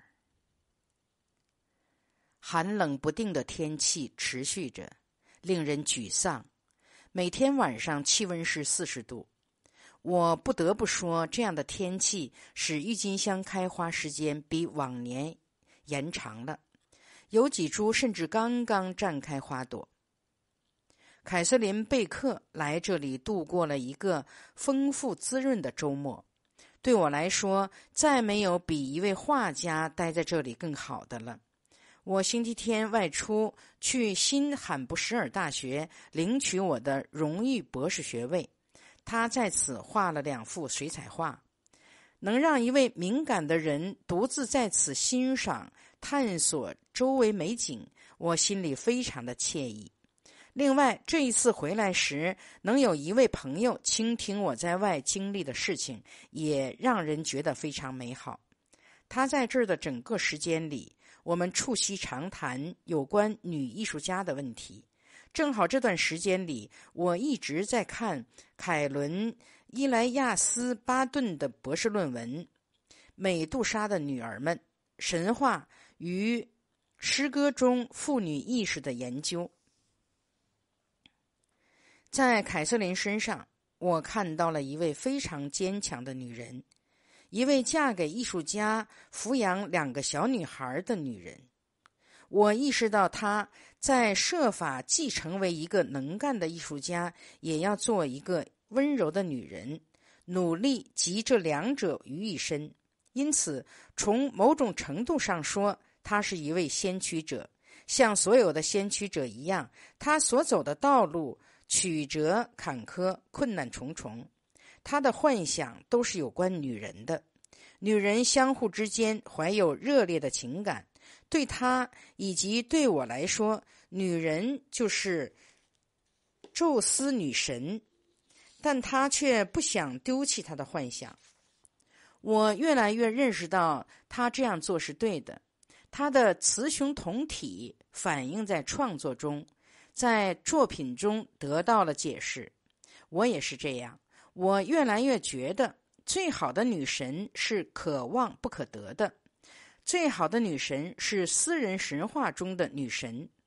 但这能在凯瑟琳身上维持多久？某种程度上，女艺术家会变得很实际，不得不面对现实生活。然后又会怎么样？眼下，一位心理学医生正在使这幻想付诸实践。他似乎认为这位心理学医生很博学。他每周去他那里一两次。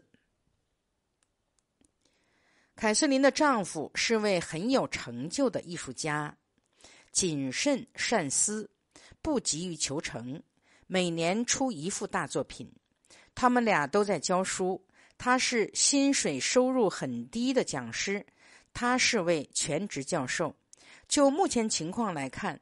这种状况维持的还算可以，这是因为他一方面工作，一方面还在上学。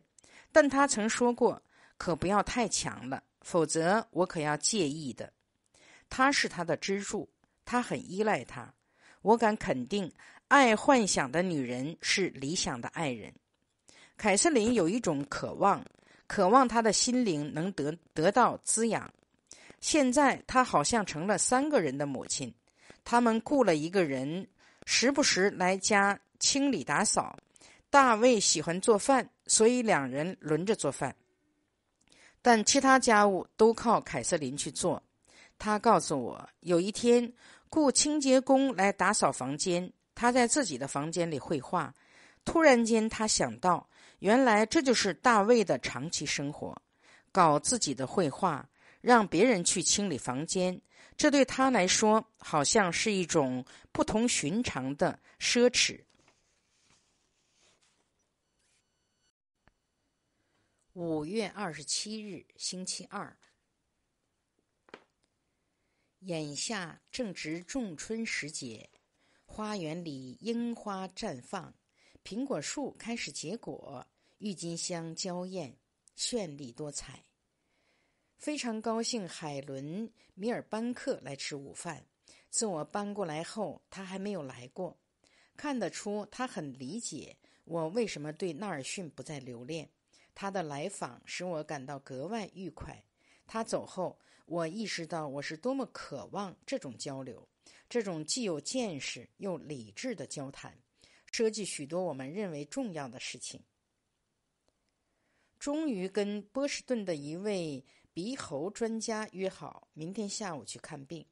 我实在不愿再这样继续下去了，总感到身体不适。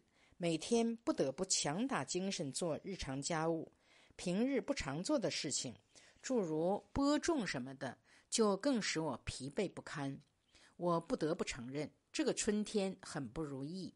加之雷蒙德手中活计太多，连最基本的事情也无暇顾及。海伦来时，那条优美的，使整个这地方看上去别有韵味。晚宴延伸至大海的草径，甚至还没有割溢过。眼下果树花开茂盛，看到外面草坪上蒲公英到处滋生，草足有五寸高，不由得感到泄气。此地的特点是布局规范的美与大自然的自然美和谐的交织在一起。当这特点无法展现时，我心里很不是滋味。好在昨天雷蒙德到底把草坪割溢了，这下草坪看上去非常得体，就像一首音乐刺耳的响了一阵后，又重新动听的演奏了起来。五月二十八日，星期五，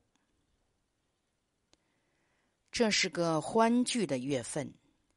几乎每天都有客人来，园圃里百花吐艳，呈现出一派喜气洋洋的气氛。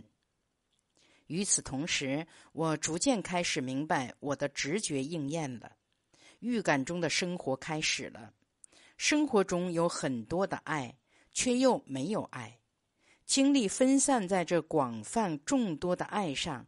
而不是一心集中在那强烈却又狭隘的对某一个人的狂热的爱情上，这直觉在预示着一种新的幸福，幸福就在此。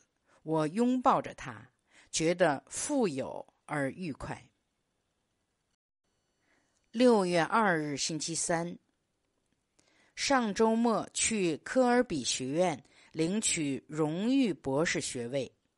住在查纳村里，和艾德肯尼、苏西以及他们的两个孩子杰米和安妮度过了一个晚上。安妮只有两岁，却已是个小妖女，知道用女性的魅力获得她想要的东西。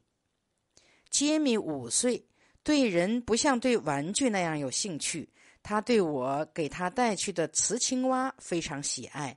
向我解释青蛙与癞蛤蟆之间的不同。